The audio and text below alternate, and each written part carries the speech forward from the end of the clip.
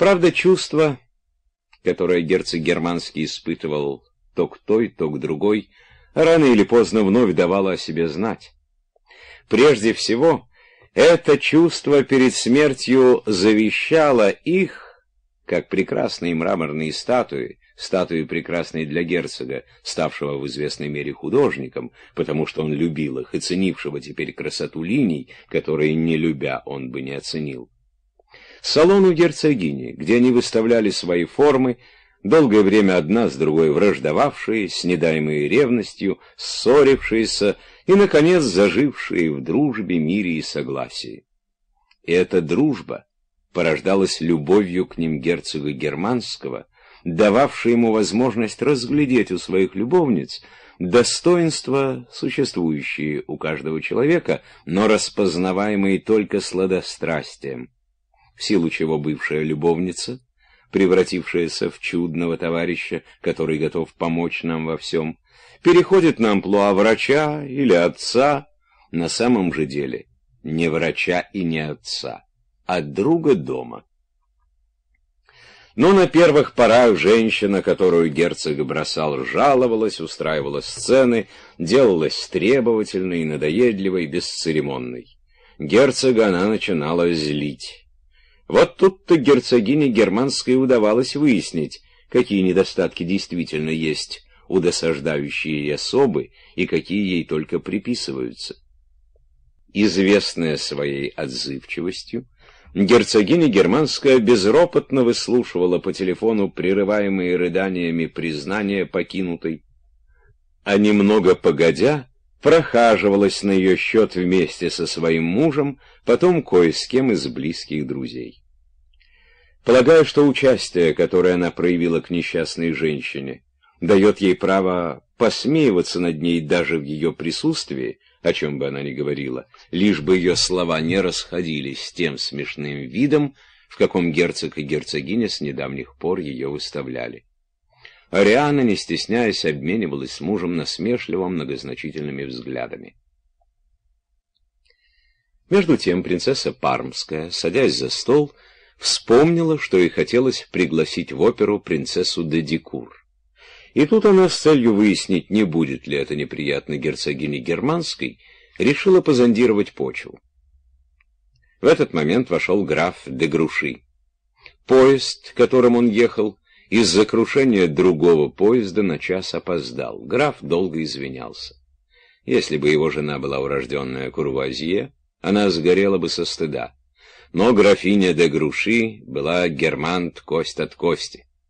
Когда ее муж извинялся за опоздание, она заметила, «Опаздывать из-за пустяков в традициях вашей семьи, это мне хорошо известно».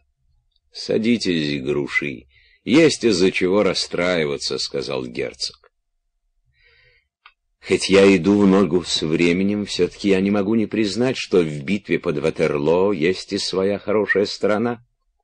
Мало того, что благодаря этой битве произошла реставрация бурбонов, она привела их к власти таким путем, который сделал их непопулярными.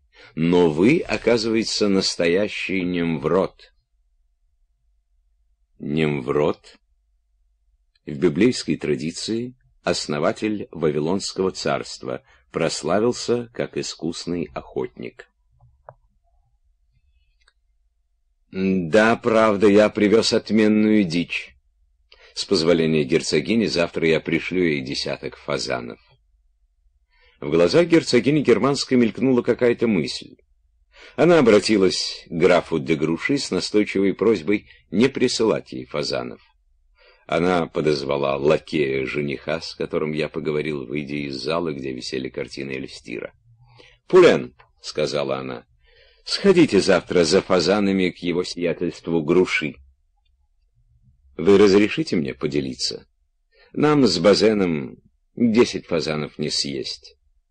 «Можно и послезавтра», — ответил граф де Груши. «Нет, лучше завтра», — возразила герцогиня. Пулен побледнел. Значит, свидание с невестой не состоится, зато герцогиня была удовлетворена. Ей хотелось, чтобы все видели, какая она добрая.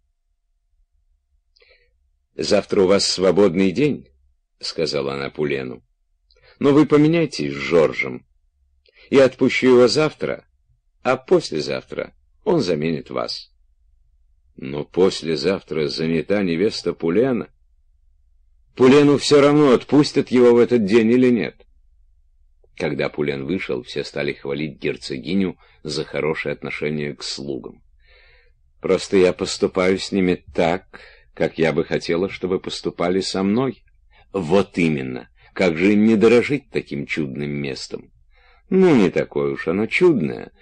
Но я думаю, что они меня любят. Как раз Пулен меня слегка раздражает. Он влюблен и по этому случаю напускает на себя меланхолию. Тут вернулся Пулен. А ведь и в самом деле, — заметил граф де Груши, — что-то он нос повесил. С ними надо быть добрым, но только не чересчур. Я хозяйка не строгая. Он сходит к вам за фазанами, а потом весь день просидит, сложа руки, и съест то, что придется на его долю. «Многие с радостью пошли бы на его место», — сказал граф де Груши. Как известно, зависть слепа. «Ариана», — сказала принцесса Пармская. — На днях у меня была ваша родственница, Эдикур. Сразу видно, что она необыкновенно умна. Она из рода германтов, этим все сказано.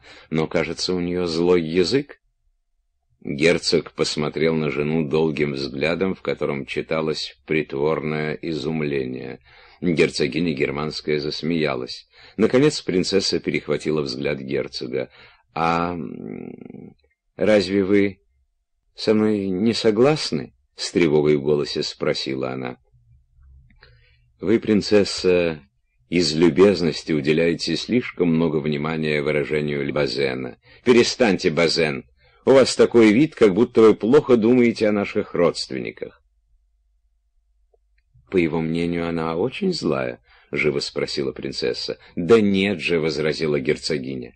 Не знаю, кто мог сказать вашему высочеству, что у нее злой язык. Напротив, это добрейшее существо. Она никогда ни о ком дурного слова не сказала и никому не сделала зла. «Ах, вот оно что!» — облегченно воскликнула принцесса Пармская. «Я тоже никогда за ней этого не замечала. Но ведь людям большого ума трудно бывает удержаться от острого словца. Ну, положим, Ума у нее еще меньше, чем злости. — Меньше ума? — с изумлением переспросила принцесса. — Ах, Ариана! — жалобным тоном заговорил герцог, бросая то туда, то сюда озорной взгляд. — Вы же слышали. Принцесса сказала, что эта женщина необыкновенная. — Разве нет? М -м, — Во всяком случае, эта женщина необыкновенной толщины. Не слушайте его, принцесса. Он говорит не то, что думает. Она глупа, как все равно пробка, — громким и хриплым голосом проговорила герцогиня. Она умела дать почувствовать старую Францию еще лучше, чем герцог, если он к этому не стремился. Ей часто хотелось, чтобы от нее веяло этим духом, но в отличие от стилизованной манеры герцога, словно щеголявшего в кружевном жабо, она избирала, в сущности, гораздо более тонкий прием. Она употребляла почти крестьянские обороты речи, от которых исходил чудесный, терпкий запах земли. Но она изумительный человек. Да и потом я даже не знаю, можно ли эдакую непроходимую глупость назвать глупостью. Я таких, как она, пожалуй, что и не встречала. Это случай клинический. В этом есть что-то ненормальное. Она блаженненькая слабоумная, дурочка. Таких нам показывают в мелодрамах. Вспомните также «Орлезианку». «Орлезианка» — пьеса Альфонса Доде, написанная в 1872 году. Знаменитую музыку к ней создал Бизе. Я всегда задаю себе вопрос, когда она бывает у меня. А ну, как у нее сейчас проявится ум? И это всегда меня немножко пугает. Принцессу восхищали обороты речи, которыми пользовалась герцогиня, но она все еще не могла опомниться от ее вердикта. И она, и принцесса де Пене пересказывали мне вашу остроту насчет язвения гордого. Чудно, — заметила принцесса. Герцог германский разъяснил мне, в чем соль этой остроты.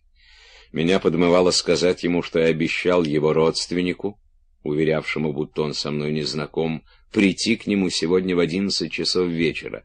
Но я не спросил Робера, можно ли кому-нибудь говорить о нашем свидании.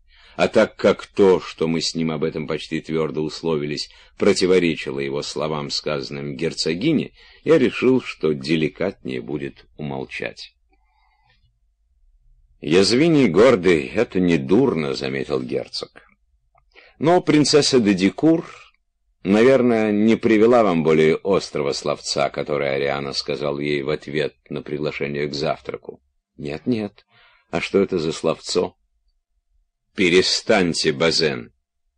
Ведь я же сказала глупость, и принцесса будет думать обо мне еще хуже, чем о моей пустоголовой родственнице. Да, кстати». Почему, собственно, я называю ее своей родственницей? Это родственница Базена. Впрочем, она и со мной в отдаленном родстве.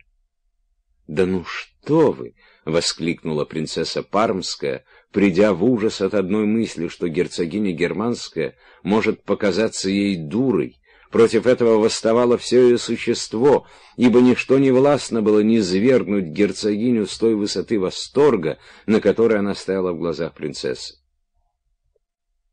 Мы уже лишили ее умственных способностей, между тем мое словцо посягает еще и на некоторые ее душевные свойства, а это уже негуманно.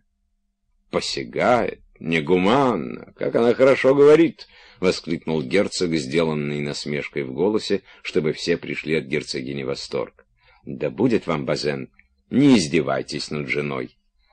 «Надо вам сказать, ваше королевское высочество», — продолжал герцог, — что родственница Арианы женщина превосходная, добрая, толстая, все, что хотите, но она, как бы это выразиться, не мотовка. «Да, я знаю, что она жадюга», — перебила его принцесса.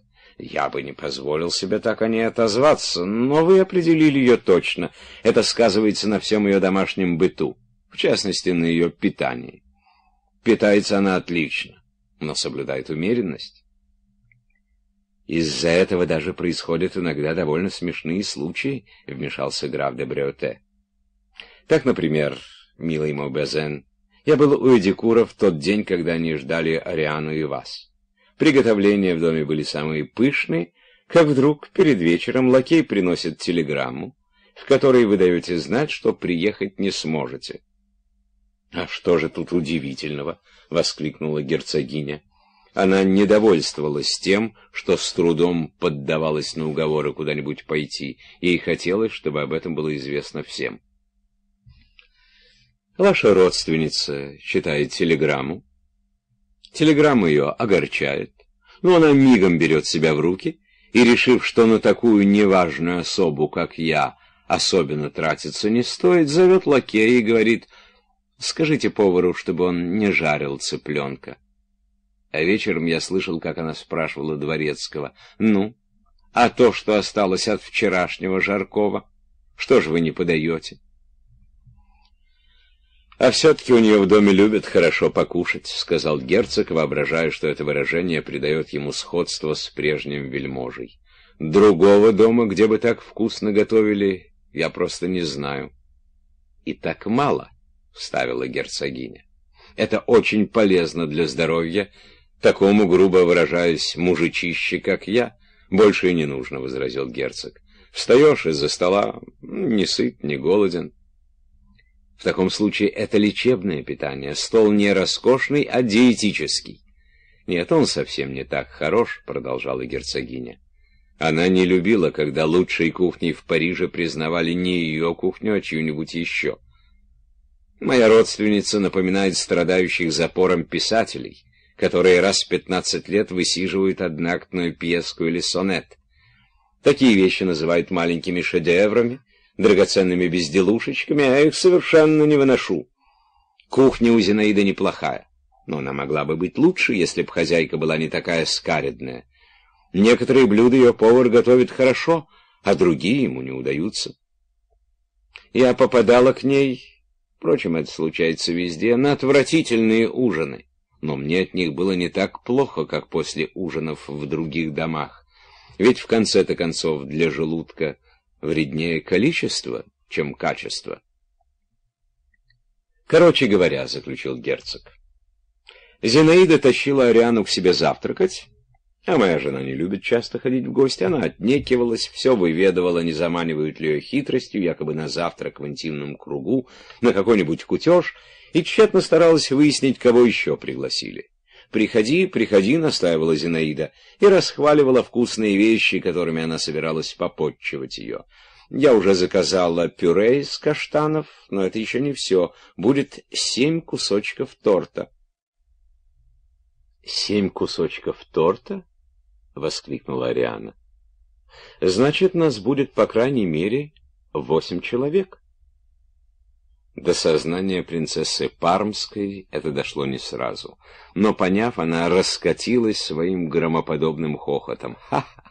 Стало быть, нас будет восемь человек. Какая прелесть! Как это точно сформулировано, — сказала она, ценой наивысшего напряжения памяти, вспомнив выражение, которое употребляла принцесса де Пине и которое в данном случае было уместнее. Ариана, принцесса очень хорошо сказала, точно сформулировано. «Меня, мой друг, это не удивляет. Я знаю, что принцесса очень остроумна», — отозвалась герцогиня Германская. Слова, произнесенные кем-либо из высочеств в похвалу ее остроумию, доставляли ей видимое удовольствие. «Я очень горжусь тем, что принцесса одобряет мое слабое умение излагать свои мысли. Но только я не помню, чтобы я это говорила. А если и сказала, то чтобы польстить моей родственнице». Ведь если у нее было, так сказать, семь тортов, тортов уж, наверное, перевалило за десять. В это время виконтесса Дерпажон, еще до ужина уверявшая меня, что ее тетка была бы счастлива показать мне свой замок в Нормандии, заговорила со мной через голову принца Агригенского о том, что ей очень хочется, чтобы я приехал к ней в Кот-д'Ор, потому что только там, в Пон-ле-Дюк, она чувствует, что она у себя дома. Вам будет интересно посмотреть архив замка. В нем собраны необыкновенно любопытные письма, которые писали друг другу самые замечательные люди XVII, XVIII и XIX веков. Мне там так хорошо. Я живу прошлым, — убежденно произнесла Виконтесса. Герцог Германский еще раньше говорил мне о ней, что она прекрасно знает литературу. «У нее хранились все рукописи де Борнье», — продолжала принцесса Пармская. Ей хотелось, чтобы общество поняло, что ее связывают с принцессой де Дикур духовные интересы.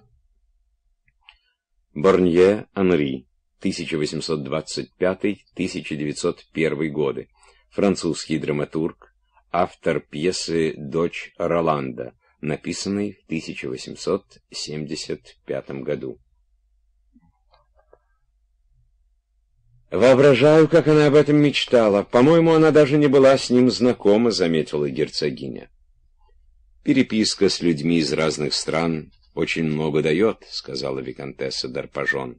Она была в родстве с лучшими из герцогских фамилий, даже с царскими семьями, и была рада лишний раз об этом напомнить. «Нет, была Ариана», — не без умысла возразил герцог Германский. Помните ужин, во время которого вы сидели рядом с де Борнье? «Вы, Базен, хотите сказать, что я знала де Борнье?» — перебила его герцогиня. «Конечно, знала. Он даже несколько раз приходил ко мне, но без зова. У меня не хватало духу пригласить его. После его ухода я каждый раз должна была все протирать формалином. А тот ужин я прекрасно помню, но только это было вовсе не у Зинаиды. Она в глаза не видела де Борнье и когда при ней говорят о дочери Роланда, то она, наверное, думает, что речь идет о принцессе Бонапарт, которую хотели выдать замуж за греческого короля. Нет, ужин был в австрийском посольстве. Речь идет о принцессе Бонапарт. По-видимому, имеется в виду одна из дочерей Ролана Бонапарта, 1858-1924 годы, внучатого племянника Наполеона I.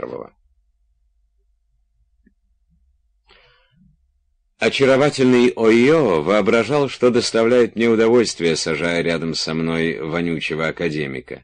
Это все равно, что посадить эскадрон жандармов. Мне пришлось в течение всего ужина по возможности затыкать нос. Я втягивал в себя запах швейцарского сыра. Герцог Германский, достигший своей тайной цели, украдкой поглядывал на гостей, чтобы проверить, какое впечатление производит на них рассказ герцогини. «В самом деле письма имеют для меня особую прелесть», продолжала, несмотря на преграду, каково являлась для нас голова принца Агригенского дама, которая прекрасно знала литературу и в замке у которой хранились необычайно любопытные письма. Не кажется ли вам, что письма многих писателей выше всего их творчества? Вы не помните, как фамилия автора Соламбо? Я предпочел бы ничего не ответить ей, чтобы тем самым прекратить разговор, но почувствовал, что обижу принца Агригенского. На его лице было написано, что он отлично знает, кто написал Соламбо, что он только из вежливости не лишает меня удовольствия ответить на ее вопрос, но что это стоит ему больших усилий. «Флобер?» — наконец выговорил я. Но из-за того, что принц в эту минуту утвердительно кивнул головой, до того невнятно, что моей собеседнице могло послышаться «Поль Бер» или «Фюльбер», а эти имена мало что говорили ей. Словом, продолжала она, насколько же его письма интереснее и лучше его книг. Кроме того, когда читаешь его письма, то становится ясно, ведь он много раз повторяет, как трудно дается ему работа над книгой, что это не настоящий писатель, что призвания к литературе у него нет. Вот вы заговорили о переписке. По-моему, письма Гамбетты изумительны. — молвила герцогиня Германская. Ей хотелось показать, что она не считает зазорным проявлять интерес к пролетарию и радикалу. Граф де Бреоте вполне оценил ее смелость, он посмотрел вокруг умиленно и растроганно, затем протер свой монокль. Гамбетта, Леон, 1838-1882 годы французский политический деятель, сторонник республиканского строя. Его депеши, воззвания и письма публиковались в 1886-1891 годах.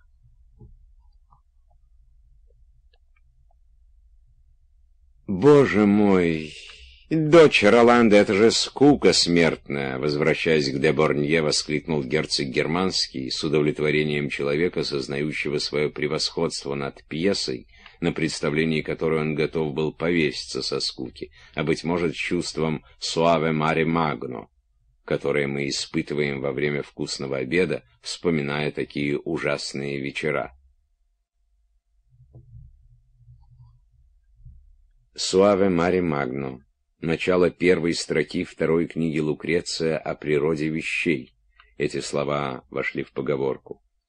«Сладко, когда на просторах морских разыграются ветры, с твердой земли наблюдать за бедою, постигшей другого, не потому, что для нас будут чьи-либо муки приятны, но потому, что себя вне опасности чувствовать сладко. А все-таки в ней есть несколько хороших стихов и патриотическое чувство. Я признался, что я отнюдь не в восторге от де Борнье. «Вот как? Что же вам в нем не нравится?» — с любопытством спросил герцог. Он был убежден, что если мы о мужчине говорим плохо, значит, он нас чем-нибудь обидел, а если о женщине хорошо, значит, у нас с ней завязывается интрижка. «У вас на него зуб? Что он вам сделал? Расскажите». Да ведь это же ясно, раз вы его ругаете, значит, между вами пробежала черная кошка. Дочь Роланда вещь растянутая, но все-таки от нее чем-то этким веет.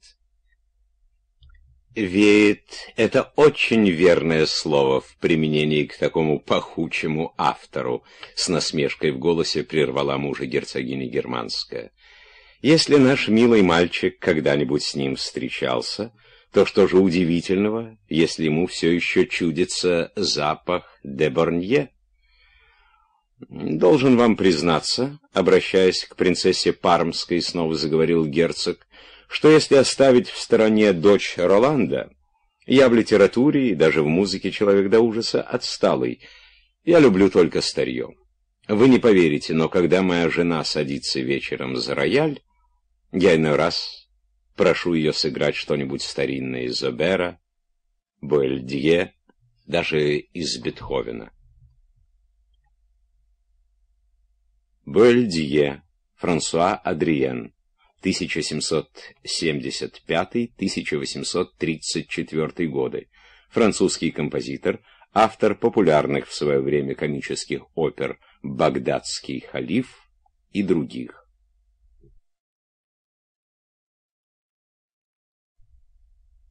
Таков мой вкус. А вот от музыки Вагнера меня сейчас же начинает клонить в сон. «Вы не правы», — возразила герцогиня Германская. «При всех своих невыносимых длиннотах Вагнер гениален, Лоенгрин — шедевр. Даже в Тристане есть интересные места. А хор прях из летучего голландца — это уже настоящее чудо.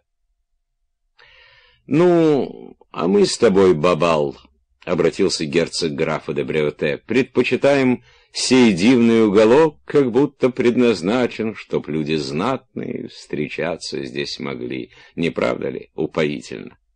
И фрадьяволо, и волшебные флейты, и шале, и свадьба Фигара, и бриллиантовая корона — вот это, я понимаю, музыка. Так же обстоит дело и с литературой. Я обожаю Бальзака, Балфсо, парижских магикан. Дорогой мой, вы собираетесь дать бой за Бальзака? Значит, сегодня это не кончится. Погодите, приберегите свой пыл до того вечера, когда у нас будет меме. Иметь такого соратника, на что же лучше, он знает Бальзака наизусть. Герцог обозлился на жену за то, что она перебила его, и несколько мгновений держал ее под прицелом грозного молчания — Охотничьи его глаза напоминали два заряженных пистолета. Между тем Викантесса Дерпажон обменивалась мнениями с принцессой Пармской о стихотворной трагедии и еще о чем-то, но я плохо слышал их разговор. И вдруг до меня явственно донеслись слова Викантессы Дерпажон. «О, тут вы совершенно правы.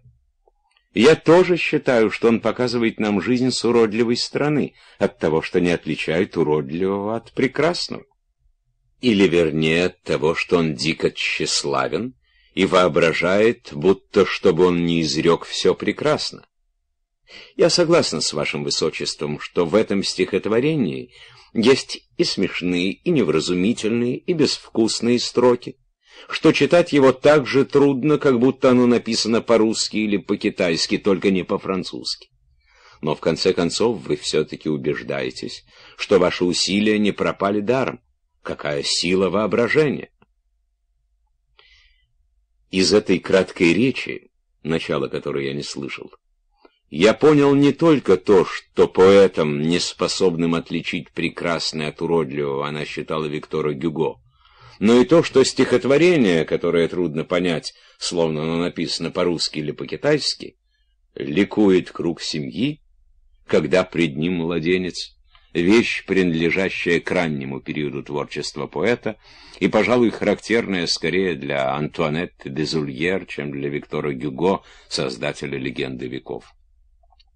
Виконтесса Д'Арпажон отнюдь не показалась мне смешной, но мой мысленный взор увидел ее прежде чем кого-либо еще, за этим столь вечным, столь обыкновенным столом, за которым я испытал такое глубокое разочарование, мой мысленный взор увидел ее в кружевном чепчике с выбивающимися из-под него длинными локонами, как у госпожи Дермюза, у госпожи де Бройль, у госпожи де Сент-Олер, у всех этих изысканных женщин — которые в своих чудных письмах цитируют сознанием дела и всегда кстати Софокла, Шиллера и подражание Христу, но на которых первые стихотворения романтиков произвели такое же ужасающее впечатление, и которых они довели до такого же изнеможения, как мою бабушку, последние стихи Стефана Маларме. «Виконтесса Дерпажон очень любит поэзию», — сказала герцогиня Германской, принцесса Пармская. На нее произвела впечатление зажигательная речь Виконтессы. Но только она решительно ничего в ней не понимает, воспользовавшись тем, что Виконтесса Дерпажон громко заспорила с генералом де Батрейном и не могла слышать шепот герцогини, тихо сказала Ариана. Она полюбила литературу после того, как возлюбленный ее бросил. Имею честь доложить вашему высочеству, что мне в чужом перу похмелье, ведь она ко мне прибегает плакаться всякий раз, когда Базен к ней не приходит, то есть почти каждый день. Но не я же виновата в том, что она ему надоела. Я не могу заставить его ходить к ней, хотя предпочла бы, чтобы он был по отношению к ней хоть немного постояннее, тогда мы бы с ней виделись реже. Но ему с ней ужасно скучно, и в этом ничего удивительного нет. Человек она неплохой, но вы не можете себе представить, какая она скучная. Каждый день она доводит меня до головной боли, приходится принимать пирамидон. А все потому, что Базену припала охота втайне от меня завести с ней шуры-муры, и тянулось это у них целый год. И при этом я еще должна держать лакея, который врезался в потаскушку и дуется на меня за то, что я не предлагаю этой юной особе покинуть на короткое время доходную панель и прийти ко мне чай пить. Да, жизнь тяжела, — с томным видом заключила герцогиня. С виконтессой д'Арпажон Герцогу было скучно главным образом, потому что недавно у него появилась новая возлюбленная, маркиза де Сюржи-Ле-Дюк. А лакей, у которого отняли свободный день, как раз в эту минуту подавал на стол. Вид у него был все еще унылый, и при взгляде на него мне показалось, что думает он сейчас совсем о другом и потому так неловок. Ставя блюдо перед герцогом де Шательро, он несколько раз задел его локтем. Юный герцог нисколько не рассердился на покрасневшего лакея, он посмотрел на него смеющимися голубыми глазами. Я решил, что раз неуклюжесть слуги смешит герцога, значит, герцог человек добрый. Но герцог все похохатывал, и это навело меня на подозрение, а что, если незадача слуги вызывает у него злорадное чувство? «Знаете, моя дорогая, ведь вы нам ничего нового о Викторе Гюго не сказали», — обратилась герцогиня к виконтессе Дерпажон, только что бросившей на нее тревожный взгляд. «Не воображайте, что вы нам его открыли. Что он талантлив, это известно всем. Отвратительные последние сборники стихов Виктора Гюго, например, «Легенда веков». Названий других я не помню, но в «Осенних листьях», в «Песнях сумерек» все время чувствуется поэт, настоящий поэт. Даже в созерцаниях, — добавила герцогиня. Собеседники не смели с ней спорить, у них были для этого основания. Даже в созерцаниях есть еще прелестные вещи, но, откровенно говоря, дальше сумерек я обычно заходить не отваживаюсь. И потом, в прекрасных стихах Виктора Гюго, а у него есть прекрасные стихи, нередко находишь мысли, даже глубокие мысли. И хорошо чувствуя то, что она читает, используя все интенционные возможности для того, чтобы слушателям стала ясна грустная мысль поэта, вынеся ее за пределы своего голоса и устремив в нее задумчивый пленительный взор, герцогиня медленно произнесла. «Ну вот хотя бы». Скорбь — все равно, что плод. На ветке слишком слабый не даст ему Творец налиться и созреть. Или вот это. У мертвых краток срок. Они у нас в сердцах скорее истлевают, чем в глубине могил. Сложив тонко изогнутый рот со скорбной складкой в горькую улыбку, герцогиня задержала на виконтессе Д'Арпажон задумчивый взгляд своих прекрасных светлых глаз. Мне начинало чудиться что-то родное в ее взгляде, равно как и в ее голосе, таком негибком в своей однозвучности, таком терпком в своей сочности. Мне становилось ясно, что в ее глазах и в ее голосе много от комбре. Конечно, в той нарочитости, с какой ее голос по временам давал ощутить твердость почвы, скрывалось всякое, и провинциальное происхождение этой ветви рода германтов, дольше других не снимавшейся с места, более смелой, более дикой, более задиристой, и повадка людей благовоспитанных и умных, знающих, что хорошее воспитание проявляется не в том, чтобы цедить сквозь зубы, и дворянская черта охотнее водить компанию со своими крестьянами, чем с буржуа, короче, свойства, которые, благодаря тому, что герцогиня Германская царила в своем кругу, ей легче было бы выставить на погляденье, сбросив с них все покровы.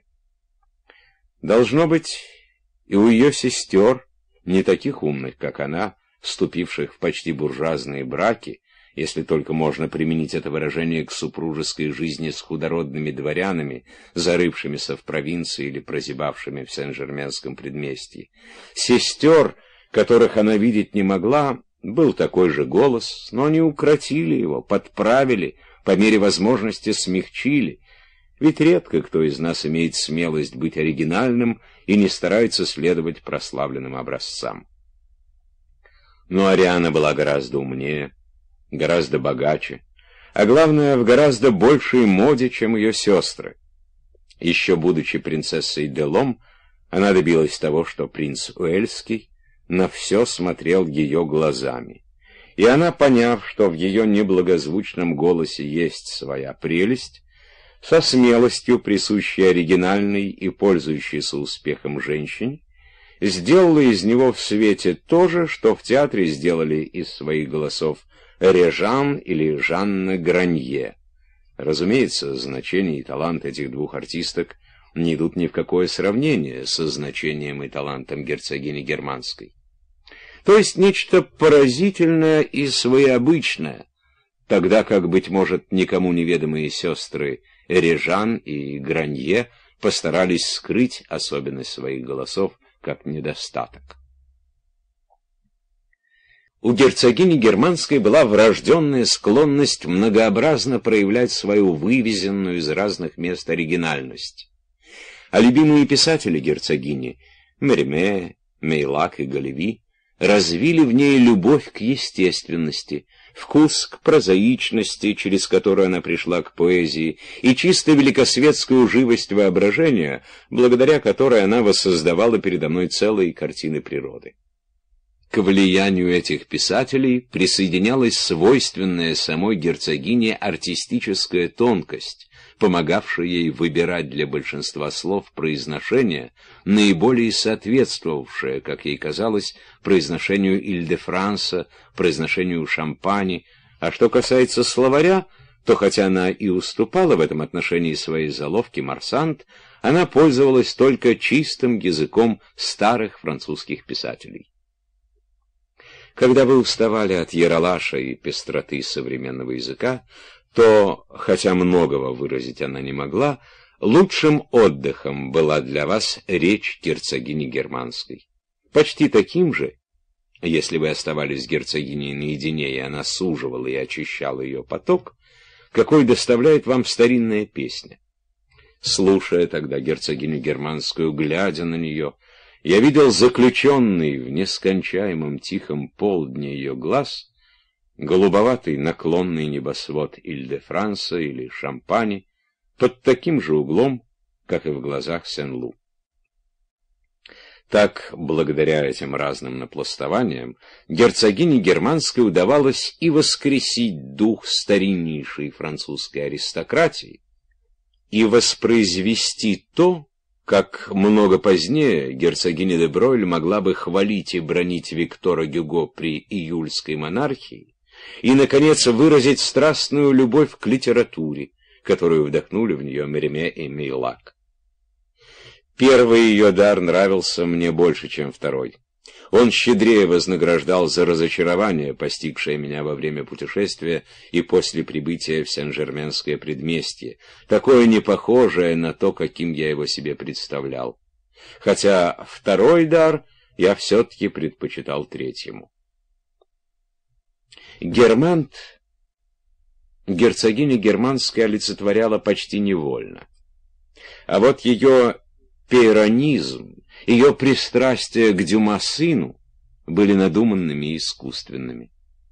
Так как вкусы у нас с ней были разные, то герцогиня с точки зрения литературной обогащала меня, когда рассказывала о Сен-Жерменском предместье, а из ее суждений о литературе как никогда выпирала сен-жерменская глупость.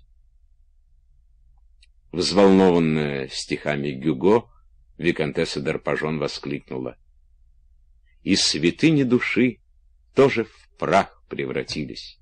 Напишите это на моем веере», — сказала она герцогу германскому. «Бедная женщина, мне жаль ее», — сказала герцогиня принцесса Пармская. «Не жалейте ее, так ей и надо. Но Простите, что я говорю это вам, ведь она же его искренне любит. Да ничего подобного. Она на это не способна. Она воображает, что любит, как воображает сейчас, что прочла стих из Виктора Гюго, тогда как это из Мюссе. Знаете, — с грустью в голосе продолжала герцогиня, — истинное чувство меня бы непременно тронуло. Ну вот вам пример. Вчера она закатила Базену невероятный скандал. Вы, ваше высочество, можете подумать, что устроила она ему сцену из-за того, что он ей изменяет, что он ее разлюбил. Ничуть не бывало. Только из-за того, что он не хочет рекомендовать ее сыновей в Джокей-клуб. Как вы полагаете, могла бы так поступить любящая женщина? Она на редкость бесчувственная. Вот что я вам скажу напирая на слова, закончила герцогиня Германская. Между тем у герцога от удовольствия заблестели глаза, когда его жена ни с того ни с сего заговорила о Викторе Гюго и прочла наизусть его стихи. Хотя герцогиня часто действовала ему на нервы, в такие минуты он ею гордился. Ориана — человек действительно необыкновенный. Она может поддержать любой разговор, она все читала. Ведь не могла же она предвидеть, что сегодня речь зайдет о Викторе Гюго. О чем бы вы ни заговорили, она во всеоружии. Она не ударит в грязь лицом в споре с самыми образованными людьми. Я уверен, что молодой человек покорен ею. «Давайте переменим разговор», — предложила герцогиня Германская. «Тема-то уж больно щекотливая». «Я, наверное, кажусь вам старомодной», — обратилась она ко мне. В наше время любить мысли в поэзии, любить поэзию, в которой есть мысли, считается недостатком. — Это старомодно? — спросила принцесса Пармская с легким испугом, вызванным у нее этой новой волной, которой она не ожидала, хотя знала по опыту, что герцогиня Германская в разговоре всегда приберегает для нее ряд упоительных потрясений, ощущение страха, от которого захватывает дух, здоровая усталость. После таких бесед она невольно думала, что хорошо бы принять ножную ванну, а потом пройтись быстрым шагом, чтобы вызвать реакцию организма. «По-моему, вы не правы, Ариана», — заговорила госпожа де Брисак. Я не ставлю в упрек Виктору Гюго, что у него есть мысли. Как раз наоборот.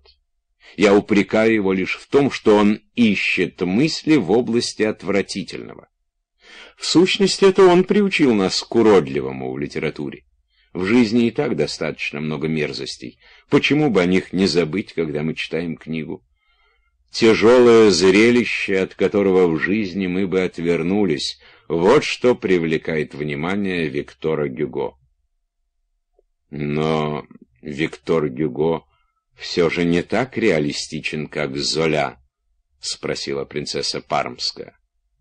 При имени Золя ни один мускул не дрогнул в лице Дебатрейна. Антидрейфусарство генерала сидело в нем так глубоко, что оно даже и не пыталось заявить о себе. Благожелательное его молчание, когда затрагивали эту тему, умиляло людей, не знавших его, той же самой деликатностью, какую проявляет священник, избегающий напоминать вам об обязанностях христианина, финансист, старающийся не рекламировать свои предприятия, силач, который с вами вежлив и не пускает в ход кулаки. Насколько мне известно, вы родственник адмирала Жюрьена де ла Гравьера, сказала мне с видом человека осведомленного госпожа де Варамбон, статсдама принцессы Пармской, очень хорошая, но ограниченная женщина, которую когда-то рекомендовала принцессе мать герцога. До сих пор она ко мне не обращалась, и теперь, несмотря на уверения принцессы Пармской и мои возражения, мне так и не удалось убедить ее, что я ни с какой стороны не прихожусь родственником адмиралу-академику и что я с ним даже не знаком. В упорстве, с каким статсдама принцессы Пармской настаивала на том, что я довожусь адмиралу племянником, было что-то до смешного пошлое. Но ошибка госпожи де Варамбон была ошибкой из ряду вон выходящей и глупой. А сколько допускается ошибок менее существенных, затушеванных, умышленных или невольных, значащихся под нашими именами в регистрационных карточках, которые заполняет свет. Помню, как приятель Германтов, которому очень хотелось со мной познакомиться, потом объяснил мне это тем, что я прекрасно знаю его родственницу Маркизу де Шосгро. Она очаровательна, она вас так любит. Как я не доказывал, что это ошибка, что я не знаком с Маркизой де Шосгро, приятель Германтов моими доводами так и не проникся. Ну, значит, вы знакомы с ее сестрой, какая разница? Вы с ней встречались в Шотландии. В Шотландии я никогда не был. И для очистки совести попытался уверить в это моего собеседника, но усилия мои оказались напрасными. О том, что мы с ней знакомы, сказала сама маркиза де Шасгро. По всей вероятности, она была в этом действительно убеждена, потому что тут с самого начала вышло какое-то недоразумение. По крайней мере, при встречах она всегда со мной здоровалась. Мы с маркизой де Шосгро вращались в одном обществе, поэтому мое скромничанье не имело смысла.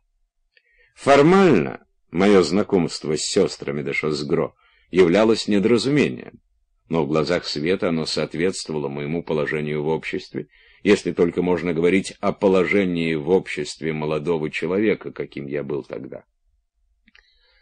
Словом, сколько бы ни былиц не рассказывал про меня мне же в глаза приятель Германтов, то представление, которое сложилось у него обо мне с точки зрения светской, не принижало и не возвышало меня. Короче говоря, это не относится к тем, кто сознательно разыгрывает комедию. Исполнять всегда одну и ту же роль скучно. Но скуки как не бывало, точно мы поднялись на подмостки, стоит другому действующему лицу составить о нас сложное представление. Поверить, что мы дружны с незнакомой нам женщиной, и что познакомились мы с ней во время очаровательного путешествия, которого мы не совершали. Такого рода ошибки допускаются часто, и они даже приятны, если в них нет той непробиваемой закоснелости, как в той, что совершала и которую так и не признала до самой смерти, сколько я с ней не бился, бестолковая статсдама принцессы Пармской, навсегда утвердившаяся в мысли, что я родственник скучного адмирала Жюрьена де Лагравьера. «Она умом не блещет», — сказал мне герцог, — «и потом на нее вредно действуют возлияния. Сдается мне, что она принесла некую жертву Бахусу». На самом деле госпожа де Варамбон кроме воды ничего не пила, но герцогу доставляло удовольствие вставлять свои любимые выражения. «Золя не реалист, он поэт», — сказала герцогиня Германская. За последние годы она начиталась критических статей и постаралась согласовать их со своим вкусом. До сих пор принцессе Пармской была приятна умственная морская ванна. Ей нравилось, что ее подбрасывает на волнах, взбаламучиваемых нарочно для нее. Она полагала, что это необыкновенно полезно для ее здоровья, и не оказывала сопротивления парадоксам, которые обрушивались на нее и влекли за собой. Но когда взметнулся вот этот самый высокий вал, принцесса подскочила от страха, что он ее опрокинет. Прерывающимся голосом, словно ей не хватало воздуха, она повторила «Золя? Поэт?» «Ну да!» — в восторге от этого припадка удушья со смехом отозвалась герцогиня. «Обратите внимание, ваше высочество, как возвеличивает он все, к чему бы ни прикоснулся. Вы мне на это возразите, что он касается только того, что приносит счастье. Но у него все принимает огромные размеры. Он создает навозный эпос. Это Гомер, воспевающий выгребные ямы. Ему не хватает больших букв для словца Камброна. Словцо Камброна Имеется в виду эпизод битвы при Ватерлоо. Командовавший французской гвардией генерал Пьер Камброн 1770-1842 годы на предложение сдаться по одной версии ответил знаменитой фразой «Гвардия умирает, но не сдается», по другой — площадным ругательством. Несмотря на переутомление, принцесса была счастлива, она чувствовала себя превосходно. Она не променяла бы даже на жизнь в Шонбрунне, единственное, что тешило ее тщеславие, дивные ужины у герцогини Германской, действовавшие на нее животворно благодаря большому количеству соли. «Он пишет его с большого...» — вскричала виконтесса Дерпажон. «Нет, душенька, я думаю, что с большого «Г», — ответила герцогиня Германская, не утерпев, чтобы не обменяться с мужем насмешливым взглядом, которым они хотели сказать друг другу «вот идиотка». «Да, кстати», — сказала герцогиня, обратив на меня смеющийся ласковый взгляд. «Как хорошая хозяйка дома», она хотела блеснуть своими знаниями о художнике, который особенно меня интересовал, и одновременно дать мне возможность показать мои знания. «Кстати», — продолжала она, обмахиваясь веером из перьев, с видом хозяйки, сознающей, что она исполнила долг гостеприимства, а чтобы исполнить его до конца, движением руки она приказала положить мне еще спаржи со взбитыми сливками. Кстати, если не ошибаюсь, Золя написал статью о художнике Эльстире. Вы только что смотрели его картины. Впрочем, мне у него только эти картины и нравятся, — добавила она. На самом деле она терпеть не могла все творчество Эльстира. Но если что-нибудь принадлежало ей, то это она находила бесподобным. Я спросил герцога Германского, не знает ли он, кто этот господин в цилиндре, на картине, изображающей народное гулянье тот же, что и на висевшем рядом портрете, на котором он имел торжественный вид. Причем обе эти работы относились примерно к одному периоду, когда Эльстир был еще не вполне самостоятелен и не до конца освободился от влияния Мане. «Ах ты, Господи!» — воскликнул герцог. «Я знаю, что он человек небезызвестный, в своей области не последний, но у меня ужасная память на имена. Ведь вот же вертится у меня на языке, как его, как его... Ну ладно, все равно не вспомню. Его фамилию вы узнаете у Свана. Никто иной, как он, насоветовал герцогине купить эти громадины, а моя жена чересчур деликатна, боится обидеть отказом. Между нами говоря, я уверен, что Сван всучил нам форменную мазню. Могу сказать вам одно. Этот господин по отношению к Эльстиру играет роль мецената. Он создал Эльстиру имя, заказывал ему картины, когда тот сидел без денег.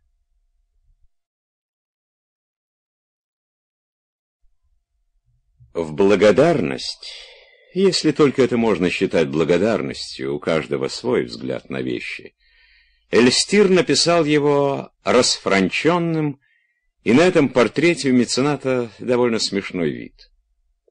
Ваш кумир может быть кладезь учености, но он, вне всякого сомнения, не знает, в каких случаях надевают цилиндр. Среди всех этих простоволосых девок он похож на подвыпившего провинциального нотариуса. Но вы, как я вижу, без ума от этих картин. Если б я знал, что они вам так понравятся, я бы всех подряд выпотрошил, чтобы вам поточнее ответить. А, впрочем, из-за живописи Эльстира не стоит ломать себе голову. Это не источник Энгра и не дети Эдуарда Поля де Лароша. Посмотришь, да, тонкая наблюдательность, занятно, в парижском духе. Посмотришь и пойдешь дальше. Чтобы смотреть картины Эльстира, не надо быть эрудитом. Я понимаю, что это эскизы, но и эскизы-то недостаточно мастерски сделаны. Сван имел нахальство предложить нам приобрести пучок спаржи. Пучок этот даже пробыл у нас несколько дней. На картине ничего нет, кроме пучка спаржи, точно такой, какую вы сейчас едите. Но я не стал есть спаржу господина Эльстира. Он запросил за нее триста франков. Триста франков за пучок спаржи. Красная ей цена луидор даже в начале сезона. Ее не угрызешь. Когда он к таким вещам прибавляет людей, в этом есть что-то отвратное, унизительное для человека. Мне это претит. Как вы с вашим тонким вкусом, с вашим глубоким умом можете любить Эльстира? «Не понимаю, что вас тут удивляет, Базен», — заговорила герцогиня. Ей бывало неприятно, когда кто-нибудь дурно отзывался о том, что находилось у нее в доме. Мне далеко не все нравится у Эльстира, что-то лучше, что-то хуже, но в любой его вещи виден талант, и как раз те картины, что я приобрела, изумительно хороши. В этом жанре Ариана мне в тысячу раз больше нравится этюдик Вибера, который мы с вами видели на выставке акварелистов. Если хотите, это пустячок, кажется, и смотреть-то не на что. Но какая хватка в каждой мелочи! Исхудавший грязный миссионер перед изнеженным прилатом, играющим со своей собачкой. Да это целая поэма, столько здесь тонкостей и даже глубины. «Вы как будто знакомы с Эльстиром», — обратилась ко мне герцогиня. «Он человек приятный». «Он умен», — сказал герцог. Когда с ним разговариваешь, то не перестаешь удивляться, почему у него такие пошлые картины. Он не просто умен, он даже довольно остроумен, — заметила герцогиня с видом дегустатора, который знает в этом толк. «Он, как я слышала, начинал писать ваш портрет, Ариана?» — спросила принцесса Пармская. «Да, в красных, как рак, тонах», — ответила герцогиня Германская но потомки его за это не поблагодарят. Ужас! Базен хотел разорвать портрет. Эту фразу герцогиня Германская повторяла часто. Но ее мнение о портрете менялось. Вообще, я не люблю его картины, но когда-то он прекрасно написал мой портрет. Обыкновенно одно из этих суждений герцогиня высказывала тем, кто заговаривал с ней о ее портрете, а другое тем, кто не говорил с ней о нем и кому ей хотелось сообщить, что он существует. Первое подсказывалось ей кокетством, второе — тщеславием. «Сделать что-то ужасное из вашего портрета? Но тогда, значит, это не портрет, это клевета».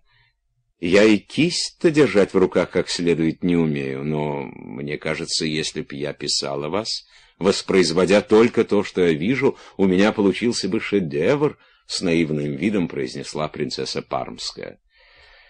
Вероятно, он видит меня так, как я сама себя вижу, то есть непривлекательный, — сказала герцогиня, придав своему лицу грустное, скромное и ласковое выражение, которое, как ей представлялось, должно было показать ее совсем не такой, какой ее написал Эльстир. «Этот портрет должен понравиться герцогине де Галардон», — сказал герцог. «Потому что она ничего не понимает в живописи?» — спросила принцесса Пармская. Ей было известно, что герцогиня Германская от всей души презирает свою родственницу. Но она очень добрая женщина. Правда? Герцог изобразил на своем лице полное изумление. «Ах, Базен, разве вы не видите, что принцесса шутит с вами?» Принцесса и не думала шутить. Она не хуже вас знает, что Галардонка — старая злыдня, — проговорила герцогиня Германская, чей словарь, состоявший почти сплошь из старинных выражений, был вкусен как блюдо, описание которых можно найти в прелестных книгах Помпила. Блюда, которые теперь в диковинку, и в которых желе, сливочное масло, сок и фрикадельки — все настоящее, без малейшей примеси. Даже соль для них доставляется из бретонских соляных копий.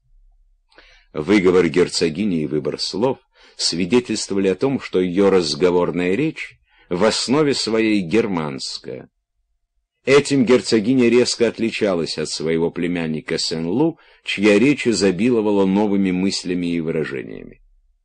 Когда ты увлечен идеями Канта, когда тебя берет за сердце тоска Бадлера, трудно бывает писать изысканным французским языком эпохи Генриха IV. Таким образом, самая чистота языка герцогини указывала на ее ограниченность, на то, что ее разум и чувства были закрыты для каких бы то ни было новшеств.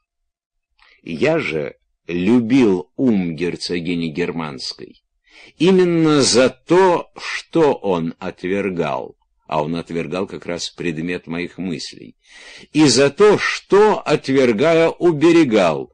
Я любил ту пленительную его силу, какой обладает гибкое тело, не надорванное изнурительными размышлениями, душевными тревогами и нервными потрясениями. Ее ум, гораздо более ранней формации, нежели мой, был для меня равнозначен тому, чем было для меня шествие по берегу моря девушек из стайки.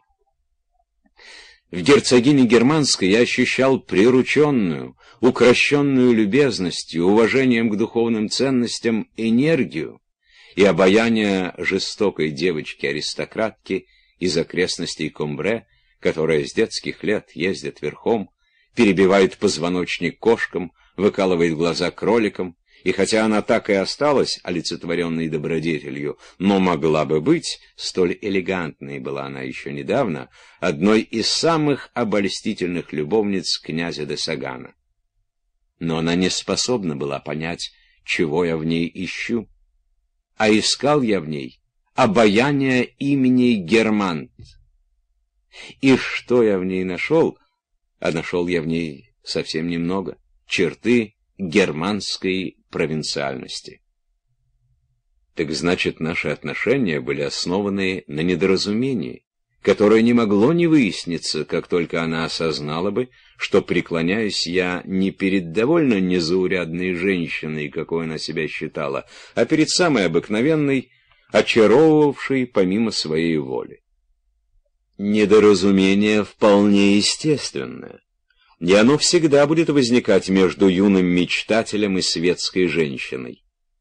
Но оно не даст ему покою, до тех пор, пока он не познает щиты своего воображения и не примирится с неизбежным разочарованием, не примирится с разочарованием, которое принесут ему отношения с людьми, театральные впечатления, путешествия, не примирится даже с разочарованием в любви. Герцог Германский сказал в связи со спаржей Эльстира, из той, что была подана после цыпленка под грибным соусом, что зеленую спаржу, которая выросла на свежем воздухе, и по поводу которой литератор, подписывающийся «Э. де Клермон-Тонер», любитель кудрявого слога, так смешно выразился, что в ней нет волнующей твердости, свойственной ее сестрам, надо есть вместе с яйцами. «Одному нравится то, другому другое», — возразил граф де Бреоте. «В Китае, в Кантонском округе, самое изысканное блюдо, какое вам могут предложить, это совершенно тухлые яйца овсянки». Граф де Бреоте, автор статьи о мормонах, появившейся в ревю «Де Демонт», бывал только в самых аристократических кругах, но в таких, о которых шла молва, что это круги просвещенные. Если он более или менее часто бывал у какой-нибудь дамы, это означало, что у нее салон. Он притворялся, что ненавидит высший свет, и внушал каждой герцогине порознь, что хочет бывать у нее в доме только ради ее ума и красоты, и ему удавалось всех в этом убедить. Всякий раз, когда граф де Бреоте, скрипя сердце, давал согласие прийти на званый вечер к принцессе Пармской, он, чтобы было не так скучно, созывал их всех и таким образом оказывался в кругу своих близких знакомых. Чтобы о нем больше говорили как о человеке интеллигентном, чем как о человеке светском, граф де Бреоте, руководствуясь правилами германтов, когда в Париже самые балы, отправлялся с элегантными дамами в длительные путешествия с общеобразовательными целями. А если какая-нибудь снопка, то есть женщина, еще не завоевавшая себе положение в обществе, появлялась всюду, он наотрез отказывался с ней знакомиться, отказывался ей представляться. Его ненависть к снобам проистекала из его снобизма но она вселяла в людей наивных, то есть во всех людей, уверенность, что он далек от снобизма. «Бабал все знает», — воскликнула герцогиня Германская. «Как хорошо жить в такой стране, где вы можете не сомневаться, что ваш молочник продаст вам именно тухлые яйца, яйца года кометы. Я вижу ясно, как я макаю в них кусочек хлеба с маслом. Откровенно говоря, такие случаи бывают у тети Мадлены, маркиза де Вильпаризи, а у нее подают все несвежее, даже яйца. Виконтесса Дарпажон вскрикнула. «Да будет вам филии, вам это так же хорошо известно, как мне. В яйцах уже цыплята. Они такие паиньки сидят там и не шевелятся, просто удивительно. Не омлет, а курятник, только это не обозначено в меню». Вы правильно сделали, что третьего дня не поехали к Маркизе ужинать. Там подавали камбалу с карболкой. Можно было подумать, что вы не за столом, а в заразном отделении. Преданность Норпуа доходит, можно сказать, до героизма. Он попросил еще. Если не ошибаюсь, мы вместе с вами ужинали у нее, когда она срезала господина Блоха, Герцог Германский, быть может, для того, чтобы придать этой еврейской фамилии еще более чужестранное звучание, произносил не «блок», а «блох», как произносится немецкое слово «хох», который назвал великим какого-то пеита. Шателеро чуть было не разбил господину Блоху берцовую кость. Но господин Блох ничего не понял. Он вообразил, что мой племянник пытается толкнуть коленом сидевшую напротив молодую женщину. Тут герцог слегка покраснел. Он не чувствовал, что раздражает тетю Мадлену тем, что так легко раздает патенты на звание великого.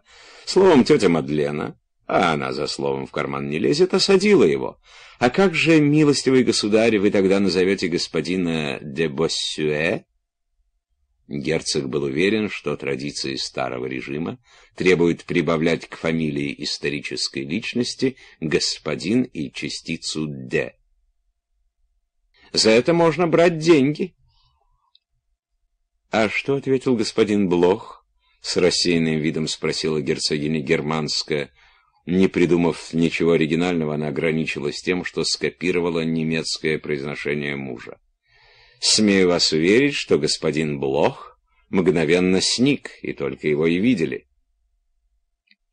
«Ах, да, я прекрасно помню, что мы с вами виделись там в тот вечер», — нарочито медленно сказала мне герцогиня, как бы желая подчеркнуть, что то, что ей запомнилась наша встреча, должно быть особенно лестно для меня. У тети всегда бывает очень интересно. На последнем вечере, где мы с вами встретились, я хотела вас спросить. Э, тот почтенных лет господин, который прошел мимо нас, это не Франсуа Коппе? Вы должны знать всех звезд, — добавила она с явной завистью к тому, что у меня есть знакомство среди поэтов. А еще это было сказано из любезности, из уважения ко мне, чтобы поднять в глазах гостей молодого человека, хорошо знающего литературу. Я попытался убедить герцогиню, что на вечере у маркиза де Вильпарези не было ни одной знаменитости. «Разве?» — спросила герцогиня Германская. И это было с ее стороны опрометчиво.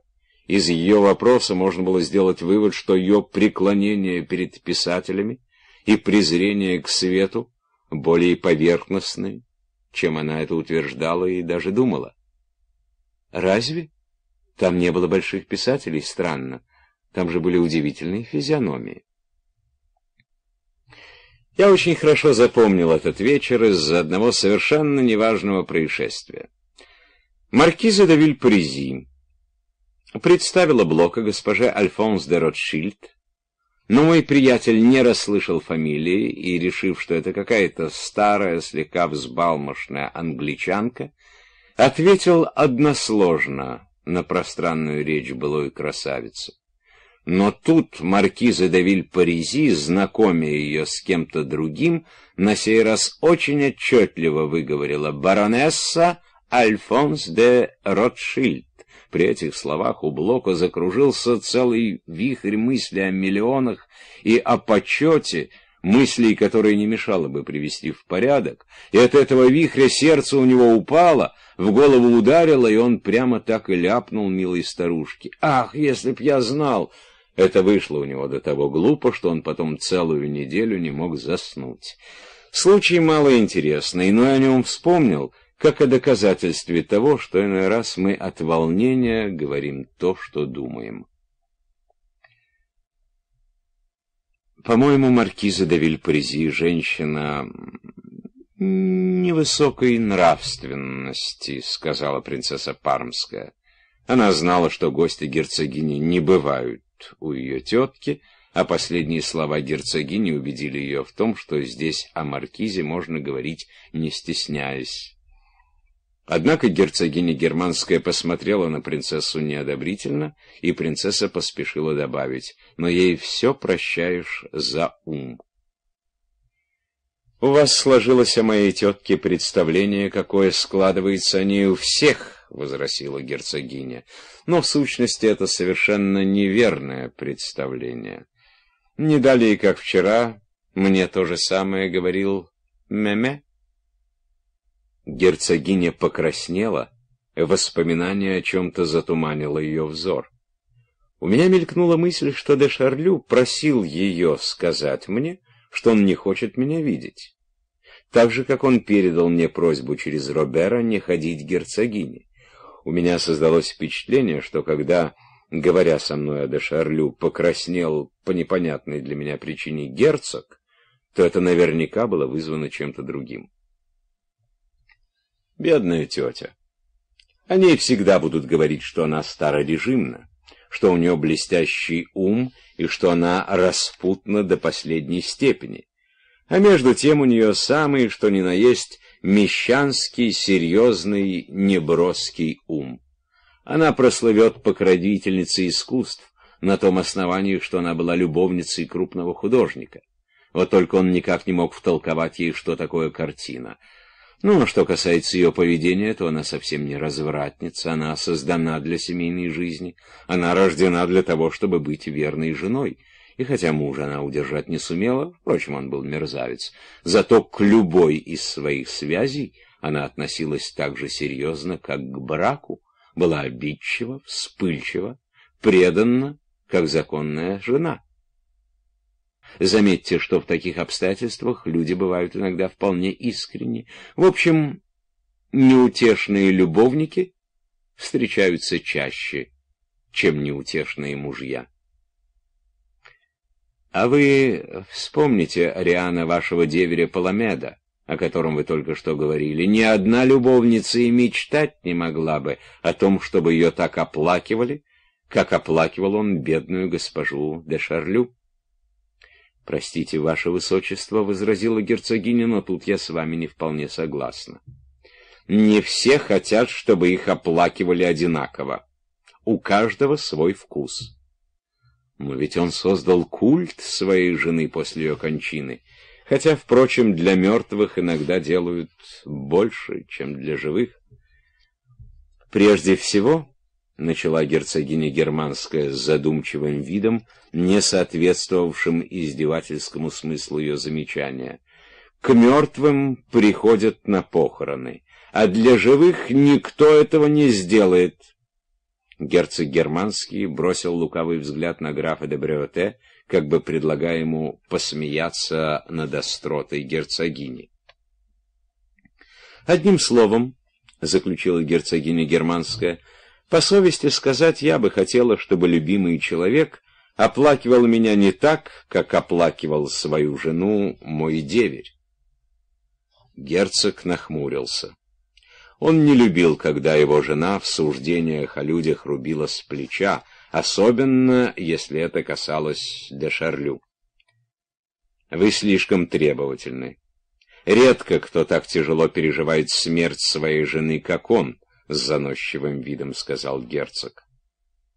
Но герцогиня проявляла по отношению к своему супругу смелость укротителя или человека, который, живя с сумасшедшим, не боится довести его до исступления. Да нет, тут и толковать не о чем. Явление редкое, я же не спорю. Он каждый день ездит на кладбище, рассказывать усопшей жене, сколько народа у него завтракало.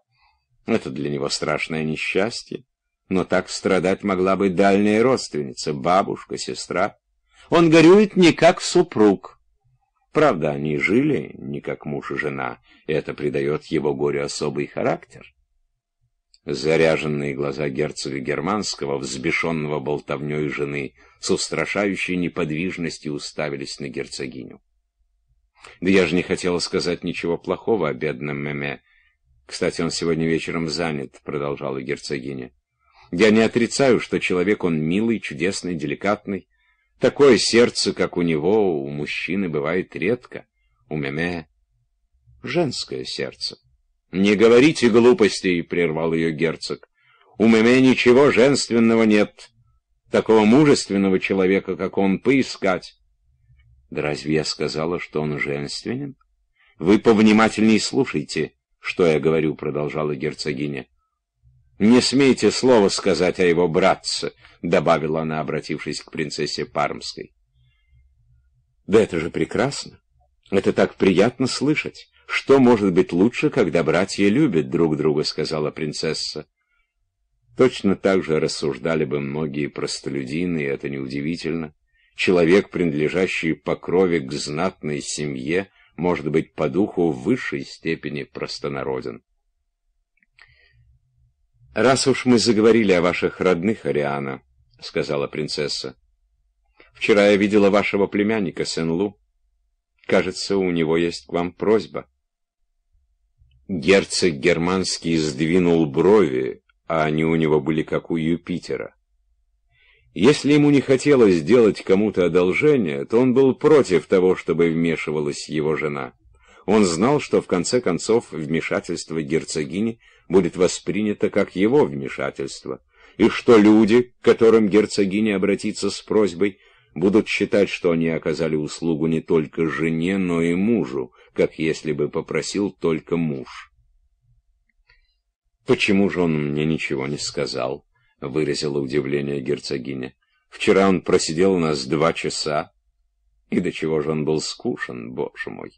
Он казался бы не глупее других, если бы, как у многих светских людей, у него хватало ума не корчить из себя умного. Лоск образованности — вот что ужасно.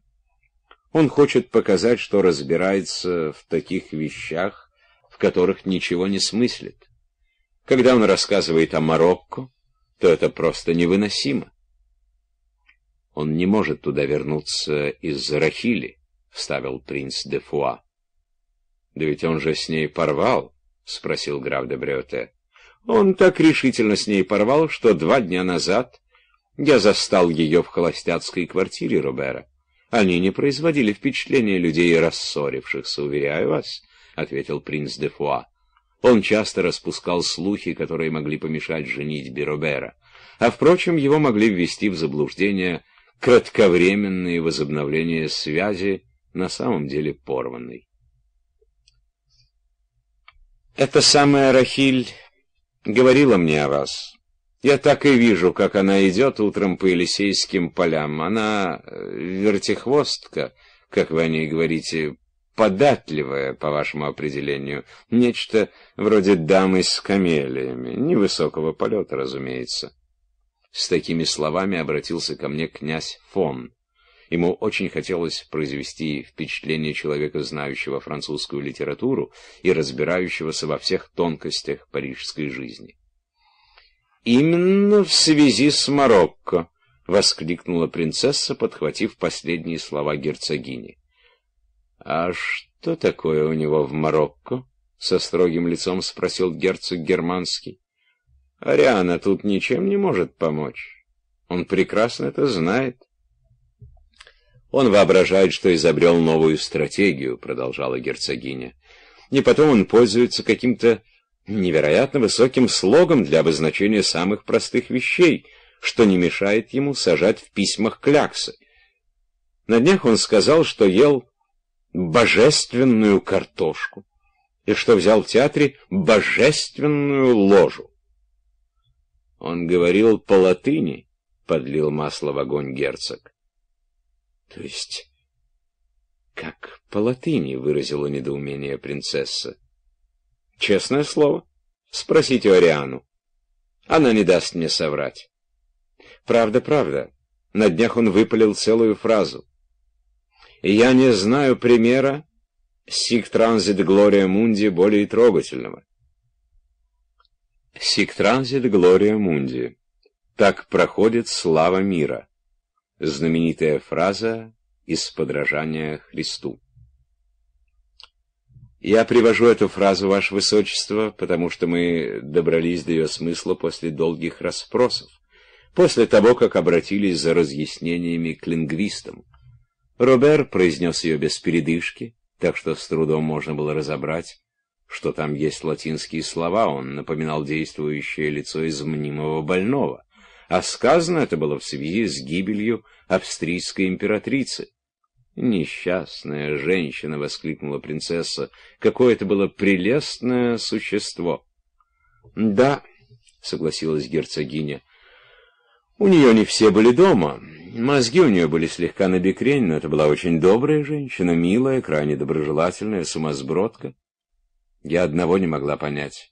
Почему императрица не могла заказать себе вставную челюсть, которая бы держалась? Челюсть у нее вечно вываливалась» прежде чем она успевала докончить фразу, и чтобы ненароком не проглотить челюсть, она умолкала. «Это самая Рахиль говорила мне о вас, сказала, что Сен-Лу вас обожает, любит даже больше, чем ее», — сказал мне князь фон. Щеки его налились кровью, он уплетал за десятерых и все время смеялся, скаля зубы. «Значит, она должна ревновать Сен-Лу ко мне и ненавидеть меня», — заметил я. «Да что вы! Она очень хорошо о вас отзывается. Любовница принца де Фуа, вот та, может быть, и ревновала бы, если бы он оказывал вам предпочтение. Вам это непонятно? Поедемте домой вместе. Дорогой я вам растолкую». «Не могу. В одиннадцать часов мне нужно быть у Дешарлю». «Ах, вот как!» Он звал меня ужинать, но просил приехать не позднее, чем без четверти одиннадцать. Ну, если вы непременно должны быть у него, поедемте со мной хотя бы до французской комедии. Это в периферии, — сказал князь. Вернее всего, он понимал слово «периферия» как «поблизости», а может быть, как «центр». Его вытаращенные глаза, его красное, оплывшее, хотя и красивое лицо напугали меня, и я, сославшись на то, что за мной заедет приятель, отказался. Я считал, что в моем отказе нет ничего обидного для князя, но князь, очевидно, воспринял его по-иному, так как больше не сказал мне ни единого слова. «Мне непременно надо повидать неаполитанскую королеву», «Воображаю, как тяжело она это переживает», — сказала принцесса Пармская, а может быть, мне только послышалось. Дело в том, что ее заглушал сидевший ближе ко мне князь фон, хотя говорил он очень тихо, наверное, из боязни, как бы его не услышал принц де Фуа. «Ну нет, я убеждена, что никаких тяжелых переживаний у нее из-за этого не было». «Никаких», «У вас всегда крайности, Ариана», — сказал герцог Германский, вновь принимая на себя обязанность мола, который, не пуская дальше волну, заставляют ее взметнуть султан пены. «Базен знает лучше меня, что я говорю правду», — возразила герцогиня. «Но он считает, что в вашем присутствии ему во что бы то ни стало надо быть серьезным. А кроме того, ему все кажется, что я вас шокирую. «О, нисколько, пожалуйста!» — воскликнула принцесса Пармская. Она боялась, как бы из-за нее не пострадала хотя бы одна из восхитительных сред герцогини Германской, хотя бы хоть чуть-чуть не испортился этот запретный плод, вкусить от которого еще не получила дозволения даже шведская королева. Ведь это же ему она ответила, когда он спросил ее заученно грустным тоном. «Королева в трауре» о ком извольте горевать, Ваше Величество. Нет, это не глубокий траур. Это мелкий траур. Совсем мелкий траур. Траур по моей сестре. На самом деле она ликует, и для Базена это не тайна. Она в тот же день пригласила нас на вечер и подарила мне две жемчужины. Я бы ничего не имела против, если бы у нее каждый день умирала по сестре. Она не оплакивает кончину сестры, она над ней хохочет. Вероятно, она говорит себе, как Робер, сик транзит, дальше не помню. Из скромности прервала себя герцогиня, хотя прекрасно помнила все изречение. В данном случае герцогиня германская расточала свое остроумие, и только, притом не попадая в цель, ибо неаполитанская королева — так же, как герцогиня Алансонская, тоже трагически погибшая, была очень отзывчива, и она искренне оплакивала смерть своих родных. Герцогиня Германская хорошо знала родовитых баварских сестер, своих родственниц, и эта их черта не могла быть ей неизвестна. «Ему не хочется возвращаться в Марокко», — сказала принцесса Пармская, снова цепляясь за имя Робера, — которое неумышленно протягивала ей как шест герцогиня Германская. «Вы, кажется, знакомы с генералом де Монсерфей?» «Очень мало», — ответила герцогиня, хотя на самом деле была с ним в большой дружбе. Принцесса изложила просьбу Сен-Лу. «Ах, боже мой, если я его увижу, мы же можем случайно с ним встретиться», чтобы не отказывать прямо, проговорила герцогиня, отношения которые с генералом де Монсерфей мгновенно отдалились, как только выяснилось, что его надо о чем-то попросить. Тем не менее уклончивость жены не удовлетворила герцога, и он перебил ее. «Вы отлично знаете, Ариана, что вы его не увидите. Притом вы уже два раза обращались к нему с просьбой, и оба раза он ничего для вас не сделал. У моей жены страсть давать обещания, — кипятился герцог. Ему хотелось заставить принцессу Пармскую отказаться от своей просьбы, но так, чтобы она не усомнилась в любезности герцогини, а все свалило на него, на его самодурство. Робер мог бы добиться от Монсерфея чего угодно, но он сам не знает, чего хочет, и обращается к нему с просьбами через нас, потому что это наилучший способ потерпеть неудачу. Ариана надоела Монсерфею своими просьбами. Если она опять к нему обратится, он наверняка откажет. «Ну, раз так, то пусть уж лучше герцогиня никаких шагов не предпринимает», — сказала принцесса Пармская. «Разумеется», — поддакнул герцог. «Бедный генерал. Опять он провалился на выборах», — чтобы переменить разговор, сказала принцесса Пармская. «Ну, это не беда, всего лишь в седьмой раз», — возразил герцог. Так как он был вынужден отказаться от политической деятельности, то ему доставляло удовольствие не успех на выборах кого-нибудь еще. Он утешился тем, что снова находится в ожидании прибавления семейства. «Как? Бедная госпожа де Монсерфе опять беременна?» — воскликнула принцесса. «Ну, конечно», — ответила герцогиня. «Это единственный округ, где незадачливый генерал ни разу не потерпел неудачи. В дальнейшем меня постоянно звали на эти трапезы, даже когда приглашали всего несколько человек. И в то время эти гости напоминали мне апостолов из Сент-Шапель. Гости и в самом деле собирались здесь как первые христиане, не только чтобы разделить пищу материальную, к слову сказать, превосходную, то было нечто вроде светской вечери. Благодаря этому, побывав на нескольких ужинах, я перезнакомился со всеми друзьями хозяев дома. и хозяева представляли им меня с такой явной благожелательностью, как человека, которого они с давних пор опекают, что каждый из них счел бы невежливым по отношению к герцогу и герцогине не включить меня в список приглашенных на бал, и в то же время я пил и кем из германских погребов, и с наслаждением ел арталанов, приготовленных по разным рецептам, которые составлял или в которые вносил разумные изменения герцог. Впрочем, кто уже не раз священно действовал за этим столом, для тех принятие пищи было не обязательно.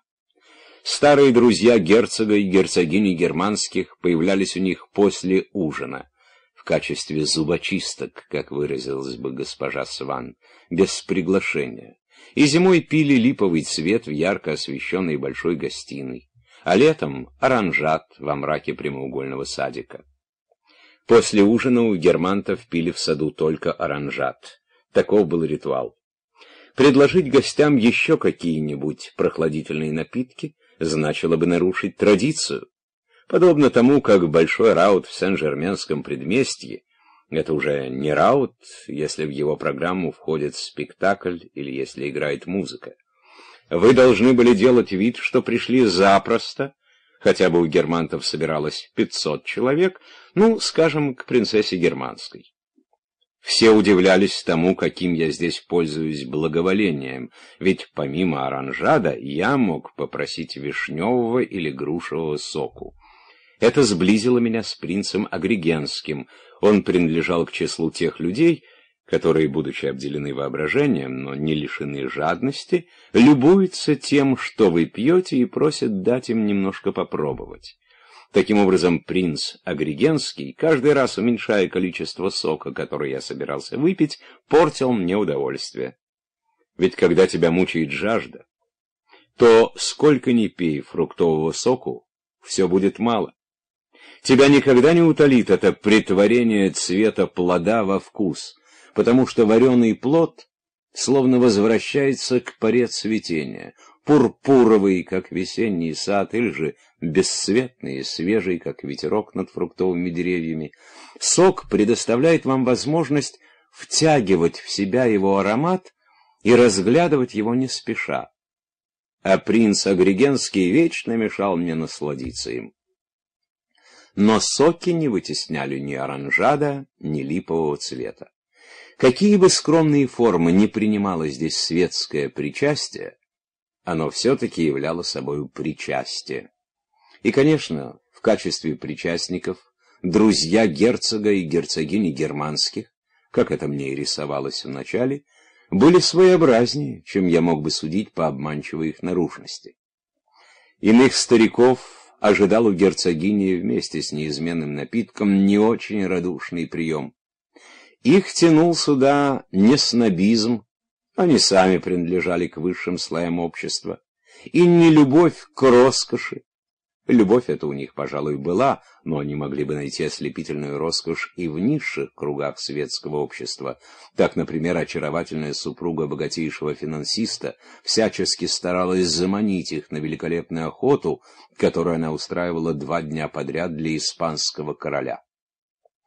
И, однако, они отказывались и шли на удачу герцогини германской, а вдруг она дома. Они не могли быть уверены даже в том, что найдут здесь единомышленников или что их встретят с распростертыми объятиями. Герцогиня Германская нет-нет, да и прохаживалась насчет дела Дрейфуса, насчет республики, насчет антирелигиозных законов и даже в полголоса насчет их самих, насчет их немощей, насчет того, какие скучные они ведут разговоры, так что они принуждены были делать вид, что не слышат. Если их по привычке влекло сюда, то, конечно, это объяснялось их тонким воспитанием. Воспитанием светских гурманов. Их полной уверенностью в безукоризненности и первоклассности пищи, которую потребляет высшее общество, пищи привычной, внушающей доверие, вкусной, без всяких примесей, без суррогатов, происхождение и история которой были им так же хорошо известны, как происхождение и история той, что предлагала им эту пищу. Объяснялось тем барством, какого они и сами в себе не подозревали. Случайно среди гостей, с которыми меня познакомили после ужина, находился один из завсегдатаев этого салона, сегодня пришедший сюда неожиданно, тот самый генерал де Монсерфей, о котором завела разговор принцесса Пармская. Когда ему назвали мою фамилию, он поклонился мне так, как будто я был председателем высшего военного совета. Я решил, что герцогиня почти наотрез отказалась просить генерала де Монсерфея за своего племянника по врожденной необязательности. А герцог поддержал жену, потому что, хотя он и не любил ее, но именно эта ее черта ему нравилась, так же, как и ее остроумие. А я считал неотзывчивость герцогини преступной, тем более, что из слов принцессы Пармской я понял, что служба у Робера опасна, и что хорошо было бы ему перевестись.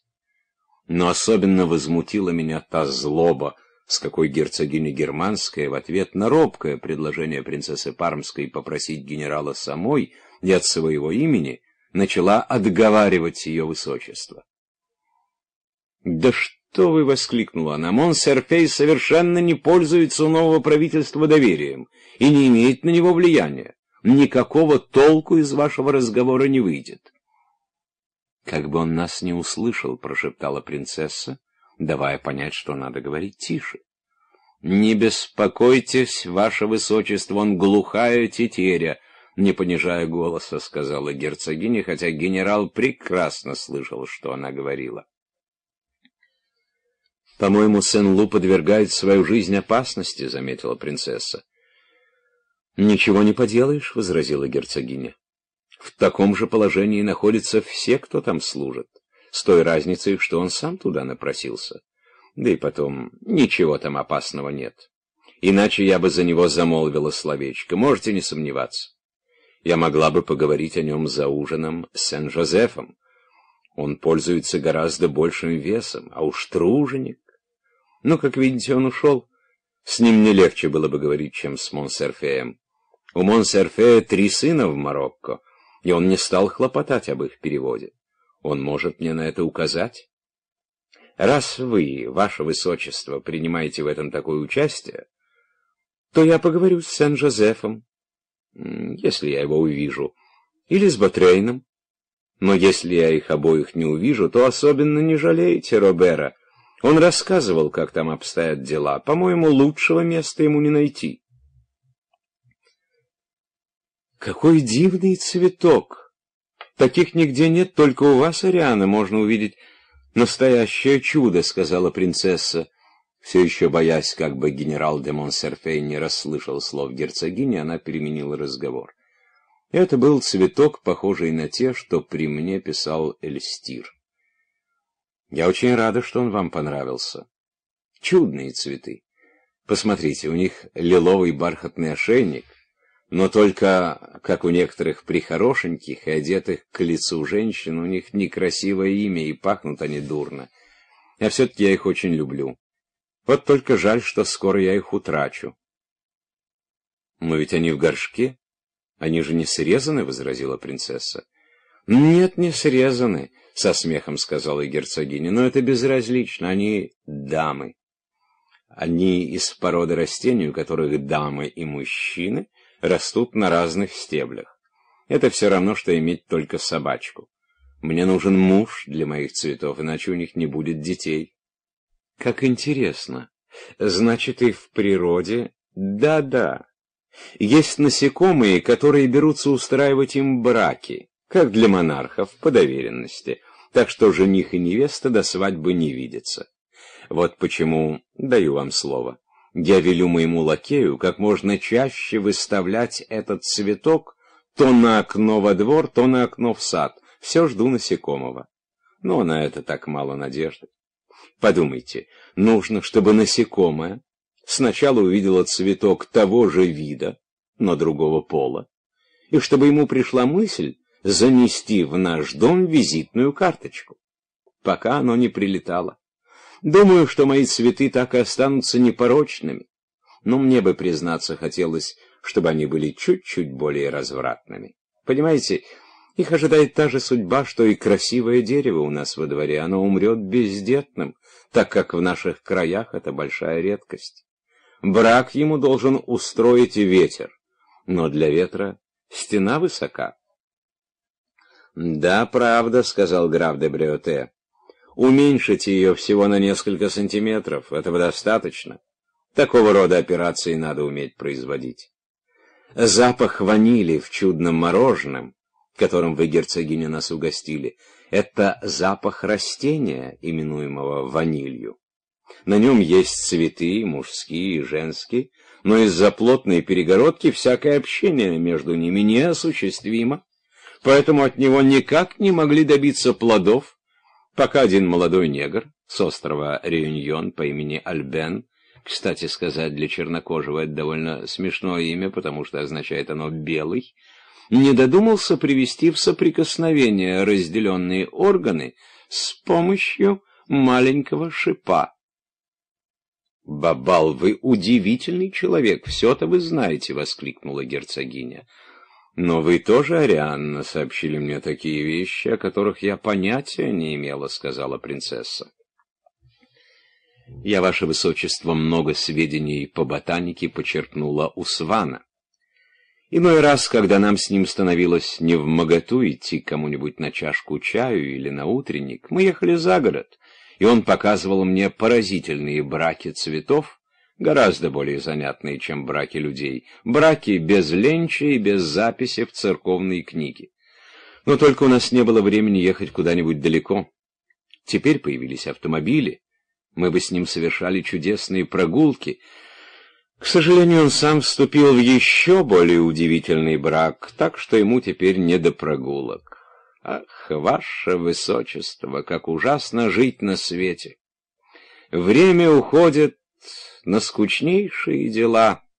А если случайно познакомишься с человеком, который мог бы тебе показать много любопытного, он возьмет, да и женится, как сван. Если бы я продолжала ботанические экскурсии, то это меня бы обязывало бывать у позорившей меня особы. Я предпочла отказать себе в удовольствии ездить на экскурсии. А, впрочем, может быть, и не надо было особенно далеко забираться. Думаю, что даже в моем садике среди бела дня можно наблюдать куда более неприличные сцены, чем ночью в Булонском лесу.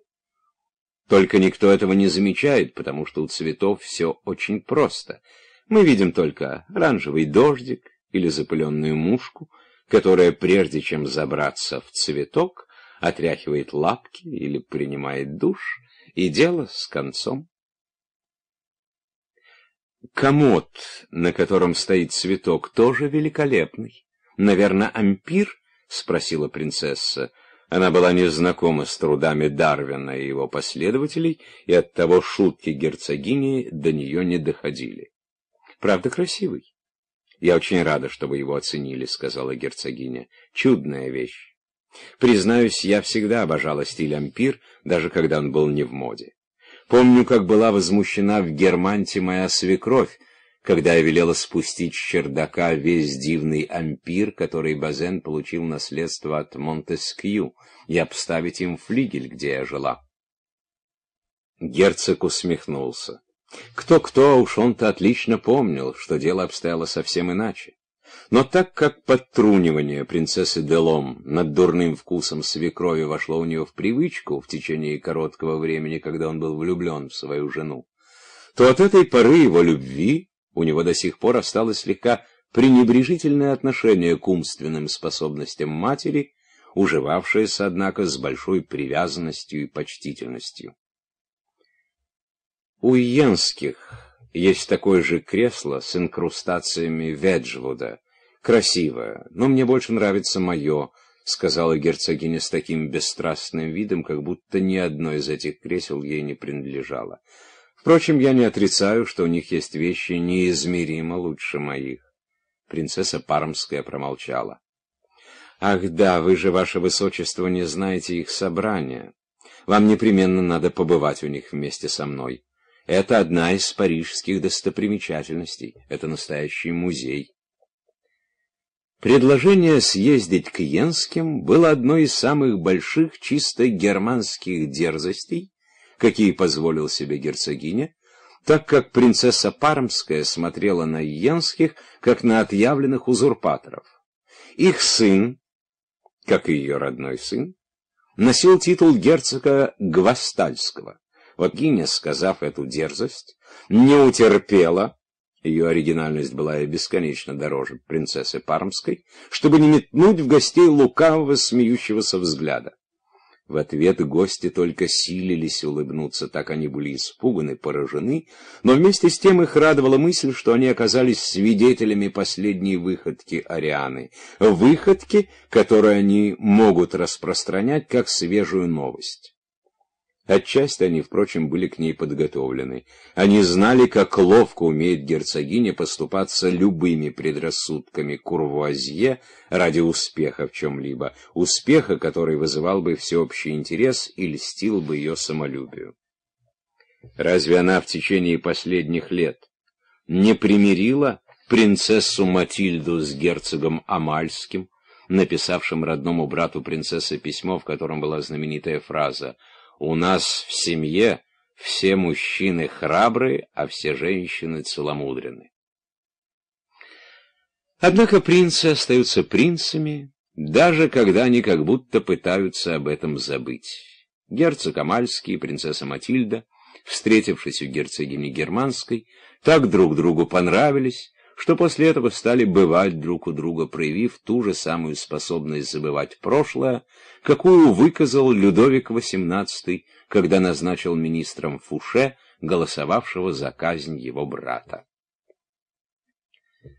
Герцогиня Германская намеревалась еще сдружить принцессу Мюрат с неаполитанской королевой.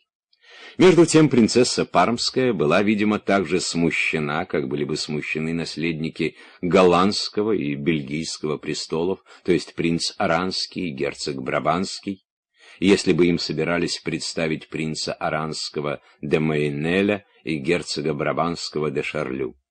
Но тут герцогиня, которой Сван и де Шарлю, между прочим, де Шарлю знать не хотел Янских, с большим трудом в конце концов привили вкус к стилю ампир, воскликнула. «Ваше Высочество, поверьте мне, я не подберу слов, чтобы выразить восторг, в какой вы от всего этого придете.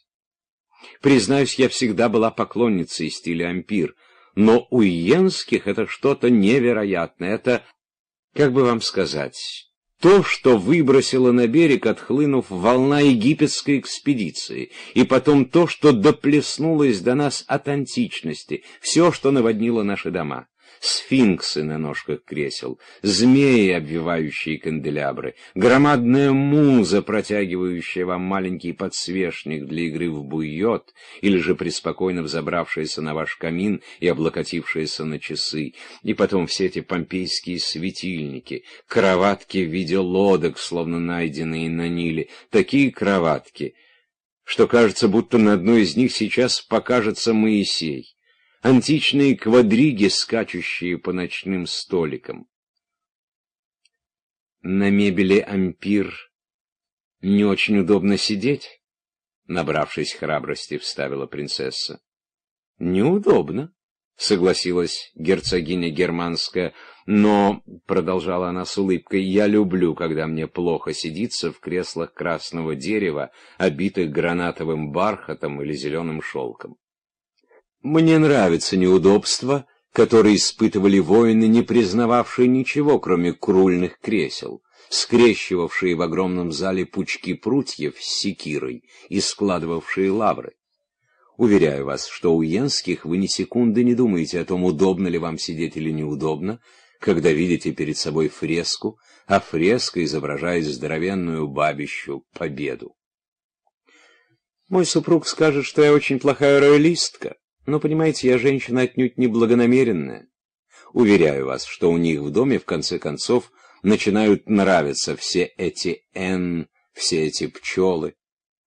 Сколько лет нами правили короли, а мы, да простит меня Господь, были не очень-то избалованы славой. Вот почему в этих воинах, проносивших так много венков, что они увешивали ими даже ручки кресел, я не могу не видеть некоторого блеска. Пойдите, ваше высочество. «Ах, боже мой, если вы настаиваете, — сказала принцесса, — но только, по-моему, это не совсем удобно. Все устроится как нельзя лучше, вот увидите. Люди они очень хорошие, не глупые. Мы к ним привели госпожу де Шеврес, Зная, как сильно действуют примеры, вернула герцогиня. Она была очарована. И сын у них очень милый. «То, что я вам сейчас скажу, не совсем прилично», — продолжала она. «Есть у него одна такая комната, в комнате кровать, э, там хочется поспать, но без него. А еще менее прилично то, как я однажды увидела его, когда он был болен и лежал в постели. Рядом с ним на краю кровати была дивно изваяна, вытянувшаяся во всю длину сирена с перламутровым хвостом и с чем-то вроде лотоса в руке.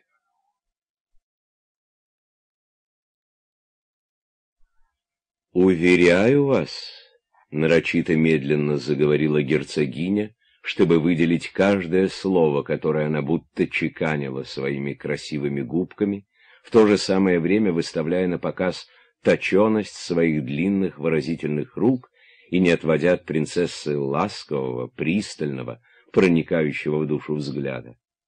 Что вместе с пальмовыми листьями и золотым венцом, которые лежали тут же рядом, все это производило сильное впечатление.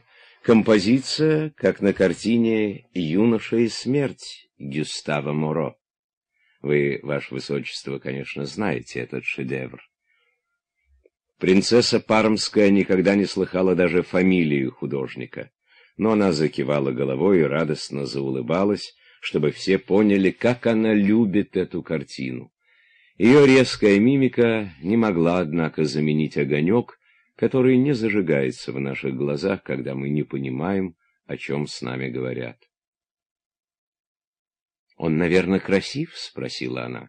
«Нет, он похож на тапира. Глаза чуть-чуть напоминают глаза королевы Гортензии, как ее рисуют на абажурах. Но он, вероятно, решил, что мужчине усиливать это сходство смешно, и оно расплылось в навощенных щеках, которые придают ему вид мамилюка. Чувствуется, что полотер бывает у него каждое утро. Сван, — продолжала она, возвращаясь к кровати молодого герцога, — был поражен сходством сирены со смертью Гюстава Моро. А, впрочем, добавила она, убыстряя речь, но вполне серьезно, чтобы тем смешнее стало слушателям, причин для беспокойства у нас нет. У молодого человека был всего-навсего насморк. Здоровье у него железное. «Говорят, он сноб», — спросил граф де Бреоте, взвинченно недоброжелательным и требовательным тоном, как если бы он ожидал точного ответа на вопрос. «Мне говорили, что у него на правой руке четыре пальца. Это правда?»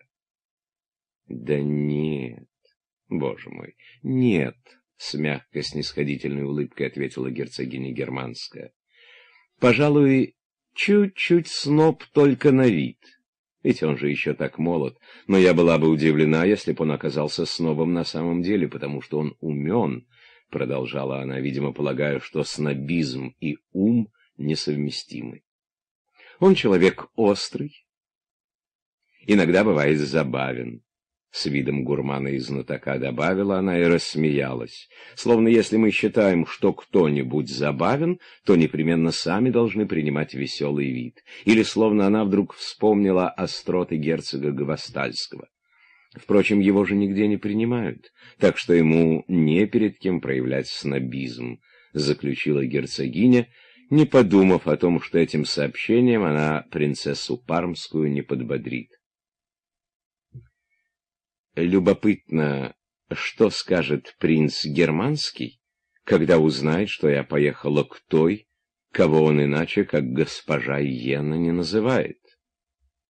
Да ну что вы! С необычайной живостью воскликнула герцогиня. «Разве вы не знаете, что мы уступили Жильберу?» Теперь она в этом горько раскаивалась. «Целую горную залу ампир, которая досталась нам от Кью-Кью. Это такая красота! У нас для нее нет места. И все-таки я думаю, что здесь ей было бы лучше.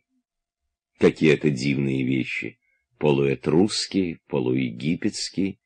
Египетские? — переспросила принцесса. Слово «этрусский» ей было не очень понятно. «Ах, боже мой, частично такие, частично такие.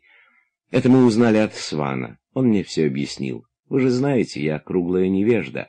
А потом надо вам сказать, ваше высочество, что Египет стиля ампир ничего общего не имеет с подлинным Египтом, так же, как их римляне с настоящими римлянами, а их Этрурия — это верно, — сказала принцесса. Ну, это вроде того, что называлось костюмом Людовика XV при Второй империи в пору молодости Анны де Муши или матери милейшего Бригода. Вот Базен говорил с вами о Бетховене. Недавно нам играли одну его вещь, конечно, прекрасную, но холодноватую, там есть русская тема. То, что он считал ее русской, это трогательно. А китайские художники воображали, будто они копируют Беллини. Впрочем, даже в одной и той же стране. Если кто-нибудь смотрит на вещи чуть-чуть по-иному, то четыре четверти его сограждан ровным счетом ничего не видят из того, что он показывает. Должно пройти по крайней мере лет сорок, чтобы они научились смотреть. «Сорок лет!» — в ужасе воскликнула принцесса. «Ну да», — теперь уже выделяя слова, это были не ее, а почти все до одного мои слова. Я только что в разговоре с ней развивал ту же самую мысль. Благодаря своему произношению, как бы курсивом, это вроде первой особи вида, который пока еще не существует, но который размножится. Особи, наделенные новым чувством, какого еще нет у его современников. Я-то как раз этим чувством обладаю. Я всегда увлекалась всем интересным, едва лишь оно возникало, и как бы ни было оно необычно. Да вот вам пример. На днях я была с великой княгиней в Лувре. Мы остановились перед Олимпией Мане. Теперь она никого не поражает. Кажется, что ее написал Энгер. А сколько мне из этой картины пришлось переломать копии, боже ты мой. Между тем я совсем ее не люблю, но я понимаю, что писал ее настоящий художник. Пожалуй, Лувр для нее не совсем удачное место. «Как поживает великая княгиня?» — осведомилась принцесса Пармская. Ей тетка царя была бесконечно ближе натуры Мане. Мы с ней о вас говорили. В сущности, вернулась к своей мысли герцогиня, — Истина заключается в том, что, как утверждает мой деверь Паламет, мы все говорим на разных языках. Вот почему между всеми нами стена. По правде сказать, я нахожу, что самое прямое отношение эти слова имеют к Жильберу. Если вам любопытно побывать у Йенских, то не станете же вы действовать в зависимости от того, что может подумать этот несчастный человек. У него хорошая чистая душа, но это какое-то ископаемое. Мне ближе, роднее мой кучер, мои лошади, чем этот человек, который все время задается вопросом, а что сказали бы об этом при Филиппе Смелом или при Людовике Толстом? Можете себе представить, когда он гуляет по деревне, он благодушно тыкает в крестьян тросточкой и говорит «дорогу, мужичье». Когда он со мной разговаривает, я бываю так же изумлена, как если бы со мной заговорили так называемые «лежачие» фигуры со старинных готических гробниц.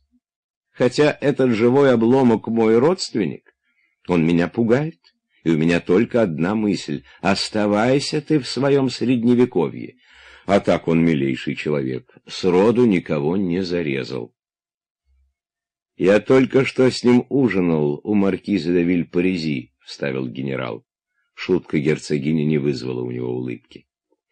«А маркиз де Норпуа у нее был?» — спросил князь фон. Этот все еще не оставил надежды пройти в академике. «Да», — ответил генерал, — «он даже говорил о вашем кайзере». По-видимому, кайзер Вильгельм человек очень умный но он не любит картин Эльстира. «Я его за это не осуждаю», — сказала герцогиня. «Мы с ним одинаково воспринимаем живопись. Впрочем, мой портрет Эльстир написал прекрасно. Ах, да ведь вы его не видели. Не похоже, но любопытно. За ним интересно наблюдать во время сеансов. Он из меня сделал старуху. Вроде одной из регенш приюта для престарелых, Хальса. Вы, наверное, знаете, пользуясь излюбленным выражением моего племянника, это божественное создание кисти художника —— спросила меня герцогиня, помахивая веером из черных перьев. Она сидела совершенно прямо, гордо откинув голову. Она в самом деле была знатной дамой, но вдобавок еще чуть-чуть играла знатную даму. Я ответил, что побывал в Амстердаме и в Гааге, но чтобы у меня все не перепуталось в голове, так как времени у меня было в обрез, я в Гарлем не съездил. «Ах, Гага! Какой там музей!» — воскликнул герцог Германский. Я сказал, что он, наверное, полюбовался там видом Дельфта Вермеера. Но у герцога было больше чванства, чем знаний, поэтому он ответил мне с самодовольным видом, как отвечал всякий раз, когда его спрашивали о какой-нибудь находившейся в музее или выставленной в салоне картине, которую он не помнил. «Если ее надо видеть...» что я видел. «Как вы были в Голландии и не заехали в Гарлем?» — спросила герцогиня. «Если бы даже в вашем распоряжении было четверть часа, вам надо было бы туда съездить ради необыкновенного Хальса. Я вам больше скажу. Если б картины Хальса выставили на улице, и вы могли бы на них взглянуть только с верхнего этажа трамвая, вам надо было бы впиться в них глазами. «Я могла бы вам показать одну его прекрасную вещь», — любезно сказала мне герцогиня Германская, имея в виду Хальса. «Лучшую его картину, как утверждают некоторые. Она досталась мне по наследству от одного из моих немецких родственников. К несчастью, она является ленным имуществом замка. Вы знаете, что это значит? «Я тоже не знаю», — сказала герцогиня. Она не упускала случая посмеяться. Она полагала, что это очень современно, над старинными обычаями. А между тем в ней жила бессознательная, несокрушимая привязанность к ним. «Я рада, что вы видели моего Эльстира. Но, откровенно говоря, мне было бы еще приятнее угостить вас моим хальсом, этой ленной картиной. «Я ее видел», — сказал князь фон. «Раньше она принадлежала великому князю Гессенскому». «Да-да», — подтвердил герцог Германский. «Его брат женился на моей сестре, а его мать — двоюродная сестра матери Орианы». «А что касается Эльстира», — продолжал князь, — «я позволю себе заметить, что хотя у меня нет своего мнения об его картинах, поскольку я их не видел, но так не любить его, как Кайзер, не за что. Кайзер — человек редкого ума. Да, я два раза ужинала вместе с ним. Один раз у моей тетки Саган, другой у тетки Радзивилл. По-моему, это человек любопытный. Ему палец в рот не клади, но есть в нем что-то забавное, выращенное. Это слово герцогиня подчеркнула, напоминающее зеленую гвоздику, то есть нечто такое, что меня удивляет, но отнюдь не восхищает. Нечто такое, что изумляет тем, как это можно было вырастить. Но только, по-моему, лучше было бы не стараться. Надеюсь, я вас не шокирую? Кайзер — человек необыкновенного ума, — продолжал князь. Он безумно любит искусство. Вкус у него в сущности безукоризненный. Он никогда не ошибается. Если вещь прекрасна, он улавливает это с первого взгляда, и она становится ему ненавистна. Если же он что-нибудь ненавидит, можете не сомневаться, что эта вещь превосходная. Все улыбнулись. — Вы меня успокоили, — сказала герцогиня. — Я бы сравнил кайзера, — продолжал князь, с одним старым берлинским антикваром. При виде древних ассирийских памятников антиквар плачет. Но если это современная подделка, а не настоящая древность, то он не плачет. И вот когда хотят узнать, настоящая ли это древность, ее несут к старому антиквару. Если он плачет, ее покупают для музеума. Князь часто употреблял слово «музей», но всегда произносил его на немецкий лад «музеум». Если же глаза у него сухи, вещи отсылают торговцу назад, а торговца привлекают к ответственности за подделку. Так вот, всякий раз, когда я ужинаю в Потсдаме, и кайзер говорит «князь», посмотрите, это гениально, я записываю вещь, которую он мне назвал, и не хожу ее смотреть. А вот когда он обрушивается на какую-нибудь выставку, я при первой возможности лечу на нее. Правда ли, что Норпуа — сторонник сближения Франции с Англией? — спросил герцог германский. — А вам-то, собственно, что? — в свою очередь, с раздражением, но и не без насмешечки в голосе спросил не переваривавший англичан князь фон. Англичане — это такое дубье. Если они и могут в чем-нибудь вам помочь, то уж во всяком случае не как военная сила. О них можно судить по глупости генералов. Мой приятель недавно разговаривал с Ботой. Знаете, кто это? Бурский военачальник. Так вот, Бота ему сказал, английское войско — это что-то ужасное. Англичан я даже скорее люблю — но я прошу вас вот над чем призадуматься. Я простой мужик, а ведь в каждом бою я задавал им трепку.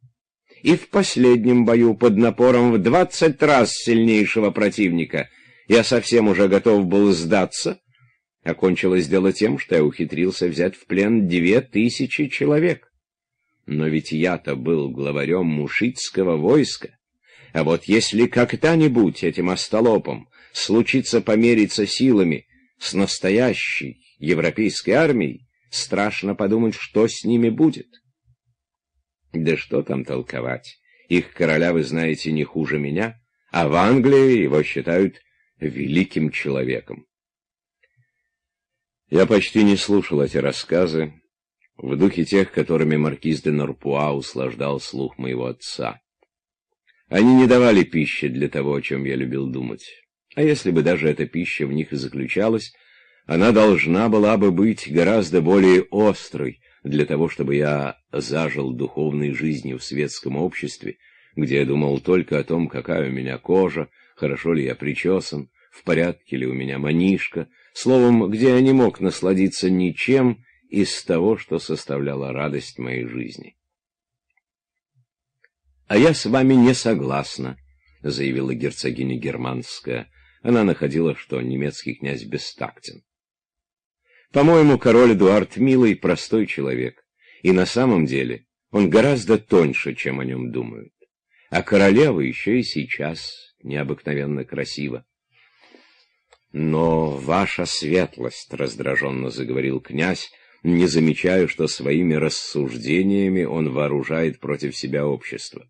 «Если бы принц Уэльский был простым смертным, то его выгнали бы из всех клубов, и никто не подавал бы ему руки. Королева обворожительна, необычайно мягкосердечна и необычайно ограничена, и, в конце концов, есть что-то коробящее в этой королевской черте, которая в буквальном смысле слова находится на содержании у своих подданных, которая требует от крупных финансистов-евреев, чтобы они покрывали все их расходы, а за это жалуют им титул баронета. Это вроде князя болгарского. Он наш родственник, перебила его герцогиня. Он не глуп. Он и мой родственник, продолжал князь. Но это не значит, что он порядочный человек.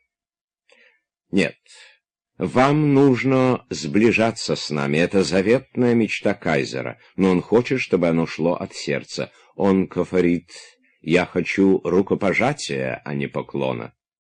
Вот тогда вы были бы непобедимы.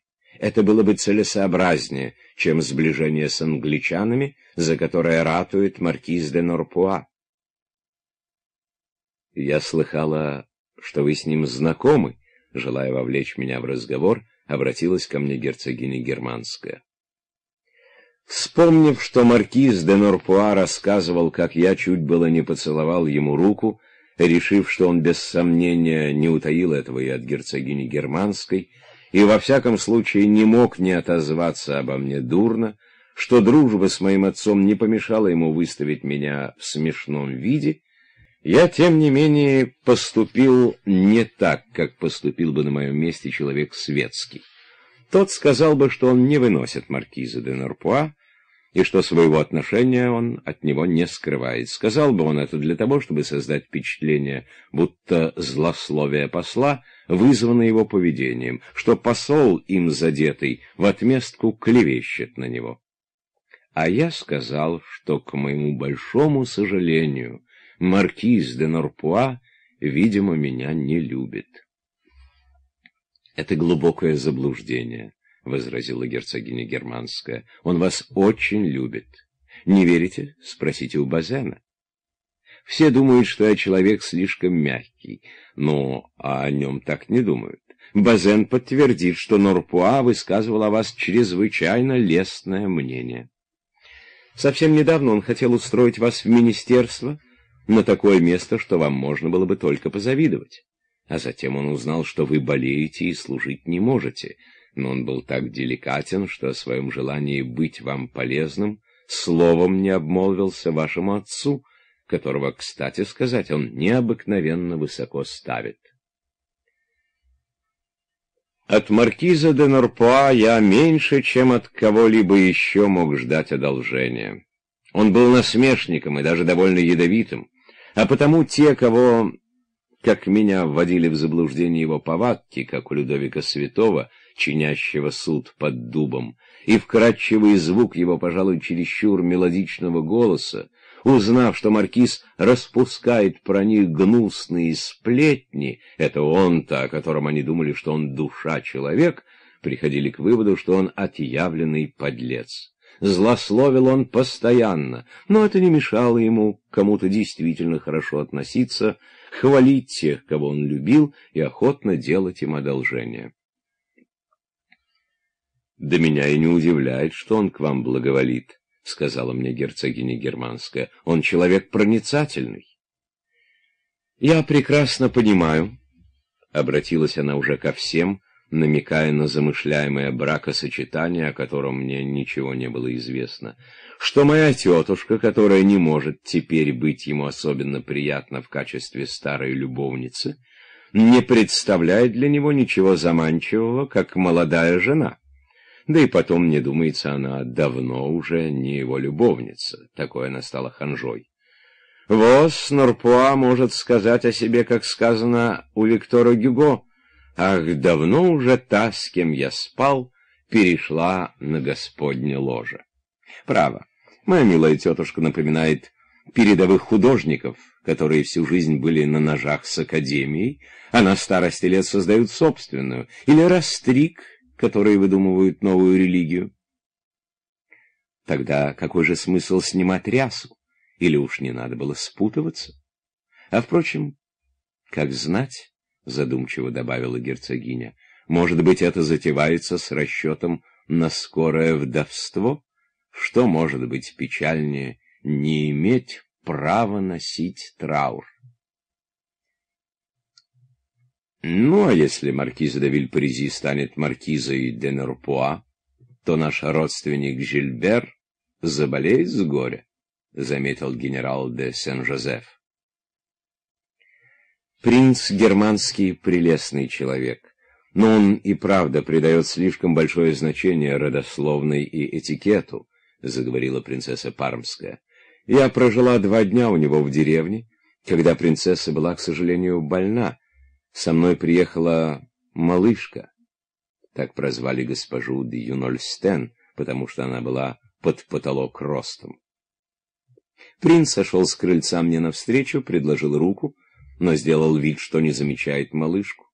Мы поднялись на второй этаж, и только у входа в гостиную принц, посторонившись, чтобы дать мне дорогу, сказал «А, здравствуйте, госпожа Дюнольстен». После того, как она развелась, он иначе ее не называет.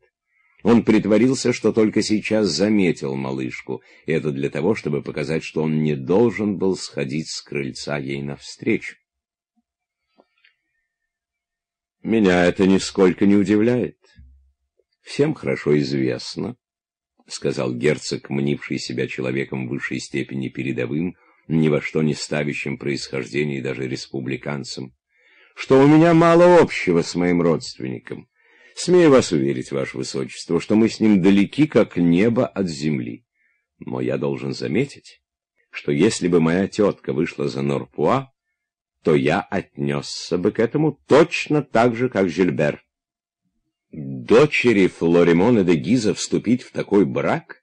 Да это, как говорится, куром насмех, как бы это вам сказать. Эти последние слова, которые герцог обычно вставлял в середину фразы, были тут совсем не к месту. Но он испытывал потребность непременно их произнести, и если не находил другого места, то относил в самый конец фразы.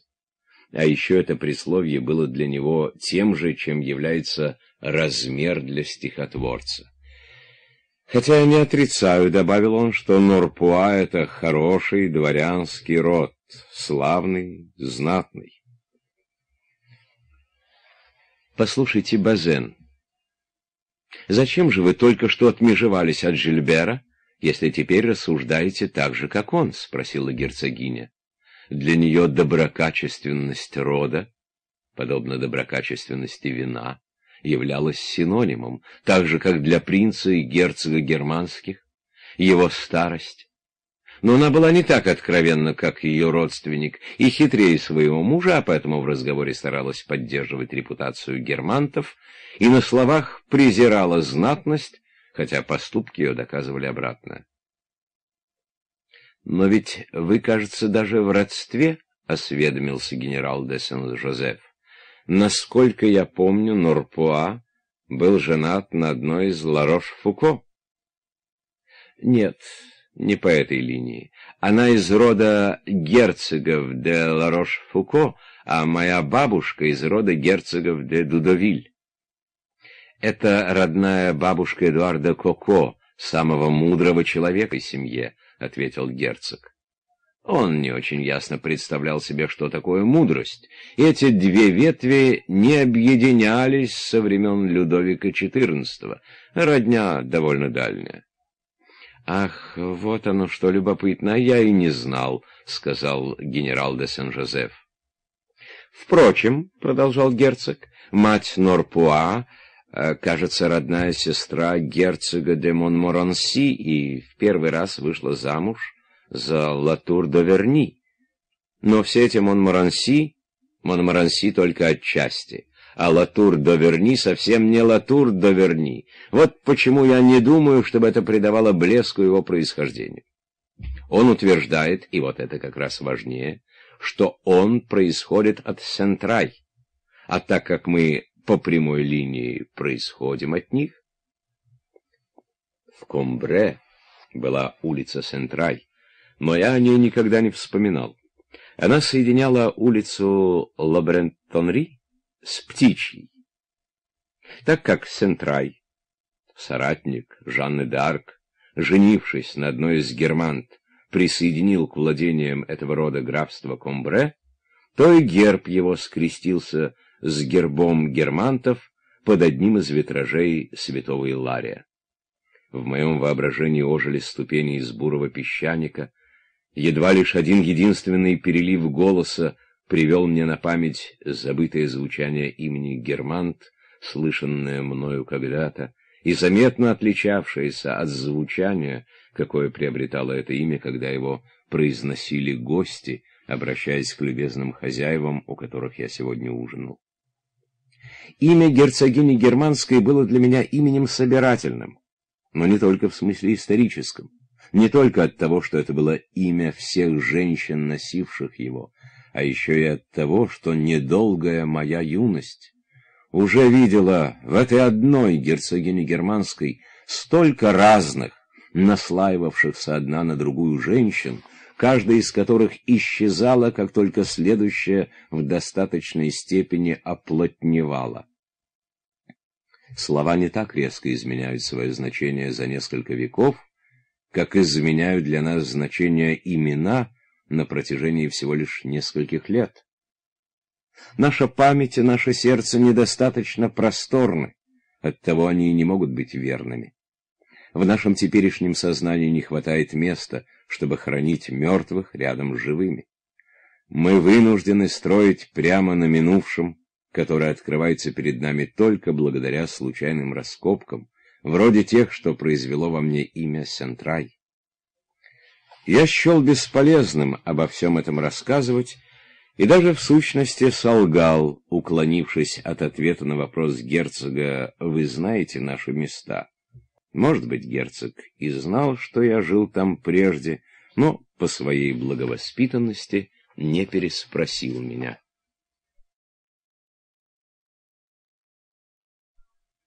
Я затруднился бы ответить на вопрос, сколько раз я слышал за этот вечер слова «родственник» и «родственница». Например, герцог Германский Почти каждый раз, когда кто-нибудь называл новое имя, восклицал «Да ведь это же родственник Орианы!» С такой радостью, как будто он, заблудившись в лесу, вдруг увидел направленные в разные стороны указательные стрелки с мельчайшими цифрами, определяющими расстояние в километрах, и с надписями «Бельведер Казимир Перье» и «Перекресток Обер-Егермейстера», и делает из этого вывод, что он не сбился. А жена турецкого посла, приехавшая после ужина, употребляла слова «родственник» и «родственница» совершенно иным намерением, представлявшим здесь исключение. Снедаемая светским честолюбием, она в то же время обладала колоссальной памятью. Ей одинаково легко было запомнить, что историю отступления десяти тысяч, что все виды половых извращений у птиц. Ее невозможно было уличить в незнании новейших немецких ученых трудов по политической экономии, об умственных расстройствах, о разных видах анонизма и о философии Эпикура.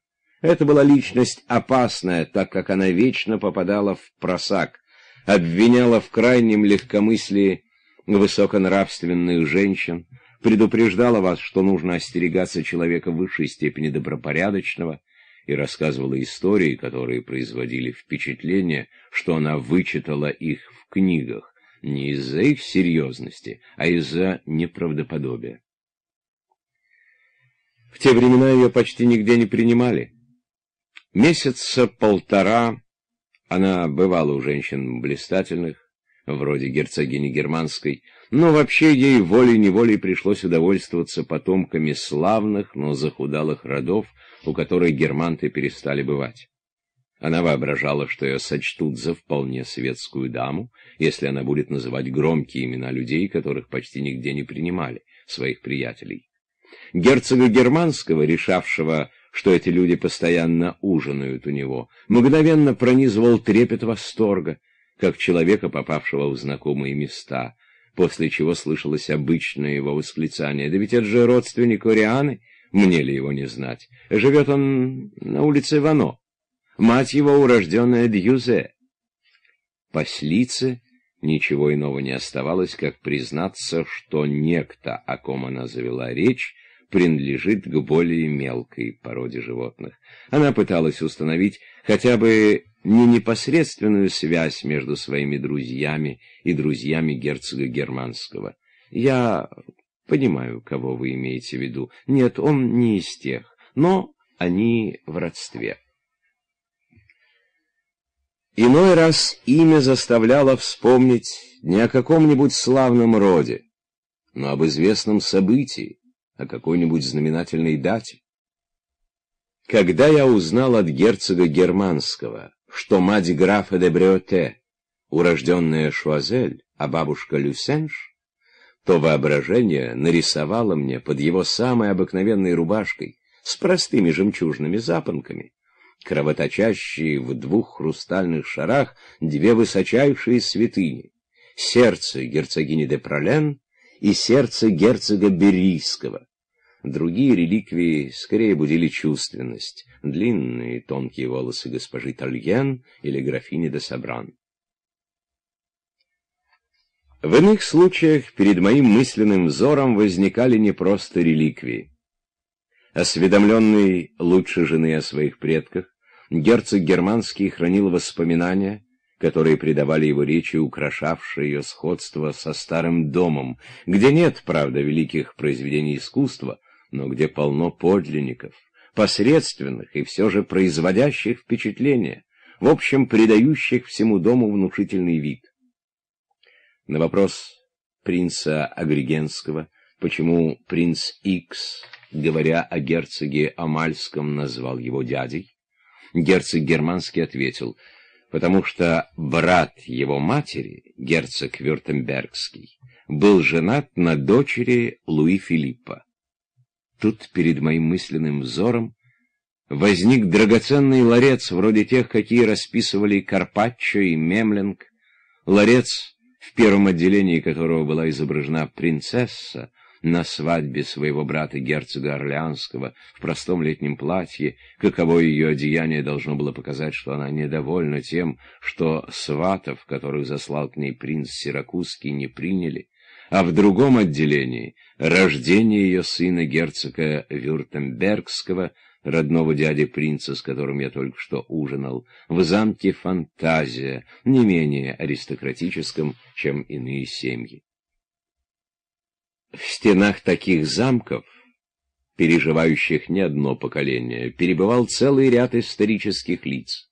В этом именно замке живут рядышком воспоминания о Марк графине Байрейтской, другой принцессе с фантазиями, сестре герцога Орлеанского, которой, как говорят, очень нравилось название замка ее мужа, о баварском короле и, наконец, о принце Икс, который как раз теперь просил герцога Германского посылать ему письма в этот замок, который он получил наследство и который отдавал взаймы только на время представлений вагнеровских опер принцу де Полиньяку, еще одному очаровательному фантасту.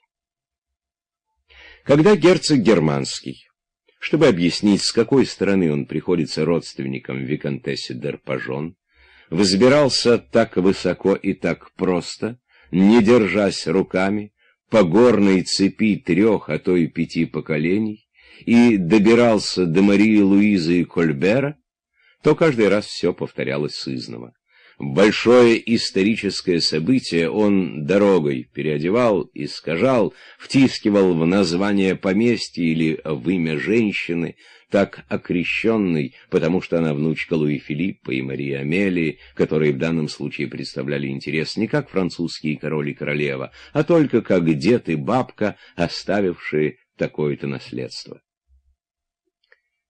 Из словаря имен, упоминаемых Бальзаком, который по другим причинам уделяет внимание крупнейшим историческим фигурам, в зависимости от того, какое отношение имеют они к человеческой комедии, явствует, что Наполеону отведено в ней куда более скромное место, чем Растиньяку. Да это скромное место отведено ему только потому, что он беседовал с девицами де Сансинь. Вот как аристократия в громоздком здании с редкими окнами пропускающими мало света, здание, в котором не чувствуется полета, но зато чувствуется та же непробиваемая незрячая мощь, что и в романской архитектуре, замыкает, замуровывает, оскушняет всю историю. Итак, просторы моей памяти постепенно порастали именами. И эти имена, размещаясь в определенном порядке, объединяясь, устанавливая друг с другом все более многочисленные связи, напоминали законченные произведения искусства, где нет ни единого мазка, который существовал бы сам по себе, где каждая часть обязана своим происхождением другим и, в свою очередь, вызывает к жизни их. Тут снова зашла речь о принце Люксембургском. И турецкая послица рассказала такую историю. Якобы дедушка его молодой жены, торговавшей мукой и макаронами и сказочно разбогатевшей, пригласил принца Люксембургского на завтрак.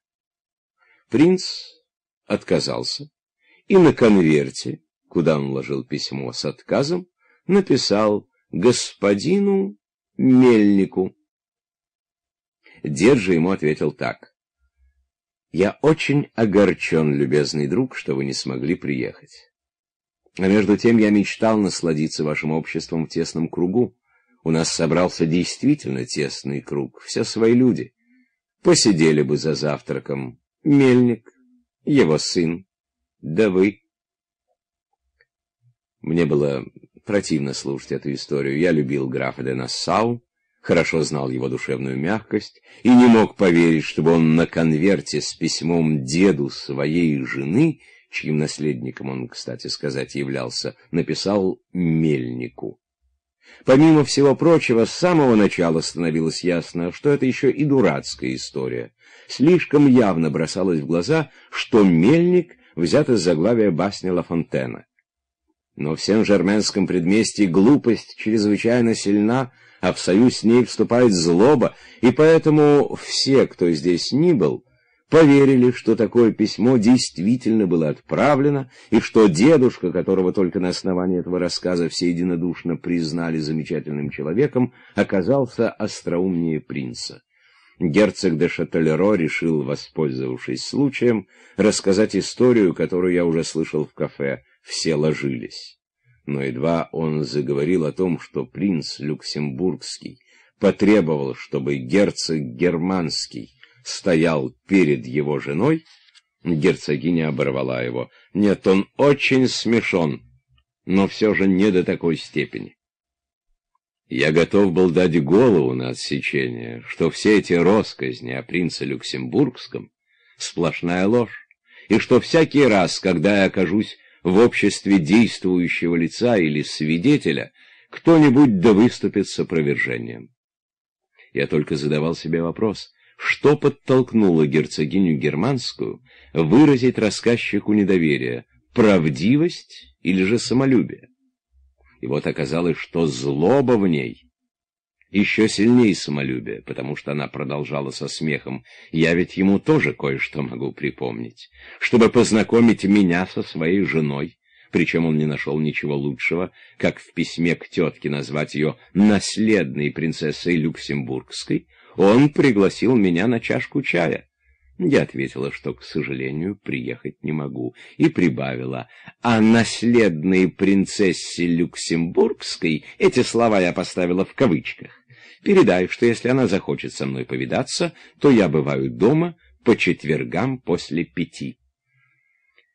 Я еще кое-что могу ему припомнить. В Люксембурге я несколько раз звонила ему по телефону.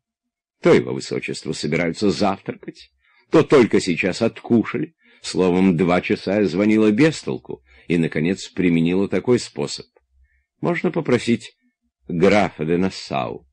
Это задело его за живое, и он подлетел к аппарату. Рассказ герцогини всех насмешил, как смешили и другие рассказы о принце в этом же духе, то есть, по глубокому моему убеждению, враки, потому что такого интеллигентного, такого великодушного, такого чуткого, скажу попросту, такого чудного человека, как Люксембург-Нассау, я не встречал. Из дальнейшего будет видно, что прав был я. Справедливость требует заметить, что герцогиня Германская наговорила о нем не только мерзостей. Сказала она о нем и хорошее. Он не всегда был такой. Пока он не свихнулся, не возомнил о себе, он в лужу не садился, и даже в первое время после помолвки говорил о ней с милой откровенностью, как о счастье, которое ему привалило. Прямо как в сказке. Придется въехать в Люксембург на волшебной колеснице, — сказал он своему дяде Орнесану, а тот ему, вы же знаете, что Люксембург невелик, боюсь, что на колеснице ты не въедешь. Впряги-ка лучше коз в коляску и въезжай. Нассау нисколько не обиделся, сам же он нам об этом и рассказывал, и хохотал. Орнесан — человек очень остроумный, да ему есть в кого. Его мать — Монже? Бедный Арнесан. Дела его плохи. Имя Арнесана, слава богу, прекратило грубые насмешки над принцем Люксембургским, иначе им не было бы конца. И в самом деле герцог германский тут же счел нужным пояснить, что пра-пра-бабушка Орнесана была сестра Марии де Кастиль-Монже, жены Тимолеона Лотарингского, и что, следовательно, она тетка Арианы. Таким образом разговор снова перешел на родословные, а в это время набитая дура турецкая послица шептала мне на ухо. «Вы, как видно, в чести у герцога германского, будьте осторожней». А когда я спросил, что это значит, она ответила, «Я хочу сказать, вы поймете меня с полуслова, что этому человеку можно безбоязненно доверить дочь, но не сына». На самом деле не было на свете мужчины, который так страстно любил бы женщин и только женщин, как герцог германский. Но заблуждение, неправда, простодушно принятая на веру, это была для послицы как бы родная стихия, вне которой она не могла бы существовать. Его брат Меме, который по другим причинам, он с ней не здоровался, вызывает во мне глубокую антипатию, до глубины души возмущен безнравственностью герцога. Их тетка Вильпаризи тоже. Вот перед кем я преклоняюсь. Святая женщина, настоящая, прежняя светская дама. Это не только сама добродетель, но и образец старого воспитания. Она продолжает говорить послу Норпуа, господин Норпуа, хотя видится с ним ежедневно. Между прочим, в Турции о нем до сих пор вспоминают с самым теплым чувством. Я уже несколько раз порывался уйти, главным образом потому, что мое присутствие обесценивало это собрание, одно из тех собраний, которые издали казались мне необыкновенно прекрасными. И оно бы, наверное, и было прекрасным, если бы не свидетель, который всех стеснял. Мой уход, по крайней мере, дал бы возможность гостям, когда среди них больше не будет непосвященного, теснее сплотиться. Они могли бы начать совершать таинства, ради которых они здесь и собрались. Ясное дело, что они пришли сюда не для того же, чтобы рассуждать о Франсе Хальсе или о скупости, да еще так, как об этом рассуждают простые обыватели. Они говорят в пустяках, конечно, потому что здесь был я, я испытывал угрызение совести от того, что мешал всем этим хорошеньким, разъединенным женщинам вести в изысканнейшем из салонов таинственную жизнь Сен-Жерменского предместья. Но как только я собирался откланяться, самопожертвование герцога и герцогини Германской доходило до того, что они удерживали меня. Но еще удивительнее было вот что. Некоторые дамы спешили к германтам, и приехали ликующие, разодетые, усыпанные драгоценными камнями. А из-за меня сегодняшний вечер по существу так же мало отличался от вечеров, которые устраиваются и не в Сен-Жерменском предместье. Как мало разнится Бальбек от того, к чему приучен наш глаз.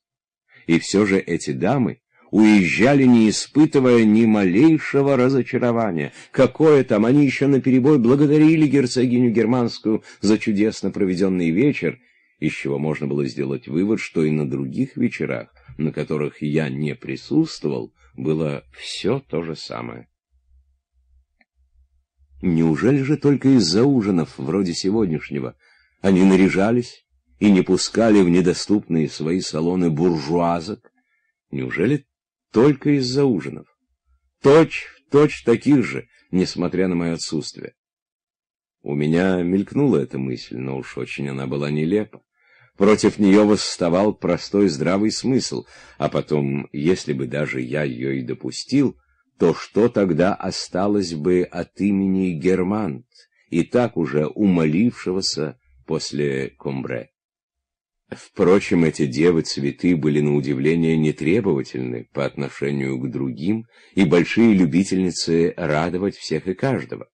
Некоторые из тех, кому я за целый вечер сказал две-три до того глупые фразы, что меня самого от стыда бросило в краску, сочли своим долгом перед уходом подойти ко мне и, остановив на мне ласковый взгляд красивых глаз, поправляя гирлянду орхидей, обвивавшую их грудь, сказать, как они счастливы, что со мной познакомились, и изъявить, тонкий намек на приглашение поужинать, желание кое-что устроить, предварительно выбрав день совместно с герцогиней Германской. Все эти дамы-цветы отбыли после принцессы Пармской. Присутствие принцессы, а раньше высочеств уезжать было не принято, являлось одной из неведомых мне причин, в силу которой герцогиня настаивала на том, чтобы я посидел еще.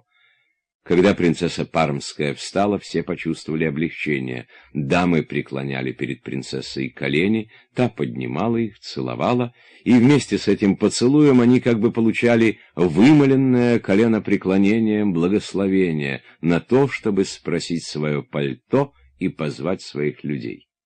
Вслед за тем у подъезда началась как бы выкличка имен, вошедших в историю Франции. Принцесса Пармская не позволила герцогине Германской провожать ее до передней, чтобы та не простудилась, а герцог добавил, слышите, Ариана, ее высочество разрешает вам не выходить. А вы помните, что вам сказал доктор? Я думаю, что принцесса Пармская была очень рада поужинать с вами. Эта заученная фраза была мне знакома. Герцог прошел всю гостиную, чтобы сказать ее мне любезным и уверенным тоном, словно вручая диплом или угощая печеньем. Удовольствие, которое он сейчас явно испытывал, и которое на мгновение придало его лицу ласковое выражение, внятно говорило мне о том, что такого рода обязанности он будет исполнять до самой смерти, подобно тому, как даже впавшие в детство старички сохраняют за собой необременительные и почетные должности. Когда я собирался уходить, в гостиную вернулась статсдама принцессы. Она забыла чудные гвоздики из германта, которые герцогиня подарила принцессе Пармской. Лицо у статсдамы пошло красными пятнами. Как видно, ей досталось от принцессы, которая со всеми была очень мила, но у которой лопалось терпение от бестолковости компаньонки. Статсдама подхватила гвоздики и в попыхах направилась к выходу. Но чтобы не уронить своего достоинства, и чтобы все видели, что она не утратила обычной своей строптивости, она, проходя мимо меня, проворчала. «Принцесса меня торопит. Ей хочется, чтобы мы уже ехали. Но чтобы гвоздики были у нее в руках. Ну, а я не птичка. Порхать с ветки на ветку не умею. В передней я попросил лакеев подать мне ботики, которые я надел из предосторожности, так как, когда я выходил из дому, падал снежок, тут же таял и превращался в слякоть. Но я не сообразил, что это не очень элегантно, и теперь, заметив, что все глядят на меня с презрительной улыбкой, мне стало неловко. Когда же я увидел, что принцесса Пармская еще не уехала, и следит за тем, как я надеваю эту американскую обувь, то я готов был провалиться сквозь землю от стыда. Принцесса подошла ко мне. «Как хорошо вы сделали, что купили ботики!» — воскликнула она. «Это очень практично. Вот что значит умный человек. Нам непременно надо будет приобрести ботики», — сказала она статсдаме. И тут насмешливое выражение лакейских лиц сменилось почтительным, а гости столпились вокруг меня и принялись расспрашивать, где я нашел эту прелесть.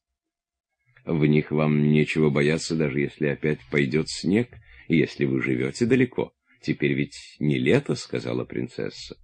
Ну, насчет этого вы, ваше королевское высочество, можете быть спокойны, — с хитрым видом проговорила статсдама. Снега больше не будет. «Почем вы знаете?» — сердитым голосом спросила добрейшая принцесса Пармская. Ее могла вывести из себя только глупость статсдамы. Уж вы мне поверьте, ваше королевское высочество, больше снега не будет, это физически невозможно.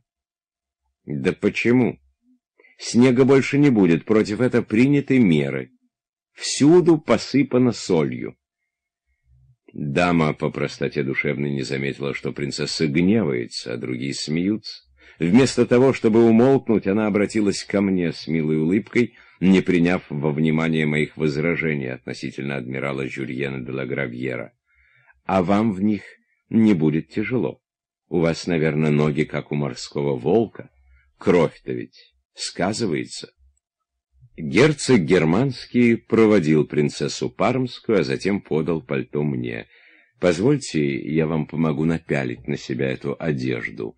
Употребив такие выражения, он даже не улыбнулся. Благодаря тому, что германцы играли в простоту, самые грубые выражения в их устах становились аристократическими. Итак, хотя свет не способен был сразу же дать мне то, чего ожидало от него мое воображение, и потому сначала поразил меня сходством с другими кругами общества, а не тем, чем он от них отличался. В конце концов, резкое его своеобразие все-таки выступило. Почти от одной только знати узнаешь столько же, сколько от простых крестьян. Их речь расцвечена всем, что относится к земле, к тем, кто жил в именьях в давно прошедшие времена, к старинным обычаям, ко всему, о чем даже и не подозревает мир денег. Допустим, что аристократ, не отличающийся широтой запросов, в конце концов заражается духом времени. А все-таки его мать, его дяди, его двоюродные тетки связывают его, когда он вспоминает свое детство, с той жизнью, которой сейчас почти никто уже себе не представляет. Войдя в комнату, где лежал бы покойник, герцогиня Германская промолчала бы, но от первого же ее взгляда не укрылось бы ни одно из нарушений прежних обычаев. Ее коробило, когда на похоронах женщины шли вперемешку с мужчинами, потому что обряд требует, чтобы женщины шли отдельно. У Блока, вне всякого сомнения, покров связывался только с похоронами, так как в отчетах о траурных процессиях неизменно упоминаются покровы с кистями, а герцог Германский мог бы вспомнить времена своего детства, когда он видел, как держали покров во время венчания принца Маинели.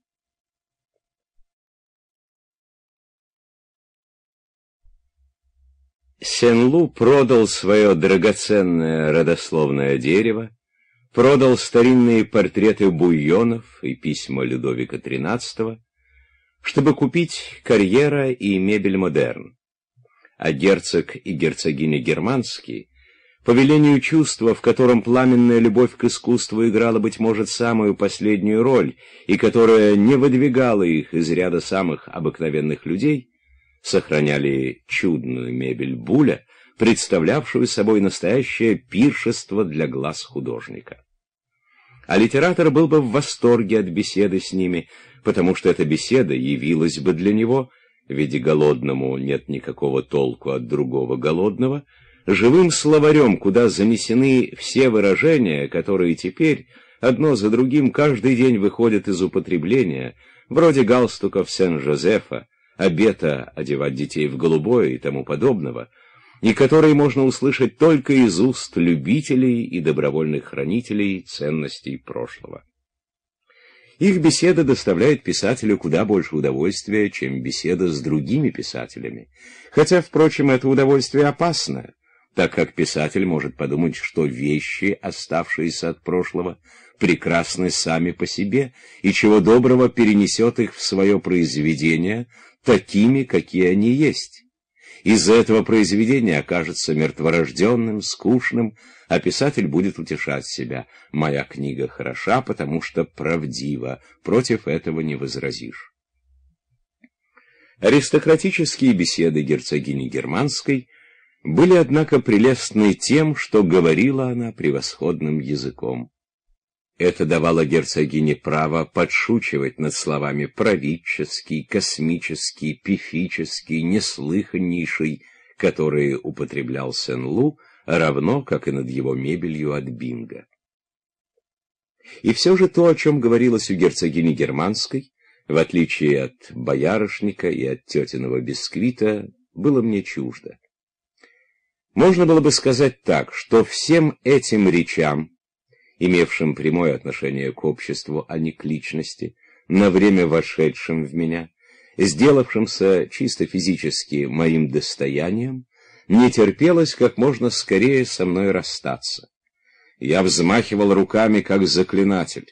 Я думал, что меня ждет еще один ужин, во время которого я превращусь в принца Икс или в герцогиню германскую и буду говорить за них. А пока слышанные мною речи шевелили мои выборматывающие губы, и я тщетно пытался вернуть на прежнее место мой разум с головокружительной быстротою, увлекаемый некой центробежной силой. Одному в экипаже, где, впрочем, я громко говорил с воображаемым собеседником, мне было не под силу выдерживать их тяжесть, и я с лихорадочным нетерпением ждал того мгновенья, когда я наконец-то позвонил к Дешарлю, а потом я долго еще говорил сам с собой, повторяя то, о чем собирался рассказать ему, и совсем не думая о том, что-то скажет мне он. Говорил в гостиной, куда меня провел лакей, и где от волнения я ничего не замечал. Мне так мучительно хотелось, чтобы де Шарлю выслушал меня, что в конце концов на меня напал дикий страх при мысли, что хозяин дома, может быть, уже спит, и что мне предстоит у себя в комнате протрезвляться после словесного опьянения. Да и было чего бояться. Убедившись, что прошло уже целых двадцать пять минут, я подумал, что все позабыли, что я сижу в этой гостиной, о которой, несмотря на долгое ожидание, я мог бы только сказать, что это огромная светло-зеленая комната, где висят портреты. Потребность говорить мешает не только слушать, но и видеть. Следовательно, отсутствие описания обстановки есть уже описание душевного состояния человека. Я решил выйти из гостиной и кого-нибудь позвать, а если никто не отзовется, то самому добраться до передней и сказать, чтобы мне отперли дверь, но только я встал и сделал несколько шагов по мозаичному паркету, как с озабоченным видом вошел камердинер. Господин барон все время принимал посетителей. — сказал он. «Его ждет еще несколько человек, но я непременно добьюсь, чтобы он вас принял. Я уже два раза звонил по телефону секретарю». «Пожалуйста, не беспокойтесь, господин барон сам назначил мне к нему приехать. Но сейчас уже поздно, и раз он занят, то я приду как-нибудь еще. Нет-нет, сударь, сделайте одолжение, не уходите», — воскликнул камердинер. «Господин барон будет недоволен». Я еще попробую позвонить. Я вспомнил рассказы о слугах де Шарлю и об их преданности своему господину. Хотя о нем нельзя было сказать, как о принце де Конти, что он также старался понравиться лакею, как и министру, но во всяком случае он достигал того, что самое обычное его приказание воспринималось как особая милость. И когда вечером, обведя глазами стоявших на почтительном расстоянии слуг, он говорил «конье» — свечу или «дюкре» — рубашку, другие удалялись с ворчанием, завидуя тем, на ком остановил свой выбор их господин. Двое враждовавших между собой слуг даже боролись за господскую милость и, выдумывая нелепейшие предлоги, спешили если барон поднимался к себе раньше, выслушать его распоряжение, причем каждый лелеял мечту, что сегодня вечером обязанность принести свечу или подать рубашку будет возложена на него. Если барон обращался к кому-нибудь из людей не с требованием услужить ему, более того, если зимой в саду, зная, что один из его кучеров простужен, он через десять минут говорил ему «наденьте шляпу», Другие из ревности две недели не разговаривали с кучером, удостоившимся великой милости. Я прождал еще десять минут, а затем, попросив не засиживаться, потому что господин барон так устал, что даже отказал в приеме нескольким чрезвычайно важным особам, которым он давным-давно назначил свидание, меня провели к нему. Церемонии, разводившиеся вокруг де Шарлю, не произвели на меня впечатление той торжественности, какое производила простота его брата Германта. Но вот уже дверь отворилась, и я увидел барона. В китайском халате с голой шеей он лежал на диване. Одновременно меня привели в изумление лежавшие на стуле цилиндр, шик-блеск и шуба. Можно было подумать, что барон только что пришел домой. Камердинер удалился. Я ждал, что де Шарлю подойдет ко мне, но он продолжал лежать неподвижно, уставив на меня беспощадный взгляд. Я подошел к нему поближе, поздоровался. Он не подал мне руки, ничего не сказал, не предложил сесть. Я спросил, как спрашивают у невоспитанного врача, непременно ли я должен стоять. Желания подковырнуть де Шарлю у меня не было, однако холодное бешенство еще резче выразилось у него на лице.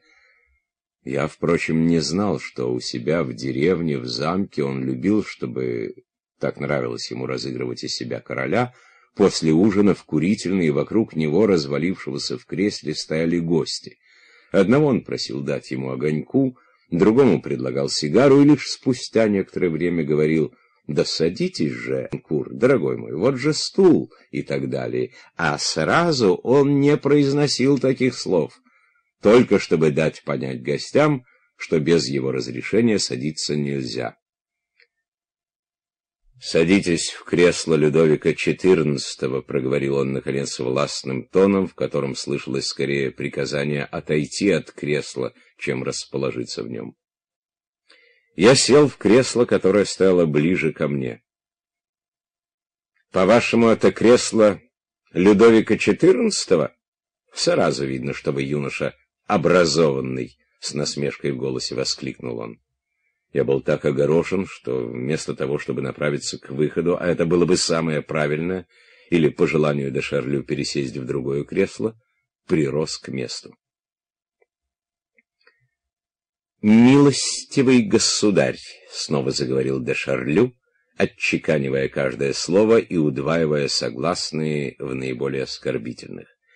«Этот разговор которым я вас удостаиваю в виде исключительной милости по просьбе некой особы, не пожелавшей, чтобы я ее назвал, поставит на наших с вами отношениях точку. Не скрою от вас, что я ожидал не того.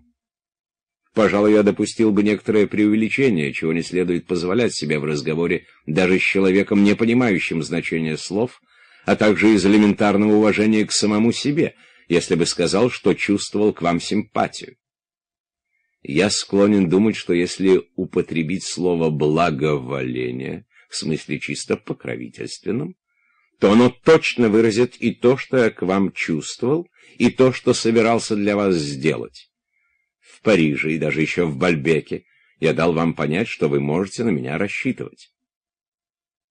Вспомнив дерзкую выходку де Шарлю, когда мы с ним прощались в Бальбеке, я отрицательно качнул головой. «То есть как?» — воскликнул он в гневе, и его бледное перекошенное лицо также отличалось сейчас от того лица, каким оно было у него всегда, как отличается от Тихого моря, моря бурным утром, когда вместо привычной для глаза улыбчивой его равнины видишь многое множество змей, брызжущих пеной ядовитой слюною. Вы представляете, что не получили моего послания? Почти признание, которое должно было напоминать вам обо мне. Чем была украшена книга, которую я вам послал? Очень изящными виньетками, — ответил я. Ах, как плохо знает французская молодежь великие произведения нашего искусства, — с презрением в голосе сказал де Шарлю. Что подумали бы о молодом берлинце, когда выяснилось бы, что он не знает валькирии? Должно быть, глаза у вас устроены так, что они ничего не видят. Вы же сами мне говорили, что два часа рассматривали этот шедевр.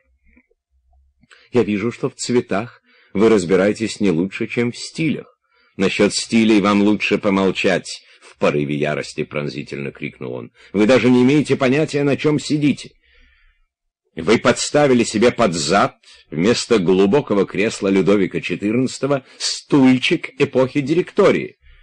Этак вы примете колени маркиза де Вильпрези за раковину и черт знает чего натворите. Не узнали же вы орнамента из незабудок Бальбекской церкви на переплете книги Бергота. А уж кажется, на что прозрачнее «Не забывайте меня». На картине Веласкеса «Пики», — продолжал он, — победитель, как всякий порядочный человек, идет навстречу униженному врагу. Вот так же и я, поскольку я все, а вы ничто, сделал первый шаг. Вы имели глупость на это ответить, что не мне говорить о благородстве, но я не отступил. Наша религия учит терпению. Терпение, которое я выказал по отношению к вам, мне, надеюсь, зачтется. И я только улыбнулся в ответ на вашу наглость, если только можно назвать наглостью ваше поведение с человеком, который настолько голов выше вас. Но больше, милостивый государь, мы об этом говорить не будем. Я подверг вас испытанию, которому единственный выдающийся человек нашего времени дал остроумное название «Испытание слишком большой любезностью». И он же с полным основанием ума заключает, что это самое страшное из всех испытаний, и что только оно способно отделить доброе семя от плевел. Я не стану упрекать вас в том, что вы его не выдержали. Победители редки. Но таково последнее слово, которое я скажу вам на этом свете. Я желаю оградить себя от ваших клеветнических измышлений. Пока де Шарлю не высказался, я был далек от мысли, что его гнев мог быть вызван обидными словами, которые я будто бы кому-то о нем сказал. Я напряг свою память. Нет, я ни с кем о нем не говорил. Какой-то злопыхатель на меня наплел. Я решительно отверг предъявленное мне обвинение. Неужели вы рассердились на меня? За то, что о наших с вами близких отношениях я сказал герцогине Германской. Он презрительно усмехнулся, а затем возвысил голос до верхнего регистра и без труда взял самую резкую и самую дерзкую ноту. «Ах, милостивый государь!» — сказал он затем, — с нарочитой медлительностью возвращаясь к своей обычной интонации и словно упиваясь причудливыми переливами нисходящей гаммы. «Я убежден, что вы на себя клеплете, каясь в том, что сказали, будто мы с вами в близких отношениях. Я не могу требовать исключительной точности от человека, которому решительно все равно, что мебель Чиппендейла, что стул Рококо. И все же я не думаю, — продолжал он теперь уже ласковым тоном, одновременно с которым на его губах заиграла обворожительная улыбка, и в котором, однако, все усиливался оттенок насмешливости. «Я не думаю, чтобы вы могли сказать или вообразить, будто мы с вами в близких отношениях. Если же вы похвастались тем, что вас мне представили, что вы разговаривали со мной, что мы с вами немножко знакомы, то я почти без всяких просьб с вашей стороны согласился со временем взять вас под свое покровительство. То, напротив, я нахожу, что это вполне естественно и разумно. Существующая между нами огромная разница в возрасте дает мне право указать вам, без малейшего желания вас унизить, что то, что вы были мне представлены, что то, что мы с вами разговаривали, что то, что мы с вами только-только познакомились, что все это было для вас, если не честью, мне об этом говорить неудобно, то уж, разумеется, удачей. И глупость ваша проявилась не в том, что вы о ней раззвонили, а в том, что вы не сумели ею воспользоваться. «Я даже вот что вам скажу», — продолжал он неожиданно и ненадолго перейдя от гневного высокомерия к нежности, полной такой душевной боли, что, казалось, он сейчас расплачется. Когда вы ничего не ответили на предложение, которое я сделал вам в Париже, то я это воспринял как совершенно невероятную дерзность. Я же думал, что вы хорошо воспитаны. Из хорошей буржуазной семьи. Только это определение он презрительно прошипел. До такой степени невероятную, что по своей наивности я объяснял ее всякой чепухой, которая на поверку всегда оказывается враньем. Письмо, видите ли, пропало от того, что адрес был написан неправильно. Я признаю, что это очень наивно. Но святой Бонавентура говорил, что ему легче поверить в то, что бык украл, чем в то, что его брат солгал. Словом, с этим покончено. Книга вам не понравилась, больше мы к этому не вернемся. Но только мне кажется, что вы могли бы... И тут в его голосе послышались непритворные слезы. Хотя бы из уважения к моему возрасту написать мне. Я собирался предложить вам нечто до крайности соблазнительное, но только не хотел заранее ставить вас об этом известность. Вы, даже не зная, о чем идет речь, решили отказаться. Это ваше дело. Но, как я уже сказал, всегда можно написать. Я бы на вашем месте, и даже на своем, написал. Я только по одной причине ставлю свое место выше вашего. Вообще-то я считаю, что все места равны. Интеллигентные рабочие мне приятнее многих герцогов, но я заслужил право сказать, что отдаю предпочтение моему месту, так как за всю свою долгую жизнь, даже слишком долгую, я ни разу не поступил, как вы. Голова де Шарлю оставалась в тени, и мне было не видно, льются ли у него из глаз слезы, слышавшиеся в его голосе. Я уже говорил, что сделал сто шагов вам навстречу, а вы в благодарность отошли от меня на двести. Теперь я ухожу от вас, и больше мы с вами не знакомы. Я забуду ваше имя, но не забуду ваш поступок. Чтобы в тот день, когда мне вдруг захочется думать о людях, что они сердечны, учтивы, или хотя бы настолько сообразительны, что не упустят возможности, которые представляются раз в жизни, чтобы сказать себе в тот день, что я слишком высокого о них мнения. Да нет же, если вы кому-то сообщили, что вы со мной знакомы, когда мы с вами были знакомы на самом деле, теперь это уже не соответствует действительности, то я считаю, что тут ничего такого нет, это дань уважения ко мне. Словом, это мне приятно. К несчастью, в другом месте и при других обстоятельствах вы говорили совсем иное. Клянусь вам, барон, что я ничего обидного про вас не говорил. «А кто вам сказал, что я обижен?» — в бешенстве крикнул де Шарлю и сел на диване, на котором только сию секунду лежал неподвижно. А в это время на лице его извивались мертвенно-бледные вспененные змеи. Голос же становился то визгливым, то ракочущим, как покрывающая все звуки беснующаяся буря.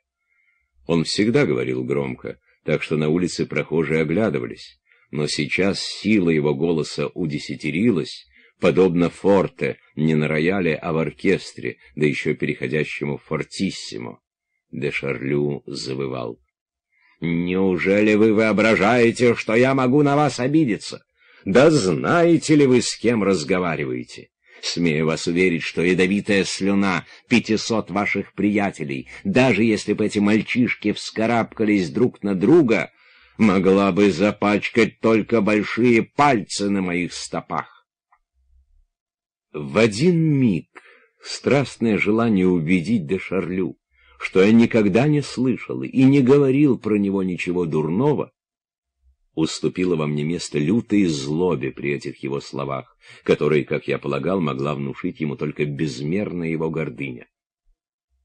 Впрочем, быть может, тут действительно хотя бы отчасти повинна была его гордыня. Главную роль играло, однако, еще одно чувство, и вот о нем-то я пока не подозревал, а значит и не был виновен в том, что не принял в расчет долю его влияния. Но поскольку это его чувство было мне неведомо, я мог бы, вспомнив что говорила герцогиня Германская, помимо гордыни, что-то отнести за счет ненормальности де Шарлю. Но в тот момент мысль о его ненормальности мне не пришла. Я был уверен, что в нем говорит только гордыня, во мне только ярость. И ярость эту Едва лишь де Шарлю, перестав завывать, заговорил о больших пальцах на своих стопах, заговорил с величественным видом из гримасы отвращения, относившегося к каким-то неведомым клеветникам. Эту ярость я уже не мог сдержать. Придя в остервенение, я ощутил жгучую потребность кого-то или что-то бить. Но все же я не настолько обезумел, чтобы утратить уважение к человеку гораздо старше меня — и даже из-за их художественной ценности к стоявшим около него статуэткам из немецкого фарфора. А потому я набросился на новенький цилиндр барона, швырнул его на пол, стал топтать, потом, как не вопил де Шарлю, с ожесточением рвать, содрал подкладку, на две части разорвал корону и только после этого кинулся к двери и распахнул ее. Каково же было мое изумление, когда я увидел, что по обеим сторонам двери стоят два лакея, но оба лакея при моем появлении медленно удалились с таким видом, как будто они шли мимо двери, каждый по своим делам. После я узнал, что одного из них звали Бюрнье, а другого Шармель. Гуляющая их походка меня не провела.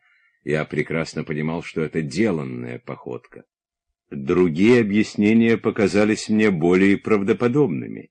Первое состояло в том, что барон принимал иногда гостей, от которых ему могла понадобиться защита, но почему?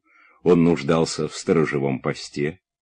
Второе объяснение состояло в том, что любопытные лакеи подслушивали у двери и не ожидали, что я сейчас выбегу. Третье в том, что всю эту сцену де Шарлю разыграл, предварительно прорепетировав, и что он сам позвал лакеев послушать. Позвал из любви к устройству спектаклей в сочетании, быть может, со своего рода «нунк эрудимини», которая всем послужила бы уроком на будущее. Мой гнев не утешил гнева де Шарлю. Мой уход, должно быть, подействовал на него болезненно. Он звал меня, требовал, чтобы меня не пускали, и, наконец, забыв о том, что он только что, называя свои ноги стопами, разыгрывал из себя божество, опрометью бросился за мной, догнал в передней и встал мне поперек дороги. «Полно», — сказал он, — «что за ребячество? Зайдите ко мне на минутку.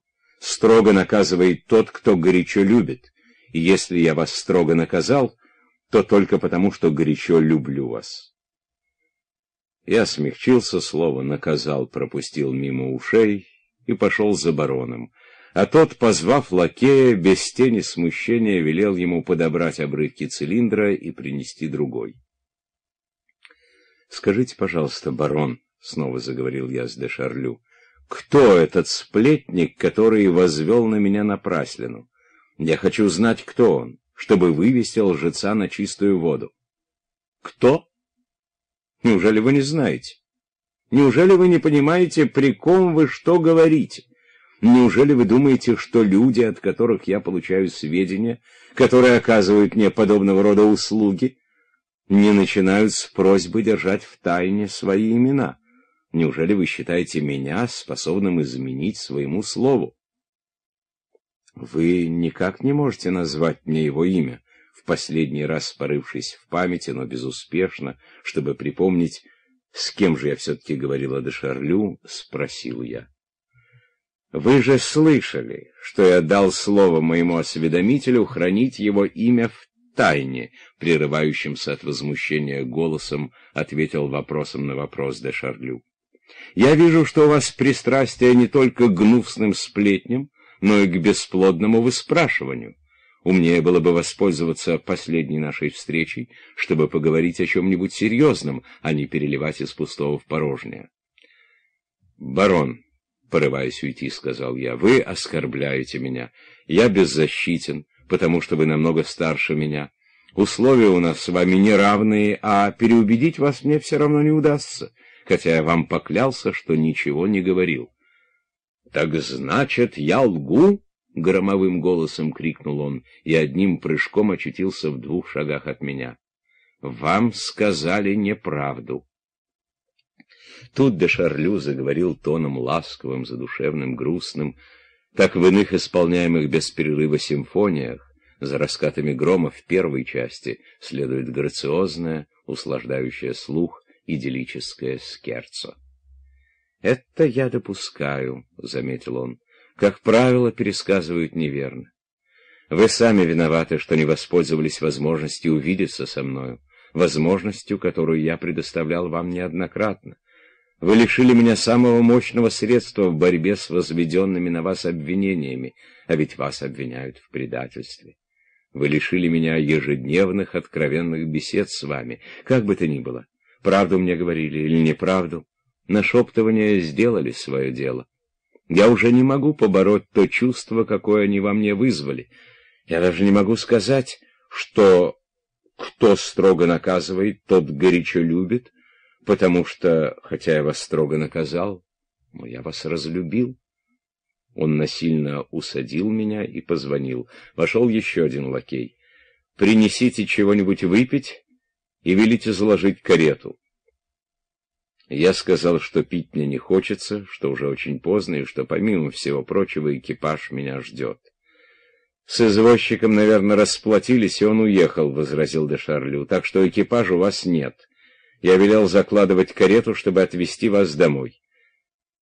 Если вы боитесь, что уже очень поздно, я мог бы предоставить в ваше распоряжение комнату. Я сказал, что моя мать будет беспокоиться. Ну так вот, правда это или неправда, но нашептывания сделали свое дело. Моя в известной мере преждевременная симпатия зацвела чересчур рано. С ней случилось то же, что с яблонями, которые вы так поэтично описывали в Бальбеке. Первый же мороз убил ее цвет. Однако де Шарлю действовал так, как будто его симпатия устояла. Твердил, что между нами все кончено, а сам удерживал меня, предлагал чего-нибудь выпить, остаться ночевать, отвезти домой. Его даже как будто пугала мысль, что я уеду, и он останется один.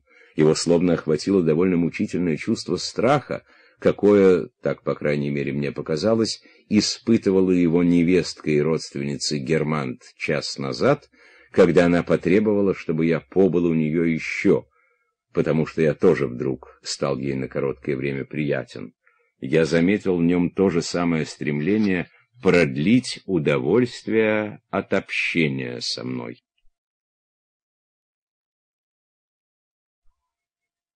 «Пожалуй, я поеду с вами». Какая дивная луна! Я провожу вас, а затем поеду любоваться луной в Булонский лес. Э, да вы не умеете бриться. Отправляетесь на званный ужин, а волоски торчат, — сказал де Шарлю, потом взял меня за подбородок двумя точно намагниченными пальцами, и эти его два пальца после секундного колебания, словно пальцы парикмахера, поднялись до моих ушей. Посмотреть бы на голубой свет луны в лесу с кем-нибудь вроде вас.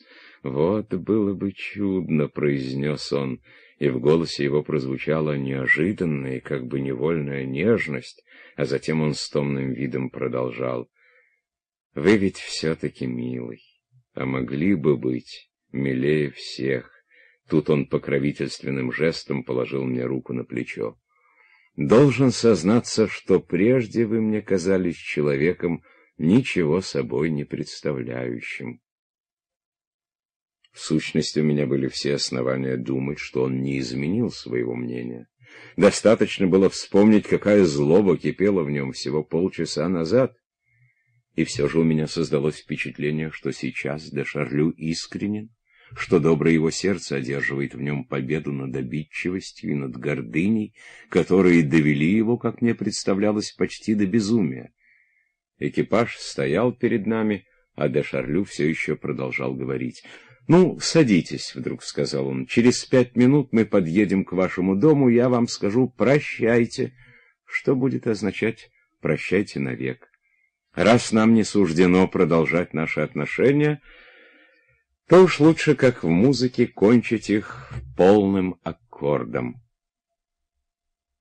Несмотря на все эти торжественные уверения, что больше мы не увидимся никогда, я готов был поклясться, что де Шарлю, сердясь на себя за свою недавнюю вспышку и боясь, как бы я не затаил на него обиду, ничего не имеет против того, чтобы увидеться со мной еще раз. я был недалек от истины, в чем тут же и удостоверился. «Вот тебе на!» — воскликнул он. «Самое-то главное я и позабыл. На память о вашей бабушке я отдал для вас в переплет редкое издание госпожи де Савинье. Увы, значит, нынешнее наше свидание не последнее. Приходится утешаться тем, что трудные дела не часто удается кончить в один день. Вспомните, сколько времени длился Венский конгресс. Я поспешил предложить свои услуги. Да чтобы вас не беспокоить, я пришлю за книгами. Помолчите, глупыш. — прикрикнул на меня де Шарлю, — «и не ставьте себя в дурацкое положение. Не притворяйтесь, будто вы не дорожите честью быть, вероятно, я не говорю наверно, потому что, может статься, книги вам передаст камердинер, принятым мною». Он овладел собой. Я не хочу, чтобы эти слова были моими прощальными словами. Никаких диссонансов перед заключительным аккордом, после которого вечная тишина. Видимо, он берег свои нервы. Ему было бы слишком тяжело расстаться со мной после тех резкостей, каких он наговорил мне в раздражении. «Вы не изъявили желания прокатиться в Булонский лес?» — произнес он скорее утвердительным, чем вопросительным тоном как мне показалось, не потому, чтобы ему не хотелось предлагать мне прокатиться, а потому что он боялся, как бы мой отказ не ударил по его самолюбию. Ну, а теперь как раз то время, — все тянул он, — когда, по словам Уистлера, буржуа возвращаются домой, этими словами он, быть может, хотел задеть мое самолюбие, и когда природа особенно радует глаз. Впрочем, вы даже не знаете, кто такой Уистлер. Тут как раз мы подъехали к моему дому, и он протянул мне руку.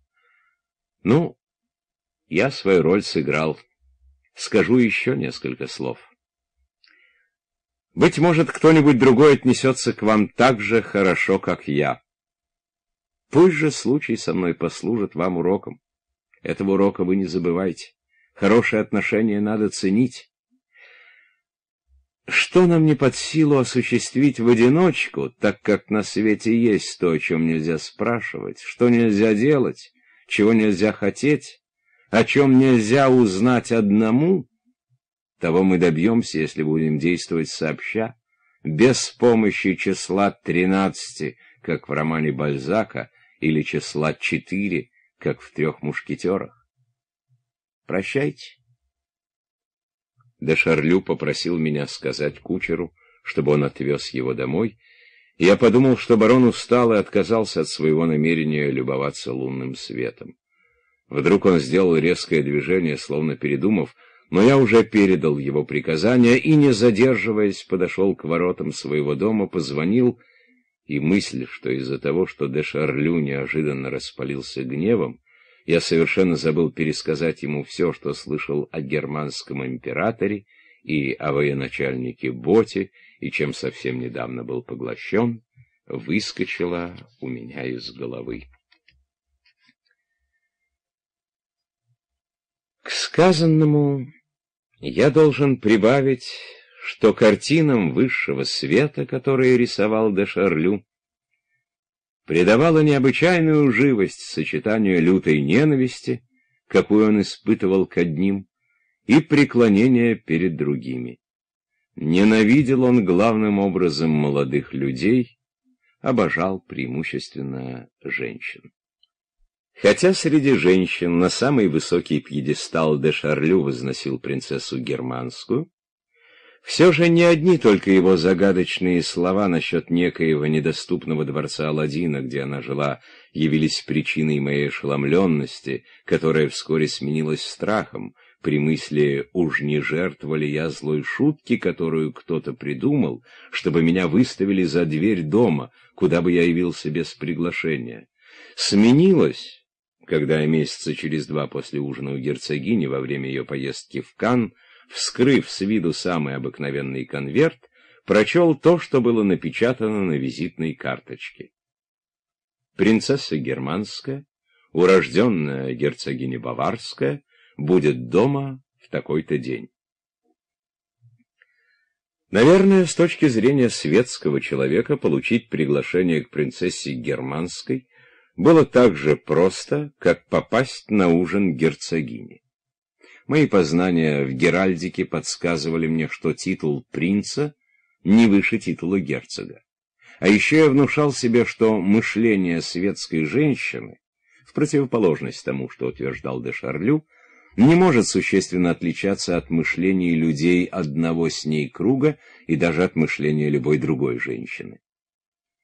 Но мое воображение, подобно воображению Эльстира, создававшего свою перспективу наперекор законам физики, хотя, вероятно, он изучил их, воспроизводило передо мной не то, что я знал, а то, что оно видело. То, что оно видело, иначе говоря, то, что ему показывало имя. Так даже когда я еще не был знаком с герцогиней, имя Германт, перед которым стоял титул принцесса, подобно ноте, краске или величине, резко меняющимся в зависимости от стоящего перед ними математического или эстетического значка, воссоздавало передо мной что-то совсем другое. Этот титул часто встречается в мемуарах эпохи Людовика XIII и Людовика XIV, и я представлял себе, что когда-то в доме у принцессы Германской по всей вероятности, довольно часто бывали герцогиня Лонгвильская, и великий Конде. Если же мои догадки справедливо рассуждал я, то уж я-то вряд ли когда-нибудь туда проникну.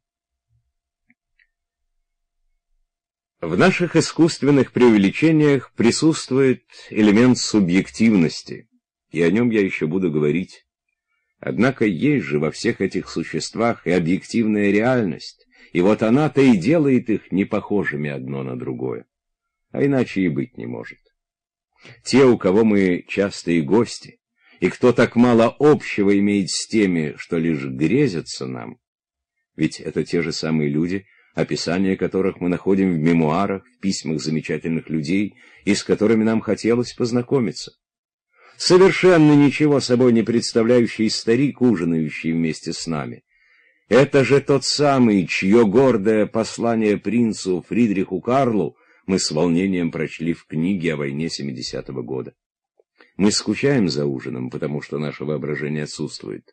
А когда мы читаем книгу, мы увлекаемся, потому что сейчас оно с нами. Но люди и за ужином, и в книге одни и те же. Мы были бы счастливы познакомиться с госпожой де Помпадур, неизменно оказывавшей покровительство искусством, но мы скучали бы в ее обществе не меньше, чем с нынешними эгериями, до того заурядными, что первый же к ним визит отбивает у нас охоту поддерживать с ними отношения. И все же разница между ними есть. Полного сходства между людьми не бывает. Манера наших знакомых держать себя с нами хотя бы мы относились к ним одинаково дружелюбно, различно, но эти различия в конечном итоге сглаживаются. Герцогиня де Монмаранси любила говорить мне колкости, но если я нуждался в ее помощи, она немало немедля употребляла все свое влияние, чтобы помочь мне не на словах, а на деле. А, например, герцогиня Германская никогда не обижала меня, говорила мне только что-нибудь приятное, была необычайно радушна, поскольку радушие входило составной частью в широкий образ нравственной жизни германтов, но зато, если бы я попросил ее о сущей безделице, помимо входившего в ее программу, она не ударила бы палец о палец. Так в иных именьях к вашим услугам автомобиль и камердинер но зато вы там не добьетесь стакана сидра, так как те, кто устанавливал распорядок празднеств, не предусмотрели, что вам захочется сидру. Которая же из двух женщин была мне настоящим другом? Герцогиня де Монморанси, которой нравилось подпускать мне шпильки, но которая всегда была готова помочь мне? Или герцогиня Германская, которой было больно, когда мне хоть чем-нибудь досаждали, но которой трудно было оказать мне ничтожнейшую услугу? И вот еще что. Многие говорили, что герцогиня Германская болтает только о разных пустяках, а ее родственница, далеко не такая умная, всегда говорит о вещах интересных. Направления умов крайне разнообразны, прямо противоположны не только у литераторов, но и у людей светских, так что не одни лишь Бодлер и Мереме имеют право презирать друг друга. Отличительные особенности ума вырабатывают в каждом человеке свое выражение глаз, свою манеру изъясняться, свой образ действий, и все это создает взаимосвязанную систему, до такой степени деспотичную, что когда мы общаемся с кем-либо, нам кажется, что лучше этого человека нет. Все, что говорила герцогиня Германская, выведенное как теорема из особого склада ее ума, я принимал за истину. И, в общем, я был с ней согласен, когда она утверждала, что герцогиня де Монморанси глупа, что она любит рассуждать о вещах, в которых ничего не смыслит, или когда, узнав, что герцогиня де Монморанси причинила кому-нибудь зло, она говорила, вот вы считаете ее доброй, а, по-моему, она изверг. Но это тирания окружающей действительности, это очевидность света лампы, при котором далекая уже заря меркнет, как воспоминание о чем-то самом обыкновенном, переставали на меня действовать в отсутствие герцогини Германской, когда еще какая-нибудь дама, державшаяся со мной запросто и считавшая герцогиню гораздо ниже себя, говорила мне, в сущности, Ариана ничем и никем не интересуется, или даже, о чем в присутствии герцогини помыслить было невозможно, так отрицательно относилась она к этому явлению, Ариана — снопка. В силу того, что виконтесса Дарпажон и герцогиня де Монморанси представляли собой величины неодинаковые, и никакая математика ничего бы тут не могла поделать, я так бы никогда и не ответил на вопрос, у кого из них, по моему мнению, больше достоинств.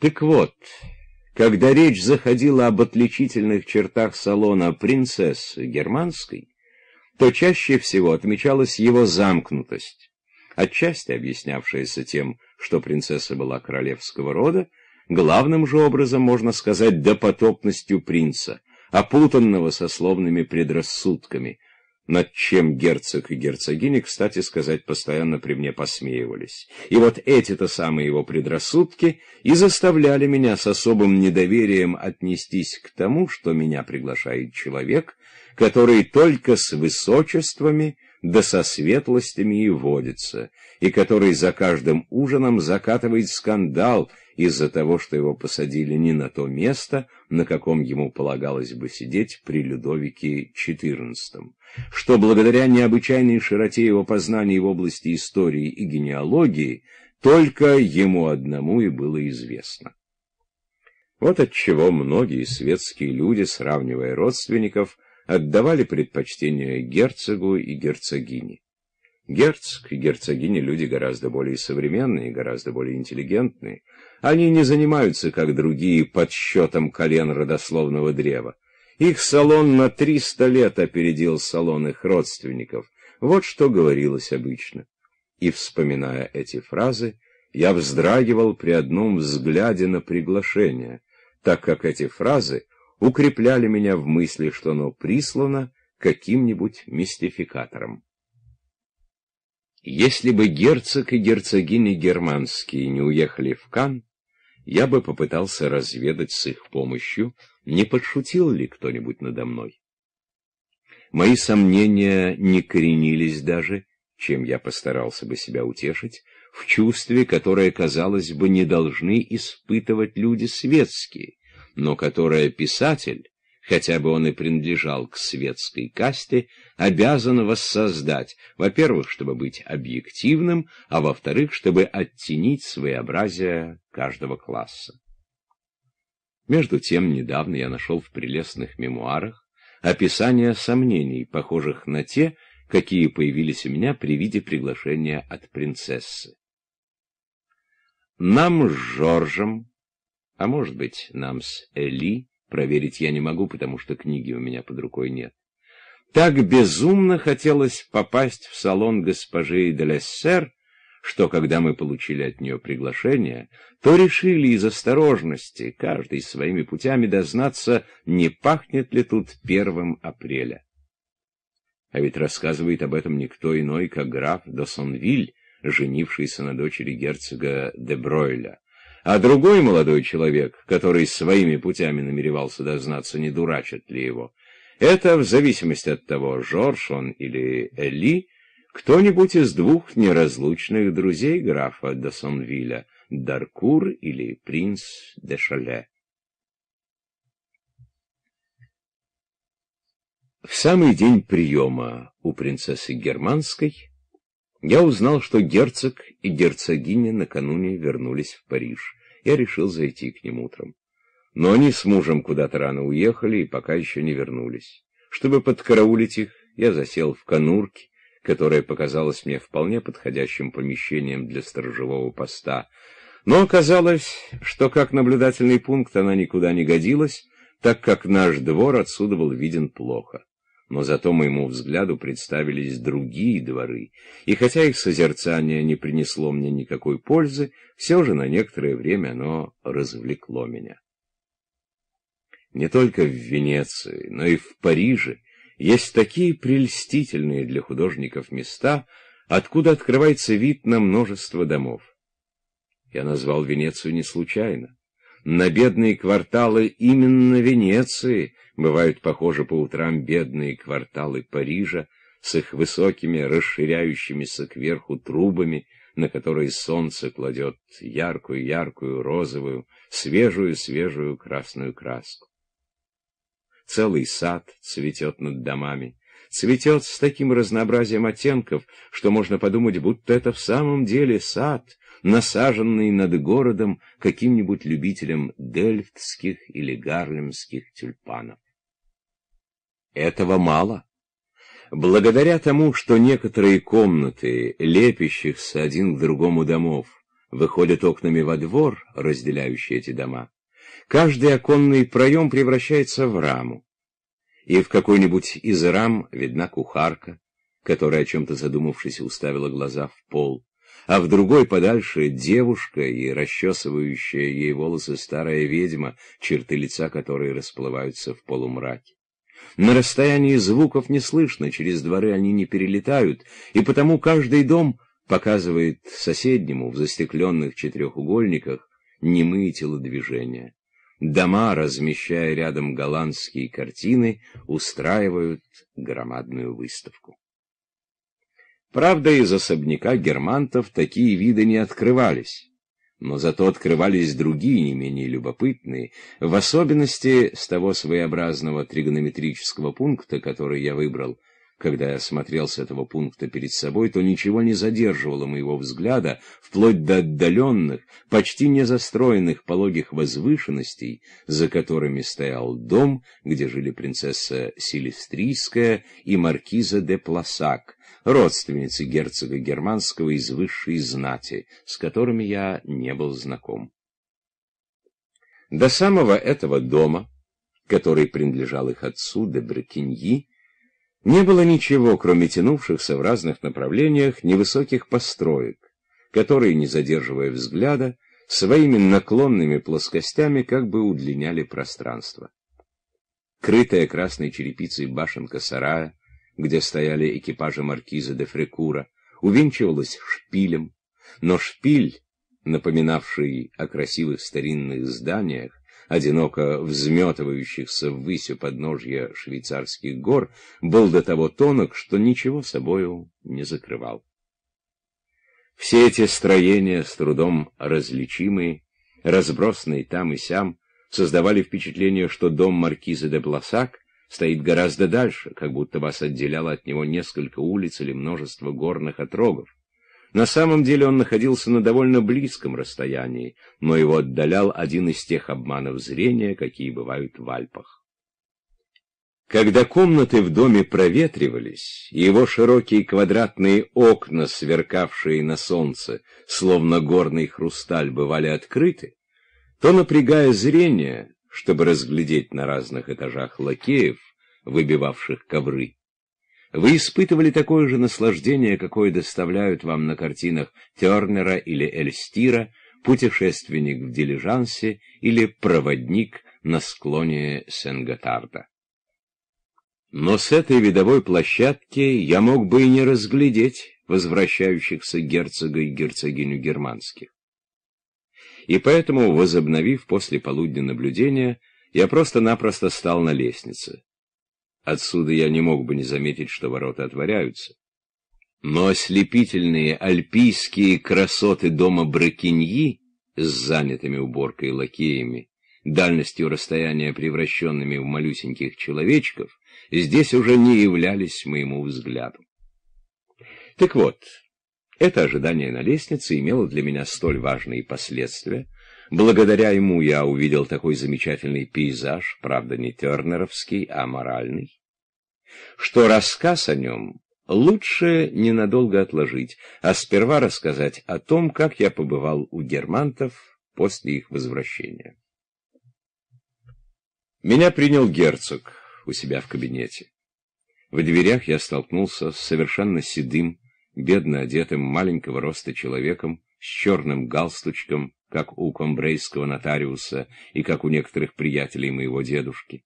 Но вид у него был еще более робкий, он отвешивал мне низкие поклоны и ни за что не соглашался, чтобы я уступил ему дорогу. Я не расслышал, что крикнул ему герцог. В ответ посетитель опять начал кланяться, но уже стене. Герцог не мог его видеть, а он все кланялся и кланялся. Так зачем-то улыбаются люди во время телефонного разговора. Посетитель говорил фальцетом. Он еще раз мне поклонился, так подобострастно кланяются ходатые по делам. Впрочем, может статься, это и был поверенный из Скомбре. Так он своим провинциальным, старомодным и кротким видом напоминал тамошних маленьких людей, приниженных старичков. «Ариана сейчас придет», — сказал мне герцог, как только я вошел. «Сван должен сейчас принести ей корректуру своей статьи о монетах Мальтийского ордена, и еще того хуже огромные фотографии этих монет с обеих сторон. Поэтому Ариана решила поскорее одеться, чтобы успеть посидеть с ним перед тем, как ехать обедать. Мы и так завалены вещами, спасения от них нет. Я просто не знаю, куда приткнуть фотографии Свана. Но у меня чересчур любезная жена, она безумно любит доставлять людям удовольствие. Она уверена, что Свану будет приятно показать ей одного за другим всех гроссмейстеров ордена, медали которых он нашел на Родосе. Я сказал, Мальтийского? Нет, Родосского. Но это один и тот же орден. Орден святого Иоанна Иерусалимского. Сущности, родосские рыцари интересуют ее постольку, поскольку ими поглощен сван. Наш род теснейшим образом связан со всей этой историей, связан даже еще и теперь. Мой брат, с которым вы знакомы, один из самых видных деятелей в Мальтийском ордене. Но если бы об этом заговорил с Ирианой я, она и слушать бы не стала. А вот Сван, изучая тамплиеров, диву даешься, с каким увлечением люди, исповедующие одну веру, занимаются изучением другой. Подошел к истории родосских рыцарей, наследников тамплиеров. Ариана тут же загорелась желанием посмотреть их головы. По сравнению с люзиньянами, королями Кипра, от которых мы ведем свое происхождение по прямой линии, это мелкота. Но так как Сван пока люзиньянами не занят, Ориане никакого дела до них нет. Я не мог сразу сказать герцогу, зачем я пришел. Дело в том, что герцогиня, которая часто принимала визитеров до обеда, Явились ее родственницы или приятельницы, в частности, принцесса Селестрийская и герцогиня де Монрос. Но так как герцогиня не показывалась, они зашли на минутку к герцогу.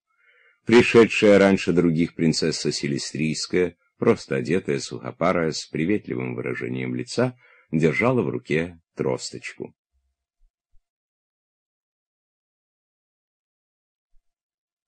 Я подумал, что она ушиблась или больна, но вскоре я убедился, что она прекрасно себя чувствует.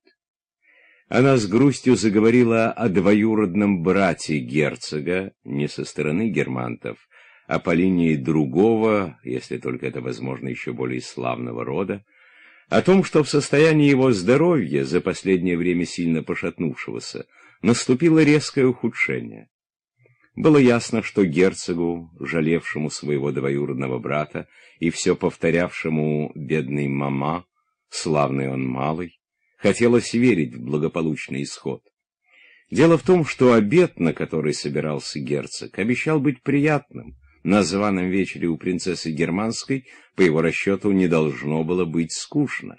А главное, его привлекал начинавшийся в час ночи роскошный ужин и костюмированный бал, для которого ему уже был приготовлен костюм Людовика XI, а герцогини Изабеллы Баварской. И герцог не желал отравлять эти развлечения мыслью о тяжелом недуге милейшего Аманьена Досмона. Потом с визитом к Базену пришли еще две дамы, тоже с тросточками, маркиза де Пласак и госпожа де Трем, дочери графа де Брекиньи, и сказали, что его двоюродный брат Мама безнадежен. Герцог повел плечами и, чтобы переменить разговор, спросил, не собираются ли они на вечер к Мари Жильбер. Дамы ответили, что не пойдут, так как Аманьен при смерти, и что не пойдут они и на обед, на который собирался герцог, и на котором, по их словам, должны были быть брат короля Феодосия, инфанта Мария Консепсион и прочие. Так как маркиз Десмон приходился Базену более близким родственником, то Базену показалось, что этим бойкотом дамы выражают ему неодобрение, и он был с ними не очень любезен. Хотя они спустились с высот особняка Брекиньи, чтобы повидать герцогиню, а вернее, чтобы уведомить ее о том, что состояние здоровья родственника герцогской четы внушает тревогу, и что, следовательно, и герцогу, и герцогине должно быть не до увеселений, но посидели недолго. Опираясь на Альпенштоки, Вальпургия и Доротея, так звали сестер, двинулись по крутой тропинке к себе на гору. Я так и не догадался спросить у германтов, зачем многие из Сен-Жерменского предместья разгуливают с тросточками.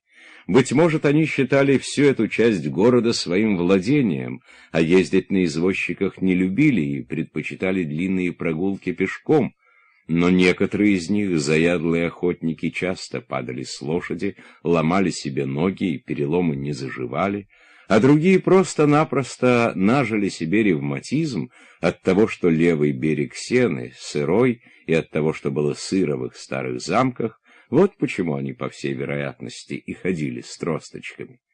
А может быть, они не совершали дальних походов, просто-напросто, сойдя в свой сад, неподалеку от сада герцогини, чтобы набрать фруктов для компота, они на возвратном пути заходили повидаться с герцогиней германской, но являться к ней с садовыми ножницами или с лейкой все-таки не решались. Герцог, видимо, был тронут, что я пришел к нему в день его приезда. Но по его лицу прошла тень, как только я сказал, что зашел попросить его жену навести справки, приглашает ли меня принцесса. Я попросил об одном из тех одолжений, которые герцог и герцогиня германские делать не любили. Герцог ответил, что теперь поздно, что если принцесса не посылала мне приглашение, то она может подумать, что он выпрашивает его для меня. А он однажды уже нарвался на отказ и больше не желает в какой бы то ни было форме оказывать на своих родственников давление, ввязываться в это дело. Наконец, что он точно еще не знает, может быть, он и герцогиня прямо со званого обеда поедут домой, и что в таком случае, чтобы принцесса не обиделась, лучше всего скрыть от нее, что они вернулись в Париж. а что если бы не это обстоятельство, то они, разумеется, немедленно спросили бы ее насчет меня в записке или по телефону, хотя, впрочем, теперь, конечно, поздно, так как, вернее всего, список приглашенных уже составлен. «Ведь вы же с ней не в плохих отношениях», — подозрительно поглядев на меня, сказал он.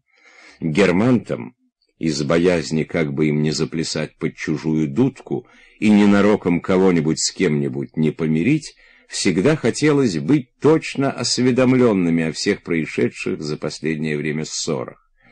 Герцог предпочитал самостоятельно принимать решения, когда, по его мнению, нужно было проявить жестокость. «Понимаете, дружок», — сказал он с таким видом, как будто его только сейчас осенило, — «я лучше не буду говорить Ариане о вашей просьбе. Вы же знаете, какая она обязательная, и что ее любовь к вам безгранична. Как бы я ее ни отговаривал, она непременно пошлет принцессе записку, и уж тогда если она устанет после обеда, у нее не будет никаких уважительных причин, придется ехать на вечер. Да-да, я ей ничего не скажу. Она сейчас выйдет, прошу вас, ни слова. Но если вы все-таки решитесь пойти на вечер, мы, конечно, будем счастливы увидеться с вами. Вошел лакей. Ее светлость приказала спросить вашу светлость, не может ли ваша светлость принять господина Свана, а то ее светлость еще не совсем готова.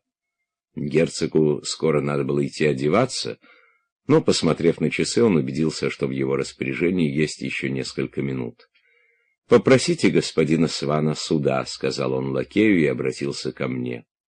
Сама же позвала Свана и, конечно, еще не готова. Не говорите при Сване о вечере у Мари Жильбер. Я не знаю, пригласили ли его. Жильбер его очень любит, он уверен, что Сван — незаконный внук герцога Берийского. Это целая история.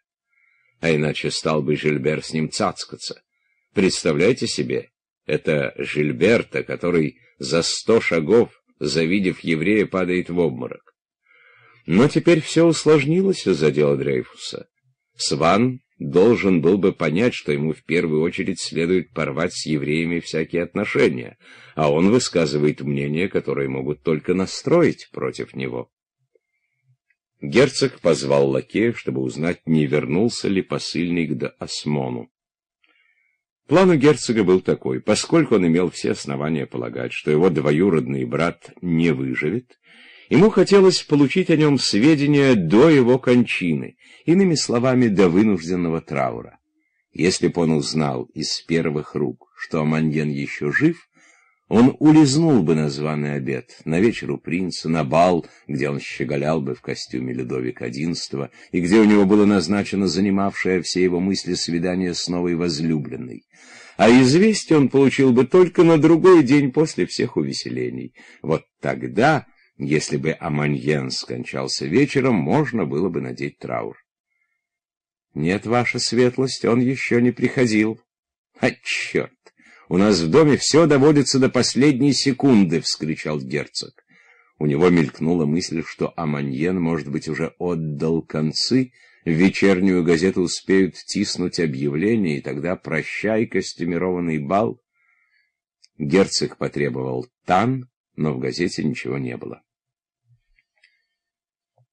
Я очень давно не видел Свана, и теперь некоторое время находился в недоумении. Носил ли он раньше короткие усы, стригся ли бобриком, словом, я нашел в нем какую-то перемену. Он и в самом деле очень переменился, он был очень болен. А болезнь также резко меняет лицо, как отпущенная борода, как стрижка на прямой или косой пробор. Сван был болен той же самой болезнью, от которой скончалась его мать и заболел он в том же возрасте, что и она. В нашей жизни впрямь такое огромное значение имеют каббалистические числа, дурной глаз, что кажется, будто и правда она в руках у колдуней. Если существует средняя продолжительность жизни человеческого рода в целом, то существует и средняя продолжительность жизни отдельных семей, то есть похожих друг на друга членов семей. Сван был одет элегантно, и в этой элегантности, похожей на элегантность его жены, улавливалось сочетание того, каким он стал, с тем, каким он был прежде. Светло-серый сюртук подчеркивал его статность и стройность, руки облегали перчатки, белые с черными полосками. В одной руке он держал серый цилиндр с раструбом. Такого фасона цилиндры изготовлялись дельоном только для него, для принца де Сагана, для де Шарлю, для маркиза де Моден, для Карла Гааса и для графа Луи де Тюрена. На мой поклон Сван ответил очаровательной улыбкой и сердечным рукопожатием, и это меня поразило. Мы со Сваном так давно не видались, что сразу он мог бы меня и не узнать. Я выразил ему свое удивление. Он захохотал, но так, как будто он на меня слегка рассердился. Потом еще раз пожал мне руку. Мысль, что он может меня не узнать, как бы свидетельствовала о моих подозрениях, не выжил ли он из ума и не был ли он всегда ко мне равнодушен. А между тем мои подозрения были основательны. Впоследствии я выяснил, что он узнал меня только, когда меня назвали по имени. Но после того, как герцог обратился ко мне, ни в выражении лица Свана, ни в выборе слов, ни в теме разговора, ни в чем не проскользнуло, что это для него неожиданность. До того искусно и до того уверенно играл он роль светского человека. Он вносил в свою игру непринужденность и свойственную ему личную изобретательность, изобретательность даже в манере одеваться, именно то, что вносили в нее и германты. Так что поклон, который сделал мне не узнавший меня старый клубмен, это был не холодный и чопорный поклон светского человека, заботящегося лишь о соблюдении формальностей. Это был поклон действительно любезный, по-настоящему обворожительный. Так кланялась, например, герцогиня Германская. Она даже начинала улыбаться при встрече, еще до того, как вы ей поклонились, из протеста против почти машинальных поклонов, характерных для дам из Сен-Жерменского предместья. И свою шляпу, придерживаясь уже мало кем соблюдавшегося обычая, положил на пол около себя, и вдобавок шляпа была у него отделана зеленой кожей. Это было не принято, но Сван уверял, что так она гораздо меньше пачкается, а на самом деле об этом он, однако, умалчивал, так она ему больше шла. «Послушайте, Шарль, вы же большой знаток, подойдите ко мне». Я вам сейчас что-то покажу, а потом, друзья мои, я, с вашего позволения, ненадолго оставлю вас вдвоем, мне надо переодеться. Впрочем, я думаю, что Ариана сейчас выйдет. И тут герцог показал Свану своего Веласкеса. «Кажется, я это уже где-то видел», — сказал Сван. Его лицо исказило гримаса, какая появляется на лице у больных людей, которым даже трудно говорить. «Да», — сказал герцог. Он был озадачен тем, что знаток сразу же не пришел в восторг. «Вы, вероятно, видели эту картину у Жильбера?» «Ах да, в самом деле, теперь я припоминаю». «Как вы думаете, кто это?» «Если картина принадлежала Жильберу, то, вероятно, это кто-нибудь из ваших предков». — ответил Сван с насмешливой почтительностью к знатности происхождения. Он считал, что презирать ее неучтиво и неумно, но в то же время считал хорошим тоном говорить о ней с издевочкой. «Вернее всего», — с недовольным видом сказал герцог, — «это Бозон, Германт, не помню только, который по счету. Ну да я на них плевать хотел. Вы же знаете, что я не такой феодал, как Жильбер». Но мне говорили, что это портрет кисти Риго, Миньяра, даже Веласкеса, — вскричал герцог и впился в Свана взглядом инквизитора и палача, чтобы прочитать его мысли и в то же время оказать влияние на ответ. «Ну так кто же?» Герцог обладал способностью добиться нужного ему ответа, а через несколько минут поверить в то, что человек в самом деле так думал. Говорите правду. Вы думаете, это кто-нибудь из звезд первой величины, которых я перечислил? Нет, — ответил Сван. Ну, я-то в этом ничего не смыслю. Я ни почем не сумею определить, чья это мазня. Но вы любитель живописи, вы человек сведущий. Кому же вы это приписываете? Сван бросил нерешительный взгляд на картину. Видно было, что она производит на него ужасное впечатление. «Вашему врагу?» — со смехом ответил он герцогу, и тот вспыхнул. «Я прошу вас обоих, будьте добры, подождите Ариану», — сказал он, успокоившись, — «а я надену фрачишку и сейчас приду. Я велю передать моей хозяйке, что вы ее ждете». Я заговорил со Сваном о деле Дрейфуса и задал ему вопрос, почему все германты антидрейфусары? «Во-первых, потому что в глубине души они все антисемиты», — ответил Сван. Он знал по опыту, что некоторые германты не антисемиты, но, как всякий ярый сторонник каких-либо взглядов, он предпочитал объяснять противоположную позицию, занимаемую другими, предвзятостью мысли, предрассудком, с которым нельзя бороться, а не воззрениями, против которых можно спорить. Кроме того, преждевременно достигнув своего земного предела, он, как затравленный зверь, не вынес гонений и вернулся к вере своих отцов. «О принце германском я, правда, слышал, что он антисемит», — сказал я, — «но о нем и говорить нечего. Он дошел до того, что это когда он был офицером, предпочел терпеть адскую зубную боль, только не обращаться к единственному в тех краях дантисту, потому что дантист был еврей. А еще как-то раз он не отстоял от огня флигель в собственном имении, потому что ему надо было просить насосы у своего соседа Ротшильда. «Вы вечером к нему не пойдете?»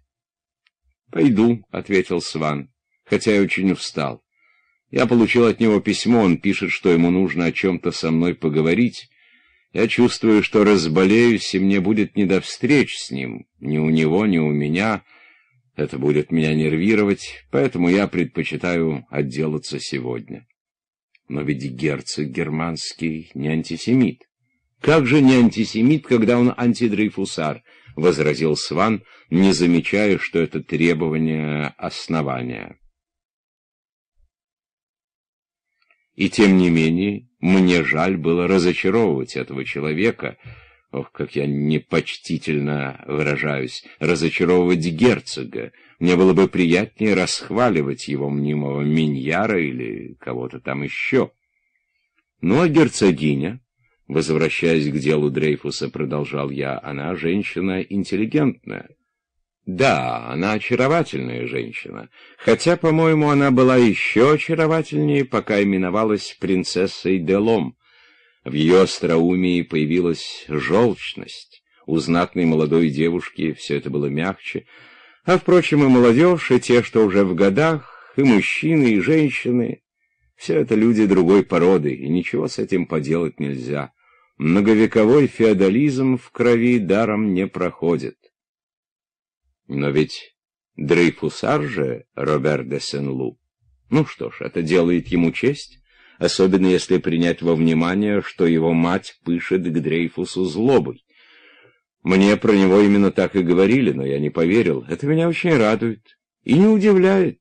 Он человек вполне интеллигентный, а в данном случае это очень важно. «Вы с ним видитесь?» — спросил я Свана имея в виду Сен-Лу. Нет, совсем не вижусь. Недавно я получил от него письмо. Он хотел, чтобы я попросил герцога де Муши и еще кого-то голосовать за него в Джокей-клубе. Но у него все там прошло как по маслу. Несмотря на дело Дрейфуса, об этом даже и разговору не было. Но уж после голосования я туда не ногой. Вошел герцог, а вслед за ним его жена, уже переодевшаяся, статная, великолепная, в красном атласном платье. Юбка у нее была отделана блестками. В волосах у нее было большое страусовое перо, окрашенное в пурпур. На плечи накинут тюлевый шарф, опять-таки красного цвета. «Мне очень нравится зеленая отделка вашей шляпы», — заметила герцогиня, от взгляда которой не ускользало ничто. Да у вас, Шарль, все хорошо. И то, что вы носите, и то, что вы говорите, и то, что вы читаете, и то, что вы делаете. Сван, притворяясь, что не слышит, рассматривал герцогиню, как рассматривают мастерски написанную картину. Затем, встретившись с ней глазами, сложил губы так, словно хотел сказать «Здорово». Герцогиня засмеялась. «Вам нравится мой туалет? Я очень рада. А вот мне самой он, признаться сказать, не особенно нравится», — с недовольным видом проговорила она. «Боже мой, как это скучно! Одеваться, выезжать, когда так хочется посидеть дома». Какие чудные рубины! Ах, милый Шарль, сразу видно, что вы понимаете в этом толк, не то что скотина Монсерфей. Он спросил, настоящие ли они. Признаться, я никогда таких не видела. Это подарок великой княгине. По-моему, они крупноваты. Чуточку напоминают полную рюмку Бордо, но я их надела, потому что вечером мы увидим великую княгиню у Мари Жильбер, — пояснила герцогиня, не подозревая, что эти ее слова изобличают во лжи герцога. — А что будет у принцессы? — спросил Сван. — Ничего особенного, — поспешил ответить герцог. Из вопроса, заданного Сваном, он заключил, что Свана не пригласили. — Да что вы, Базен, там будет всякой твари по паре. Давка начнется такая, что как бы не затолкали. Одно там должно быть прекрасно — глядя на Свана с таким видом, как будто она что-то предвкушает, — продолжала герцогиня. Вот только боюсь, как бы в конце концов не собралась гроза. Это дивный сад, вы его видели. Я там была месяц назад, когда отцвела сирень, красота неописуемая, и потом еще фонтаны. Ну, прямо Версаль в Париже. — А что собой представляет принцесса? — спросил я. — Да ведь вы же ее у нас видели. Чудо, как хороша собой. Глуповато, необыкновенно обаятельно, несмотря на все свое немецкое высокомерие, чрезвычайно отзывчиво, и то и дело садится в лужу. От наблюдательного свана не укрылось, что герцогиня хочет сейчас блеснуть германским остроумием, но, отделавшись по дешевке, это были старые, уже потертые ее словечки. Тем не менее, в доказательство того, что он понял герцогиню, желавшую посмешить его, и в знак того, что она своей цели достигла, Сван улыбнулся, хотя чуть-чуть напряженной улыбкой. И этот особый вид неискренности вызвал во мне тоже чувство неловкости, какое я испытывал во время разговора моих родителей с Вентейлем о падении нравов, в некоторых слоях общества, а между тем мои родители прекрасно знали, что уж на что хуже нравы в Монжевене. Или когда я слушал изысканную речь Леграндена, беседовавшего с глупцами и отлично знавшего, что эти богатые, шикарные, но необразованные люди его не поймут. «Риана, что вы болтаете?» — вскричал герцог. «Мари глупа? Она массу читала отличная музыканша. Базен, милый мой мальчик, вы что, только вчера родились? Неужели вы не знаете, что все это не мешает человеку быть глуповатым? Впрочем, сказать про нее, что она глупа, это было бы преувеличение, нет. Она смесь всего, она Гессен-Дармштадт, священная империя, и к тому же еще Рохля. Уже один ее выговор раздражает меня — но я признаю, что она очаровательная сумасбродка. Чего стоит хотя бы эта затея? Сойти со своего германского трона и, как самая обыкновенная мещанка, выйти замуж за простого смертного. Ведь она же сама его выбрала. «Ах, да», — обратилась она ко мне, — «вы не знаете Жильбера. Вот вам один штришок. Он слег, когда ему сказали, что я завезла карточку госпоже Карно.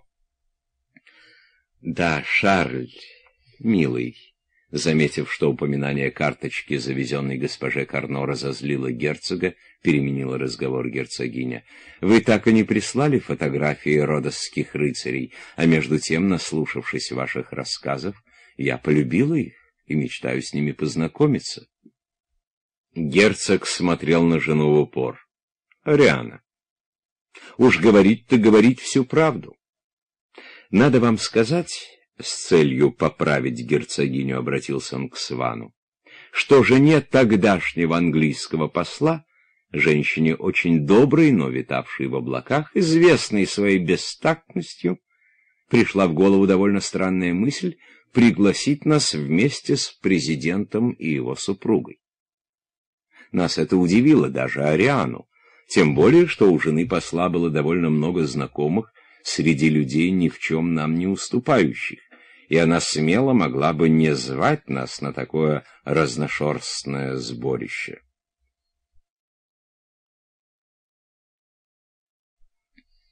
Вошел лакей. Это был молодой жених. Его вражда с привратником дошла до того, что герцогиня по доброте своей вмешалась и добилась того, что между ними установился худой мир. «Мне надо будет пойти справиться о здоровье господина маркиза Досмона?» — спросил лакей. «Ни в коем случае не ходите, даже и не думайте. А еще лучше, если вечером вас здесь не будет. Его лакей, ваш знакомый, может прийти сюда с вестями и пошлет вас к нам. Ступайте, идите куда угодно, повеселитесь, можете даже не ночевать дома. Только чтобы вас не было здесь до утра». Лакей был на седьмом небе. Наконец-то ему можно будет долго побыть со своей невестой, а то ведь они почти не виделись с того дня, когда, после очередного скандала с привратником, герцогиня в деликатных выражениях посоветовала ему в избежании дальнейших столкновений совсем не выходить из дому. Он утопал при одной мысли, что ему наконец-то выдался свободный вечер в блаженстве, а герцогиня это заметила и поняла. Сердце у нее сжалось, во всем теле она ощутила зуд при виде счастья, которым человек наслаждался без ее разрешения, таясь от нее, и герцогиню охватили злоба и ненависть. Нет, Базен, как раз наоборот. Он должен быть здесь, ему нельзя ни на секунду отлучиться из дому. Но ведь это же глупо, Ариана. Вся ваша прислуга дома — а в двенадцать часов придут еще костюмеры и костюмерши одевать нас на бал.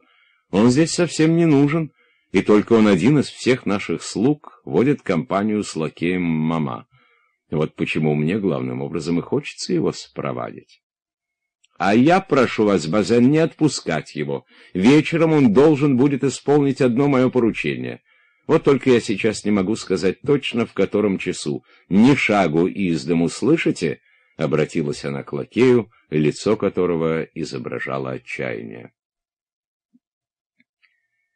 В этом доме все время вспыхивали ссоры, прислуга здесь не приживалась, и виновником этой непрерывной войны был один и тот же человек, но только не привратник, хотя орудие пыток, наиболее утомительных для палача, и всю черную работу по наускиванию одного на другого, кончавшуюся дракой, герцогиня доверяла ему. Надо, впрочем, заметить, что сам привратник не подозревал, какую роль он играет. Как и всех слуг герцогини, его умиляла ее доброта. Они, отличавшиеся проницательностью лакеи, получив расчет, заходили к Франсуазе проститься и говорили, что если бы не будка привратника, то лучшего места, чем в доме у герцога, нельзя было бы найти во всем Париже. Герцогиня делала из будки привратника пугало, как долгое время делали пугало из клерикализма, из масонства, из еврейской опасности и так далее. Вошел лакей. «Почему мне не передали пакеты, которые прислал господин Сван?» «Да, вот еще что. Вы знаете, Шарль, что мама очень болен». «Жюля посылали узнать о здоровье господина маркиза Десмона?» Он еще не вернулся? Только что пришел, ваша светлость. Все так полагают, что кончина господина маркиза близка. Ах, так он еще жив, облегченно вздохнув, воскликнул герцог. Кончина, кончина, а вы дурачина. Пока человек жив, надежду терять нельзя, обратившись к нам с веселым видом, сказал герцог. А мне говорили о нем так, как будто он уже мертв и похоронен. Через неделю он будет молодец с молодцом. Доктора говорят, что он умрет вечером. Один из них обещал навестить больного ночью, а главный доктор сказал, что приезжать незачем. Господина Маркиза он в живых уже не застанет. Господина Маркиза поддерживает только промывание камфорным маслом. — Да замолчите вы, болван! —— вне себя от ярости крикнул герцог. «Никто вас не спрашивает. Вы ничего не поняли из того, что вам было сказано». Было сказано не мне, а Жюлю. «Да замолчите вы, наконец!» — взревел герцог и сейчас же обратился к Свану. «Он жив! Какое счастье! Мало-помалу сила у него восстановится. Пережить такой кризис, значит, дело пойдет на поправку. Сразу не выздоравливает, а легкое промываньице камфорным маслом — это даже приятно. Он жив. Чего же еще надо?» — потирая руки, продолжал герцог. Раз он сумел перенести то, что ему суждено было вынести, это уже хорошо. У него такой могучий организм, что ему можно только позавидовать. А потом за здоровыми так не ухаживают, как за больными. Мой повар — мастак. Он приготовил мне на завтрак жареную баранину под биарнским соусом. Не могу не отдать ему должного. Пальчики оближешь. Но именно поэтому я столько съел, что у меня до сих пор в желудке тяжесть. А ведь вот никто же не приходит узнавать о моем здоровье, как приходит узнавать о здоровье моего дорогого Аманьена. Чересчур часто приходит. Это его утомляет. Надо дать ему отдохнуть. От посетителей отбою нет. Это и правда можно уморить человека. — Постойте, — обратилась герцогиня к лакею, собиравшемуся уйти. Я просила принести запакованные фотографии, которые мне прислал господин Сван. Ваша светлость, пакет так велик, что вряд ли пройдет в дверь. Мы его оставили в передней. Так как же, ваша светлость, принести? Нет, не приносите. Но только надо было сразу сказать. Если это такая громадина, то я спущусь в переднюю и там посмотрю. Я забыл доложить вашей светлости, что ее сиятельство графиня Моле оставила утром визитную карточку для передачи вашей светлости. «В котором часу?» — с недовольным видом спросила герцогиня. Видимо, она считала, что молодой женщине неприлично оставлять визитные карточки утром. «Около десяти, ваша светлость. Принесите». Во всяком случае, Ариана, если вы считаете, что выйти замуж за Жильбера — это было со стороны Мари чудачеством, то у вас странная манера излагать события, — вернулся к прежней теме разговора герцог. Уж кто дал маху, так это Жильбер. Он женился на близкой родственнице бельгийского короля, присвоившего титул герцога Брабанского, который принадлежит нам. В наших жилах течет та же кровь, что и в жилах Гессенов, но только мы более древняя ветвь. — О себе говорить некрасиво, — сказал герцог, обращаясь ко мне, — но когда мы бываем, я уже не говорю в Дармштадте, но даже в Касселе и где бы то ни было в Гессене, Ландграфы всегда в высшей степени любезно уступают нам дорогу и первые места, потому что мы древняя ветвь. Да будет вам, Базен! Мари была там у себя шефом всех полков, ее прочили за шведского короля. Подумаешь! Ах, Ариана, неужели вы не знаете, что дедушка шведского короля пахал землю в По? А ведь мы уже 900 лет назад стали одними из первых во всей Европе. И все-таки, если бы кто-нибудь крикнул на улице «Глядите, вон шведский король!», все бежали бы за ним до площади Согласия. А если бы крикнули «Вон герцог германский!», то для всех это имя было бы пустым звуком. Что вы хотите этим сказать? А помимо всего прочего, я не понимаю, какие у вас права на титул герцога Брабанского, раз он перешел к бельгийскому царствующему дому. Я сто раз объяснял вам, каким образом этот титул перешел в Гессенский дом, — сказал герцог. В это время мы уже шли смотреть фотографии, и я вспомнил те, которые Сван присылал мне из Комбре.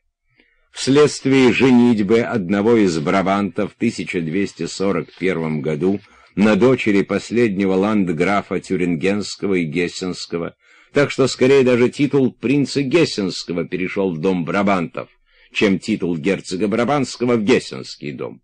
А еще вы должны помнить, что нашим боевым кличем был клич герцогов Брабанских — Лимбург тому, кто его завоевал. Более того, мы заменили герб Германта гербом Брабанта. И вот это, по-моему, была наша ошибка. пример Грамонов меня не убеждает.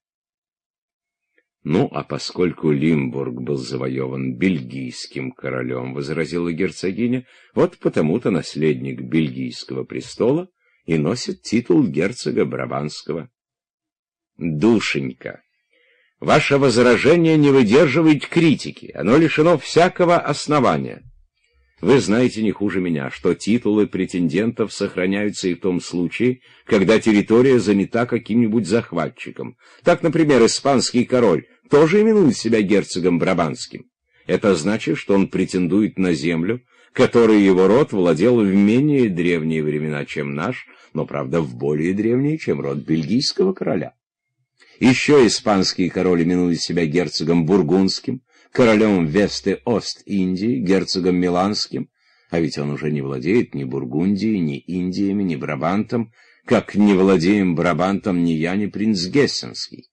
Испанский король считает себя королем Иерусалима, австрийский император тоже, а ведь ни тот, ни другой Иерусалимом не владеют.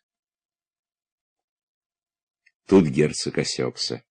Ему стало неловко при мысли, что название города Иерусалим может быть неприятно Свану из-за нашумевшего дела, но сейчас же затараторил. Так можно сказать обо всем. Мы были некогда герцогами амальскими, но это герцогство на таком же законном основании отошло к французскому царствующему дому, как Жуанвиль и Шеврес к дому Альберта. Мы не думаем притязать на эти титулы, равно как не притязаем на титул маркиза де Нуармутье, когда-то он принадлежал нам, а потом его по праву стал носить род Ла Тремуй. Но если некоторые уступки законны, то это не значит, что всякая уступка законна. Вот, например, — обратился он ко мне, — сын моей невестки носит титул принца Агригенского, титул, который достался нам от Иоанны Безумной, равно как титул принца Таренского достался роду Ла Тремуй. А Наполеон пожаловал титулом герцога Таренского одного солдата. Этот самый солдат, наверное, был храбрым воякой. Но в данном случае император еще больше превысил свою власть, чем Наполеон III, пожаловавший титулом герцога де Монмаранси Перегора. Перегор хотя бы по материнской линии был Монмаранси, тогда как герцог Таренский стал таковым только потому, что так захотел Наполеон I. Аше де Эстанж, намекая на вашего дядю Конде, задал вопрос прокурору империи, не подобрал ли император титул герцога де Монмаранси в рвах Венсенского замка. Базен, ради бога, я готова не только спуститься вместе с вами в Венсенские рвы, но даже съездить в Торрент. Да, кстати, Шарль, милый, я как раз хотела вам об этом сказать, когда вы говорили о святом Георгии Венецианском. Дело в том, что мы с Базеном собираемся пожить весной в Италии и в Сицилии. Если бы вы поехали с нами, вы бы нас просто осчастливили. Я уже не говорю о том, как нам приятно было бы ваше общество. Но вы столько рассказывали мне о следах нашествия норманов, о памятниках античного мира. Представляете себе, как много дало бы мне наше совместное путешествие. Ведь даже Базен, да что я говорю, Базен, Жильбер и тот извлек бы из него пользу. Я уверена, что меня заинтересовали бы даже притязания на корону Неаполя и прочее тому подобное возня, если бы вы об этом рассказали в старых романских церквах или в нагорных селенницах, точь-в-точь точь таких, как на примитивах. Ну, Давайте же посмотрим ваши фотографии. Распакуйте их, — сказала герцогиня лакею. «Ариана, только не сейчас. Завтра посмотрите», — взмолился герцог, уже показывавший мне знаками, что он в ужасе от громадных размеров фотографий. «А мне хочется вместе с Шарлем», — сказала герцогиня с улыбкой, в которой читались неестественная алчность и тонкий психологический расчет стремясь к тому, чтобы Сван почувствовал все ее благорасположение к нему, Она так говорила об удовольствии, какой ей доставят его фотографии, как мог бы говорить больной об удовольствии, с каким он съел бы апельсин, или словно она затевала эскападу с друзьями и одновременно рассказывала своему биографу об увлечениях, которые делали честь ее вкусу. Он придет к вам специально. После того, как герцогиня вынуждена была уступить герцогу, сказал он, «Рассматривайте хоть три часа, если вас это так занимает», — продолжал он с насмешкой в голосе. «Ну а где же вы развесите эти игрушечки?» «В моей комнате. Я хочу, чтобы они всегда были у меня перед глазами». Сделайте одолжение. Если они будут висеть у вас в комнате, то, вернее всего, я никогда их не увижу, — сказал герцог, не подумав, что из этих его слов явствовало, что он и герцогиня не живут как муж и жена. — Только, пожалуйста, осторожнее, — обратилась герцогиня к слуге. Желая, чтобы Сван оценил ее благосклонность, она проявляла необыкновенную заботу об его фотографиях. — Смотрите, не помните пакет. «Как мы почтительны даже к пакету!» — воздев руки к небу, шепнул мне герцог.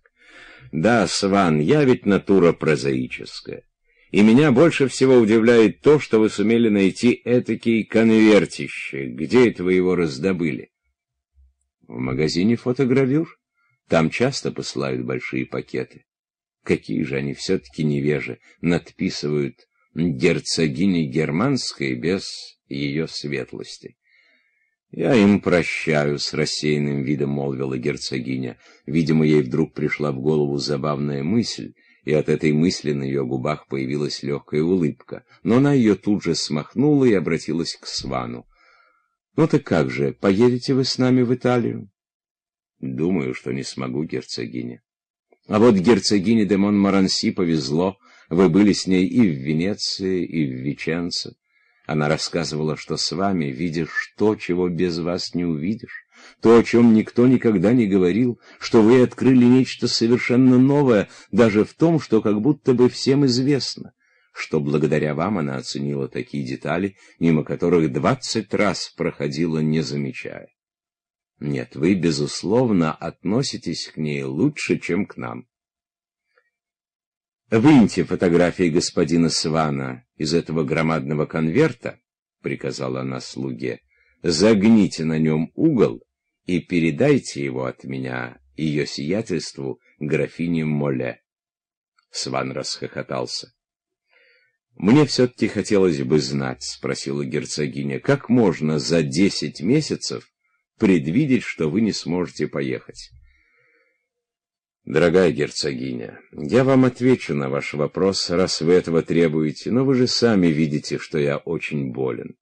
Шарль, родной мой, вы в самом деле очень неважно выглядите. Мне не нравится ваш цвет лица. Но ведь я прошу вас поехать с нами не через неделю, а месяцев через десять. Десять месяцев — срок вполне достаточный, чтобы поправиться. Вошел лакей и доложил, что карета подана. «Ну, Ариана, скорей!» — сказал герцог, уже топавший от нетерпения ногой, как будто он был одним из ожидавших коней. «Так почему же вы не поедете в Италию?» — вставая, чтобы попрощаться с нами, спросила герцогиня. «Потому, дорогой друг, что через несколько месяцев меня уже не будет в живых. В конце прошлого года я советовался с врачами, и они мне прямо сказали, что моя болезнь, от которой я могу умереть в любую минуту, даст мне прожить в лучшем случае месяца три-четыре, но никак не больше, — улыбаясь, ответил Сван. И в это время лакей распахнул перед герцогиней стеклянную входную дверь. — Да ну что вы! — воскликнула герцогиня. Она уже направлялась к выходу, но при последних словах Свана остановилась и подняла на него прекрасные голубые глаза, смотревшие грустно и вместе с тем крайне недоверчиво. Впервые приходилось ей исполнять одновременно две совершенно разные обязанности — садиться в карету, чтобы ехать на званый обед, и выражать сочувствие умирающему — и она не находила в кодексе светской морали такой статьи, которая указывала бы, как ей надлежит поступить. Вот почему она, не зная, какая обязанность важнее, решила для того, чтобы исполнить первую, гораздо менее тяжелую, сделать вид, будто она не допускает горестной мысли. Она рассудила, что в данном случае наилучший способ разрешения конфликта — это его отрицание. — Вы шутите, — сказала герцогиня Свану. — Ничего себе, милая шуточка, — с насмешкой в голосе проговорил Сван. — Не знаю, зачем я вам об этом сказал, я никому не говорил о своей болезни. Но ведь вы стали меня расспрашивать, да и потом я могу умереть в любой день. Однако я вас задерживаю, вы опоздаете на обед, — прибавил Сван. Из вежливости он поставил себя на место герцога и герцогини. А он знал, что когда речь идет о светских приличиях, то смерть друга отступает для них на второй план. Но вежливость герцогини, хотя и невнятно, подсказала ей, что для Свана обед, на который она собиралась ехать, не так важен, как его смерть. Ах, да что там обед? Какое это имеет значение, опустив голову, сказала она, идя к карете. Герцог возмутился. — Ариана, перестаньте хныкать и подпевать свану! — крикнул он. — Вы же знаете, что у госпожи де Сент-Эверт садятся за стол равнешенько в восемь. Раз обещали, значит, надо быть вовремя. Лошади пять минут стоят у подъезда. — Простите, Шарль, — сказал он, обернувшись к свану, — но уже без десяти восемь. Ариана вечно опаздывает, а езды до дома тетушки Сент-Эверт больше пяти минут. Герцогиня, прежде чем прибавить шагу, в последний раз простилась со Сваном. «Ну, мы с вами еще об этом поговорим. Я не верю ни единому слову из того, что вы насказали о своей болезни, но мы это еще обсудим. Вас зря напугали. Приходите завтракать, когда вам угодно». Для герцогини завтрак являлся разрешением всех вопросов. «Только назначьте день и час». Приподняв подол красной юбки, герцогиня ступила на подножку. Но тут герцог, увидев ее ногу, закричал не своим голосом. «Беда с вами, Ариана! О чем вы думали? Вы надели черные туфли, а платье красное. Бегите и наденьте красные туфли».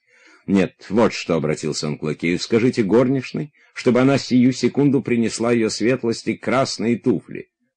«Друг мой», «Ведь мы же опаздываем», — тихо сказала герцогиня.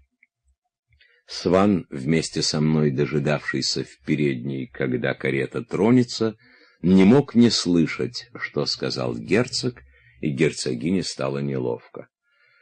«Да нет, у нас есть время. Еще только без десяти, а до парка Монсо самое большее десять минут езды. Ну, а в конце концов, даже если мы приедем в половине девятого, ничего, подождут. Не можете же вы ехать туда в красном платье и в черных туфлях. Вот увидите, мы еще будем не самые последние. Вы же знаете, что чита Сосенаж всегда является не раньше, чем без двадцати девять. Герцогиня пошла к себе в комнату. «Видали?» — сказал нам герцог. «Над бедными мужьями издеваются все, кому не лень, а ведь без них тоже плохо. Если бы не я, Ариана покатила бы на обед в черных туфлях. — Я в этом беды не вижу, — возразил Сван. — Я заметил, что на герцогине черные туфли, но меня это нисколько не покоробило. «Не покоробило, так не покоробило», — сказал герцог. «Но все-таки, когда туфли одного цвета с платьем, то это имеет более элегантный вид. И потом можете быть уверены, как только мы бы приехали, она бы на это сама обратила внимание, и пришлось бы мне мчаться за ее туфлями. Я сел бы за стол в девять. Ну, «До свидания, братцы», — сказал герцог, осторожно выталкивая нас. «Уходите, пока Ариана не вернулась. Я вовсе не хочу сказать, что ей неприятно вас видеть. Напротив, ей чересчур приятно. Если она вас застанет, то опять начнет разглагольствовать. Она и так устала. Приедет на обед еле живая. И потом, сказать по совести, я зверски хочу есть». Я ведь приехал сегодня утром и плохо позавтракал. Правда, биарнский соус был дьявольски вкусный. И все-таки я ничего не буду иметь против, ну, то есть ровно ничего не буду иметь против того, чтобы сесть за стол. Без пяти восемь. Ох, эти женщины! Из-за нее у нас обоих разболится живот. У моей жены совсем не такое крепкое здоровье, как это принято думать. Герцогу было ничуть не стыдно говорить умирающему о своих болезнях и о болезнях жены. Состояние своего здоровья и здоровья жены волновало его больше, чем болезнь Свана. Оно было для него важнее. И только потому, что он был человек воспитанный и жизнерадостный, он, вежливо выпроводив нас, когда Сван был уже во дворе, зычным голосом крикнул, стоя в дверях, как кричат за кулисы со сцены. «А этих чертовых докторов вы не слушайте! Мало ли каких глупостей они вам наговорят! Доктора обалдуи! Вы здоровы, как бык! Вы еще всех нас переживете!» Конец книги.